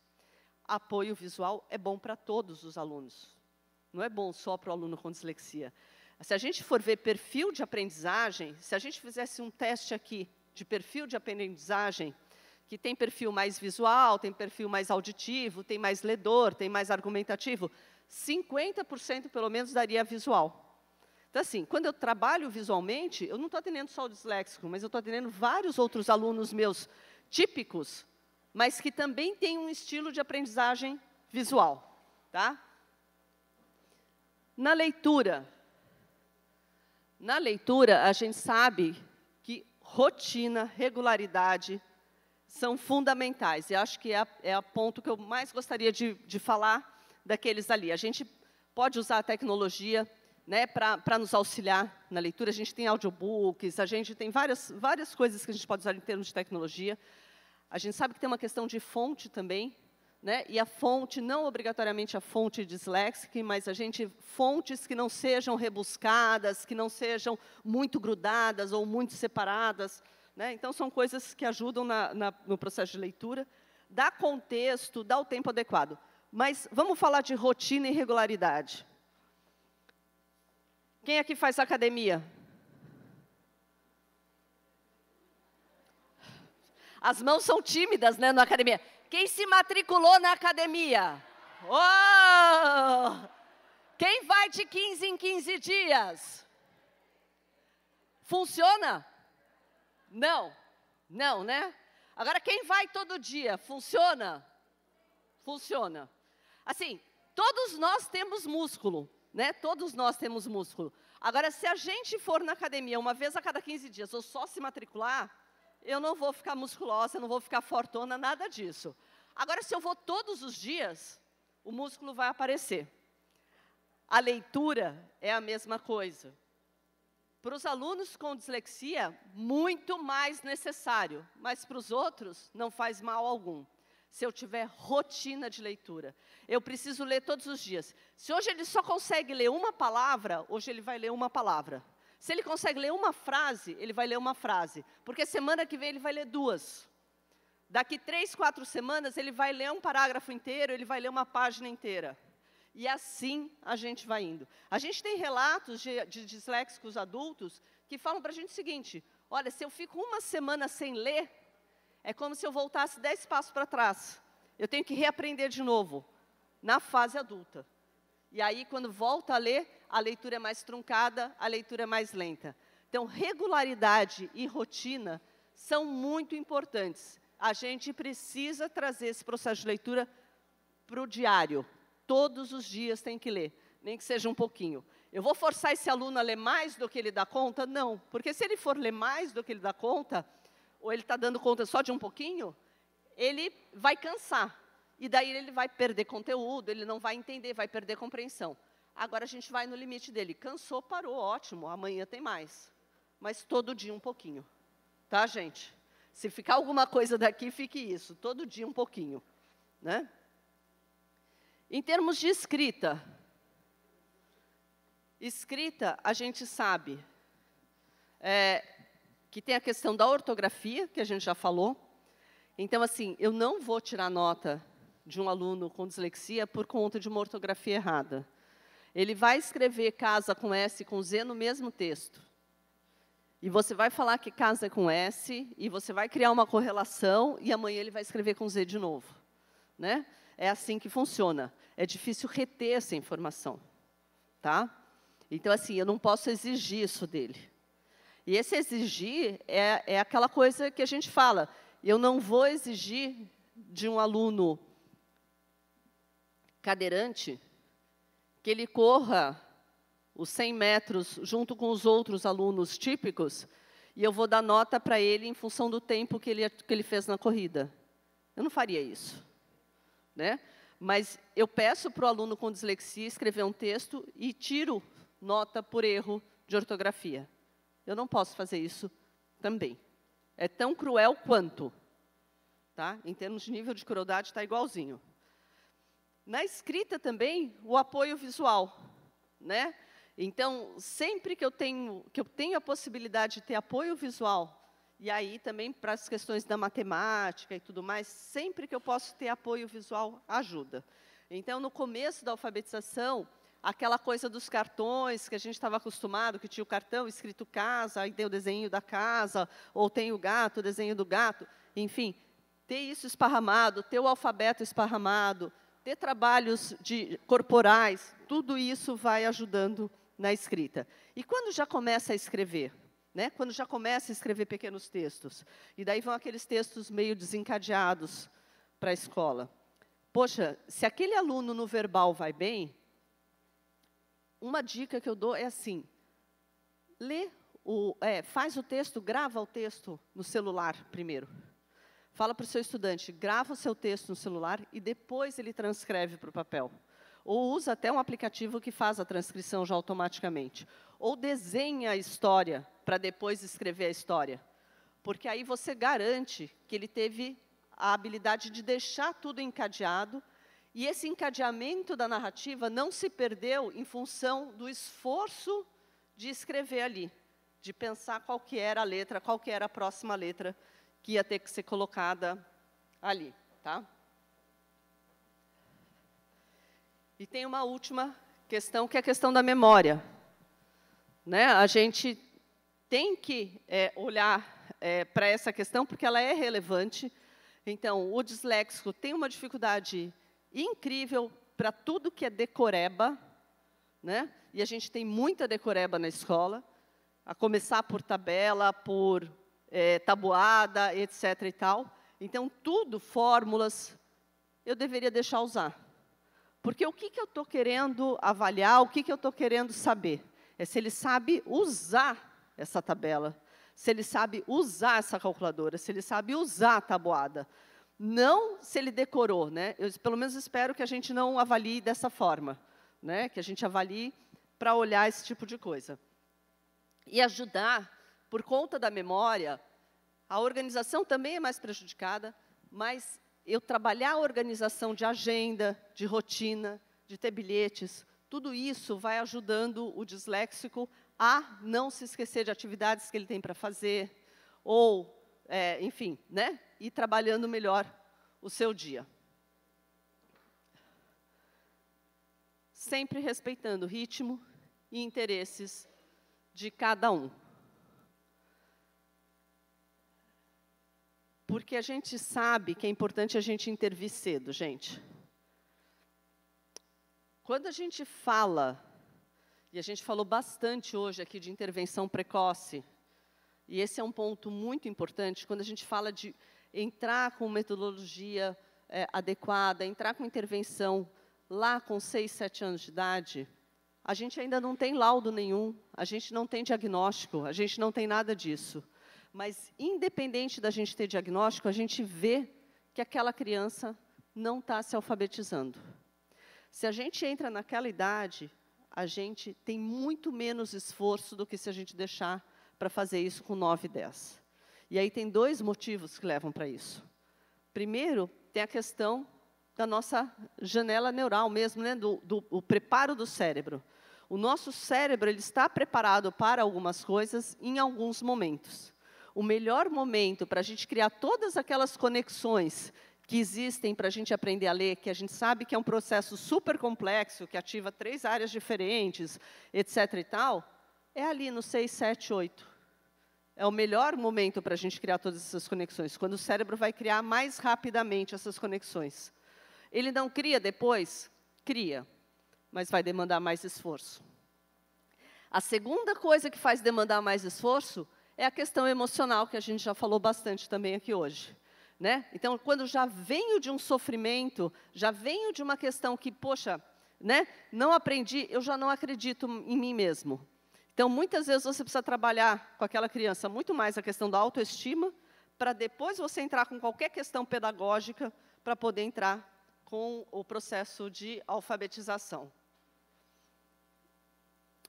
E quando eu faço avaliação, eu tenho formas alternativas de avaliar que não são prova escrita. Né? A gente já falou um pouquinho também aqui, mas prova oral, né? É, é, e a gente, Fernanda, se me permite, vou dar o exemplo do Isaac. É, o filho da Fernanda, por exemplo, ele vinha com, com sendo avaliado no processo tradicional, está no, no, quarto ano, e com notas ao redor de cinco. A professora, depois que a gente fez a formação e tal, ela começou a aplicar a prova oral para ele, né? À medida e tentando que ele, ela tenta que ele faça o, o escrito à medida do que ele consegue, e depois ela entra com o oral. Quando ela entra com a prova oral, o que, que aconteceu com a nota dele? Foi de 5 para 9. Eu acho que muda a, a, percepção que ele tem dele mesmo, muda a relação dele com a escola, muda a relação dele com o aprendizado. Não estou dizendo para dar nota, não é dar nota, é dar uma condição de equidade. Né? Se essa criança ela tem uma dificuldade específica em relação à leitura escrita, quando eu faço uma prova oral, eu estou dando uma condição de equidade. Não estou passando a mão na cabeça nem fazendo a prova mais fácil para ele. Tá? Tem projeto, tem participação na sala, enfim, grupo, trabalho em pares, em grupo, tem mil maneiras da gente avaliar. Né? Quando a gente pega as legislações, as diretrizes, o MEC fala que a gente tem que avaliar os alunos. Né? Mas a avaliação, primeiro, acho que a principal função da avaliação não é ver o quanto os alunos estão aprendendo, mas o quanto a gente está ensinando bem. Né? Será que eu ensinei bem esse troço aqui? Será que eles entenderam? Né? E se a maioria vai mal, é porque eu não ensinei bem, não porque a minha classe é um bando de gente relapsa. Né? É, então, assim, para que, que eu faço avaliação? E só se fala em avaliação, não se fala que você tem que fazer avaliação com 100 questões, todas de múltipla escolha, etc. e tal. Né? Não, tem nenhuma restrição assim, ou todas são questões discursivas, etc. não se fala em nada disso. Aliás, uma coisa que a gente usa muito, né, questão de múltipla escolha, não é? Quem gosta de usar questões de múltipla escolha aí? Já pensou que você deu a resposta? A resposta está ali. A pessoa não precisa saber, ela precisa saber chutar bem. Se ela souber chutar bem, ela vai bem. Falo por mim, tá? Agora, se eu tenho que fazer uma prova escrita, pelo menos eu tenho que pensar em algumas coisas, né? Eu tenho que pensar o que, que é o meu objetivo na questão, o que, que eu quero de fato é, reconhecer ali de aprendizado pra, daquele meu aluno, daquele meu estudante. Usar uma fonte adequada, então não vou trabalhar com fontes rebuscadas, nem fontes muito grudadinhas, que nem a gente falou. Vou dar o tempo necessário, se o meu aluno ele demora mais a ler, ele precisa de um pouco mais de tempo. Se ele faz a conta né, da tabuada, que nem ali, faz primeiro a tabuada do 5, depois a tabuada do 2 e, e junta tudo, ele precisa de mais tempo para poder fazer a prova. Eu ontem falei com um menino que está fazendo, um menino, né, está fazendo economia. E ele falou para mim o seguinte, ele falou, cara, é, os professores, é, eu só precisava de mais tempo. E eles davam, às vezes, provas super facinhas sobre o conteúdo para mim em relação aos outros alunos, porque ele tinha o diagnóstico, tinha o laudo, e às vezes vinha uma prova bem ridícula. E ele falou assim, eu não queria uma prova. Tudo bem, eu aceitei, porque né, ia bem e tal. Mas eu não queria a prova ridícula, eu só precisava de um pouco mais de tempo. Eu sabia responder tudo, mas eu precisava de mais tempo. Né? Usar recurso visual, principalmente quando eu estou falando de matemática aqui, né, às vezes questões, problemas matemáticos, coloca uma tabela do lado, coloca um gráfico, transforma isso em desenho, em imagem. E, um, e uma das coisas, essa coisa do visual é tão forte, é, e eu acho que ajuda todos os alunos, eu sou a favor de que a gente tivesse uma disciplina que se chamasse mapas mentais. Né? A gente deveria ter uma disciplina chamada mapas mentais. Porque mapas mentais ajudam, não só porque são visuais, né? Então a gente fala, ajuda toda aquela galera, aqueles 50% que tem o estilo de aprendizagem visual, mas mais do que isso, quando eu tenho que construir o mapa mental, se é o próprio estudante que constrói e você vai orientando, quando o aluno constrói um mapa mental, ele é obrigado a pensar na hierarquia dos assuntos ali, dos conteúdos. Então, ele tem que entender que conteúdo é mais importante, que vai ter mais destaque, o que, que é menos importante e o que se conecta com o quê. É uma super maneira de estudar e de uma forma muito visual, porque você pode pôr cor, você pode pôr desenho, você pode fazer da forma como você quiser. E é uma baita maneira de estudar e de reter conteúdo não só, volto a dizer, eu acho que quase tudo que a gente tem que fazer em sala de aula para o aluno com dislexia é bom para todos os alunos. Então, não tem por que a gente não fazer, ou ter que fazer na forma de uma adequação, de uma adaptação. Assim, eu tenho muitas das coisas eu consigo fazer no dia a dia e já ajudar muita gente. Tá? É, ledor sempre que necessário. E eu posso gravar também, né? Hoje em dia a gente pode, tão fácil, né? Ou eu posso ler prova em voz alta para todo mundo. Né? Eu conheci uma professora que ela falou, olha, para não fazer diferenciação, eu leio para todo mundo, em voz alta. Ou gravo a prova no celular, está ali as questões gravadas. Né? A gente está querendo avaliar o quê? Volto no primeiro item. Qual o meu objetivo? É saber o quão a dislexia dele está atacada naquele dia, que eu já ouvi uma menina falando, eu acho que estão avaliando o quão atacada está a minha dislexia hoje, porque assim, é o quão vai ser difícil eu ler o enunciado da questão, e não se eu sei ou não sei responder a questão. Né? E aí, gente, eu quero passar um vídeo que eu passo sempre nas formações. É, eu peço desculpas, os meus vídeos de referência estão todos em inglês, mas todos estão traduzidos. Teacher. É, mas é um vídeo que dá o lugar de fala a quem é do lugar de fala. esse vídeo não tem só crianças com dislexia, tem crianças né, é, com autismo, com déficit de atenção, claramente, mas eles falam o que eles precisam. E aí a gente volta naquilo que eu falei do início, que a gente tem que, a primeira coisa que a gente tem que fazer é ouvir, né? ouvir e observar, para a gente poder começar a criar um canal de afeto com o nosso estudante, para que ele se sinta pertencente né? e valorizado no ambiente escolar. Vamos lá. Dear teacher, I know it doesn't always seem like it, but I really do want to listen and learn. It's just my brain is kind of different. So, this is what I'd like you to know about me. I have to move, or I really can't pay attention. Even though I'm not looking at you, I can still listen to what you're saying. If you tell me, sit up straight, now I have to use all of my brain to do just that. It makes me feel sad when you tell me to try harder, even though I've already tried as hard as I can. I actually listen better when I'm rocking in my chair. When you give me a bunch of directions, I start to think I will never remember all of this. Sometimes my mom or dad ends up doing all of my homework. So here's how you could maybe help. Let me get up and move while I'm learning. Let me look wherever I want when you talk to me. Let me rock or slouch in my chair. No matter what, please don't take away my recess. Give me help I could do all by myself. Make directions very short. Just ask me, what does your brain need right now? And one more thing. My brain might be different than yours, but it's still amazing. Sincerely, your student. Your student. Your student. Your student. É lindo, né? Mas é o, é o lugar deles, assim. Eles estão falando. Quando a gente ouve uma criança como essa falando assim, cara, é, se você me pedir para prestar atenção para parar, eu vou ter que usar todo o meu cérebro só para ficar parado.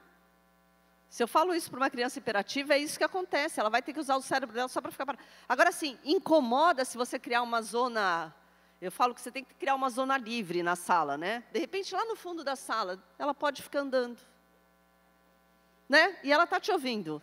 Não vai incomodar ninguém, porque não está passando na frente, mas ela está te ouvindo. Ou você dá alguma coisa que ela né, tem aquelas bolinhas que ela possa ir mexendo e tal, e aí ela vai trabalhando. Né?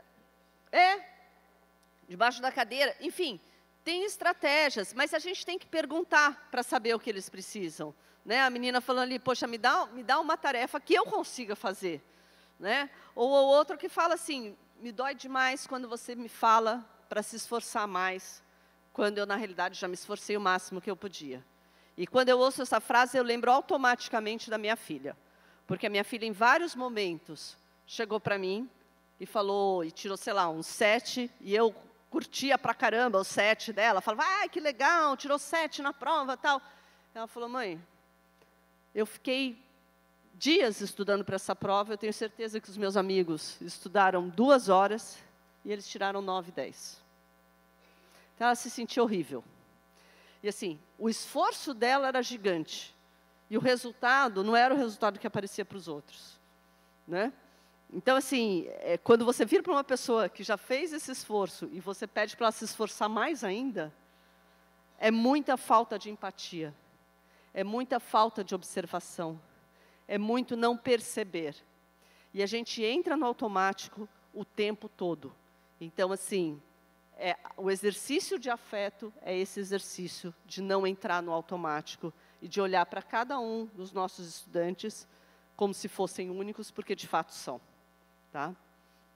Acho que é isso. Já está acabando meu tempo. Obrigada, gente.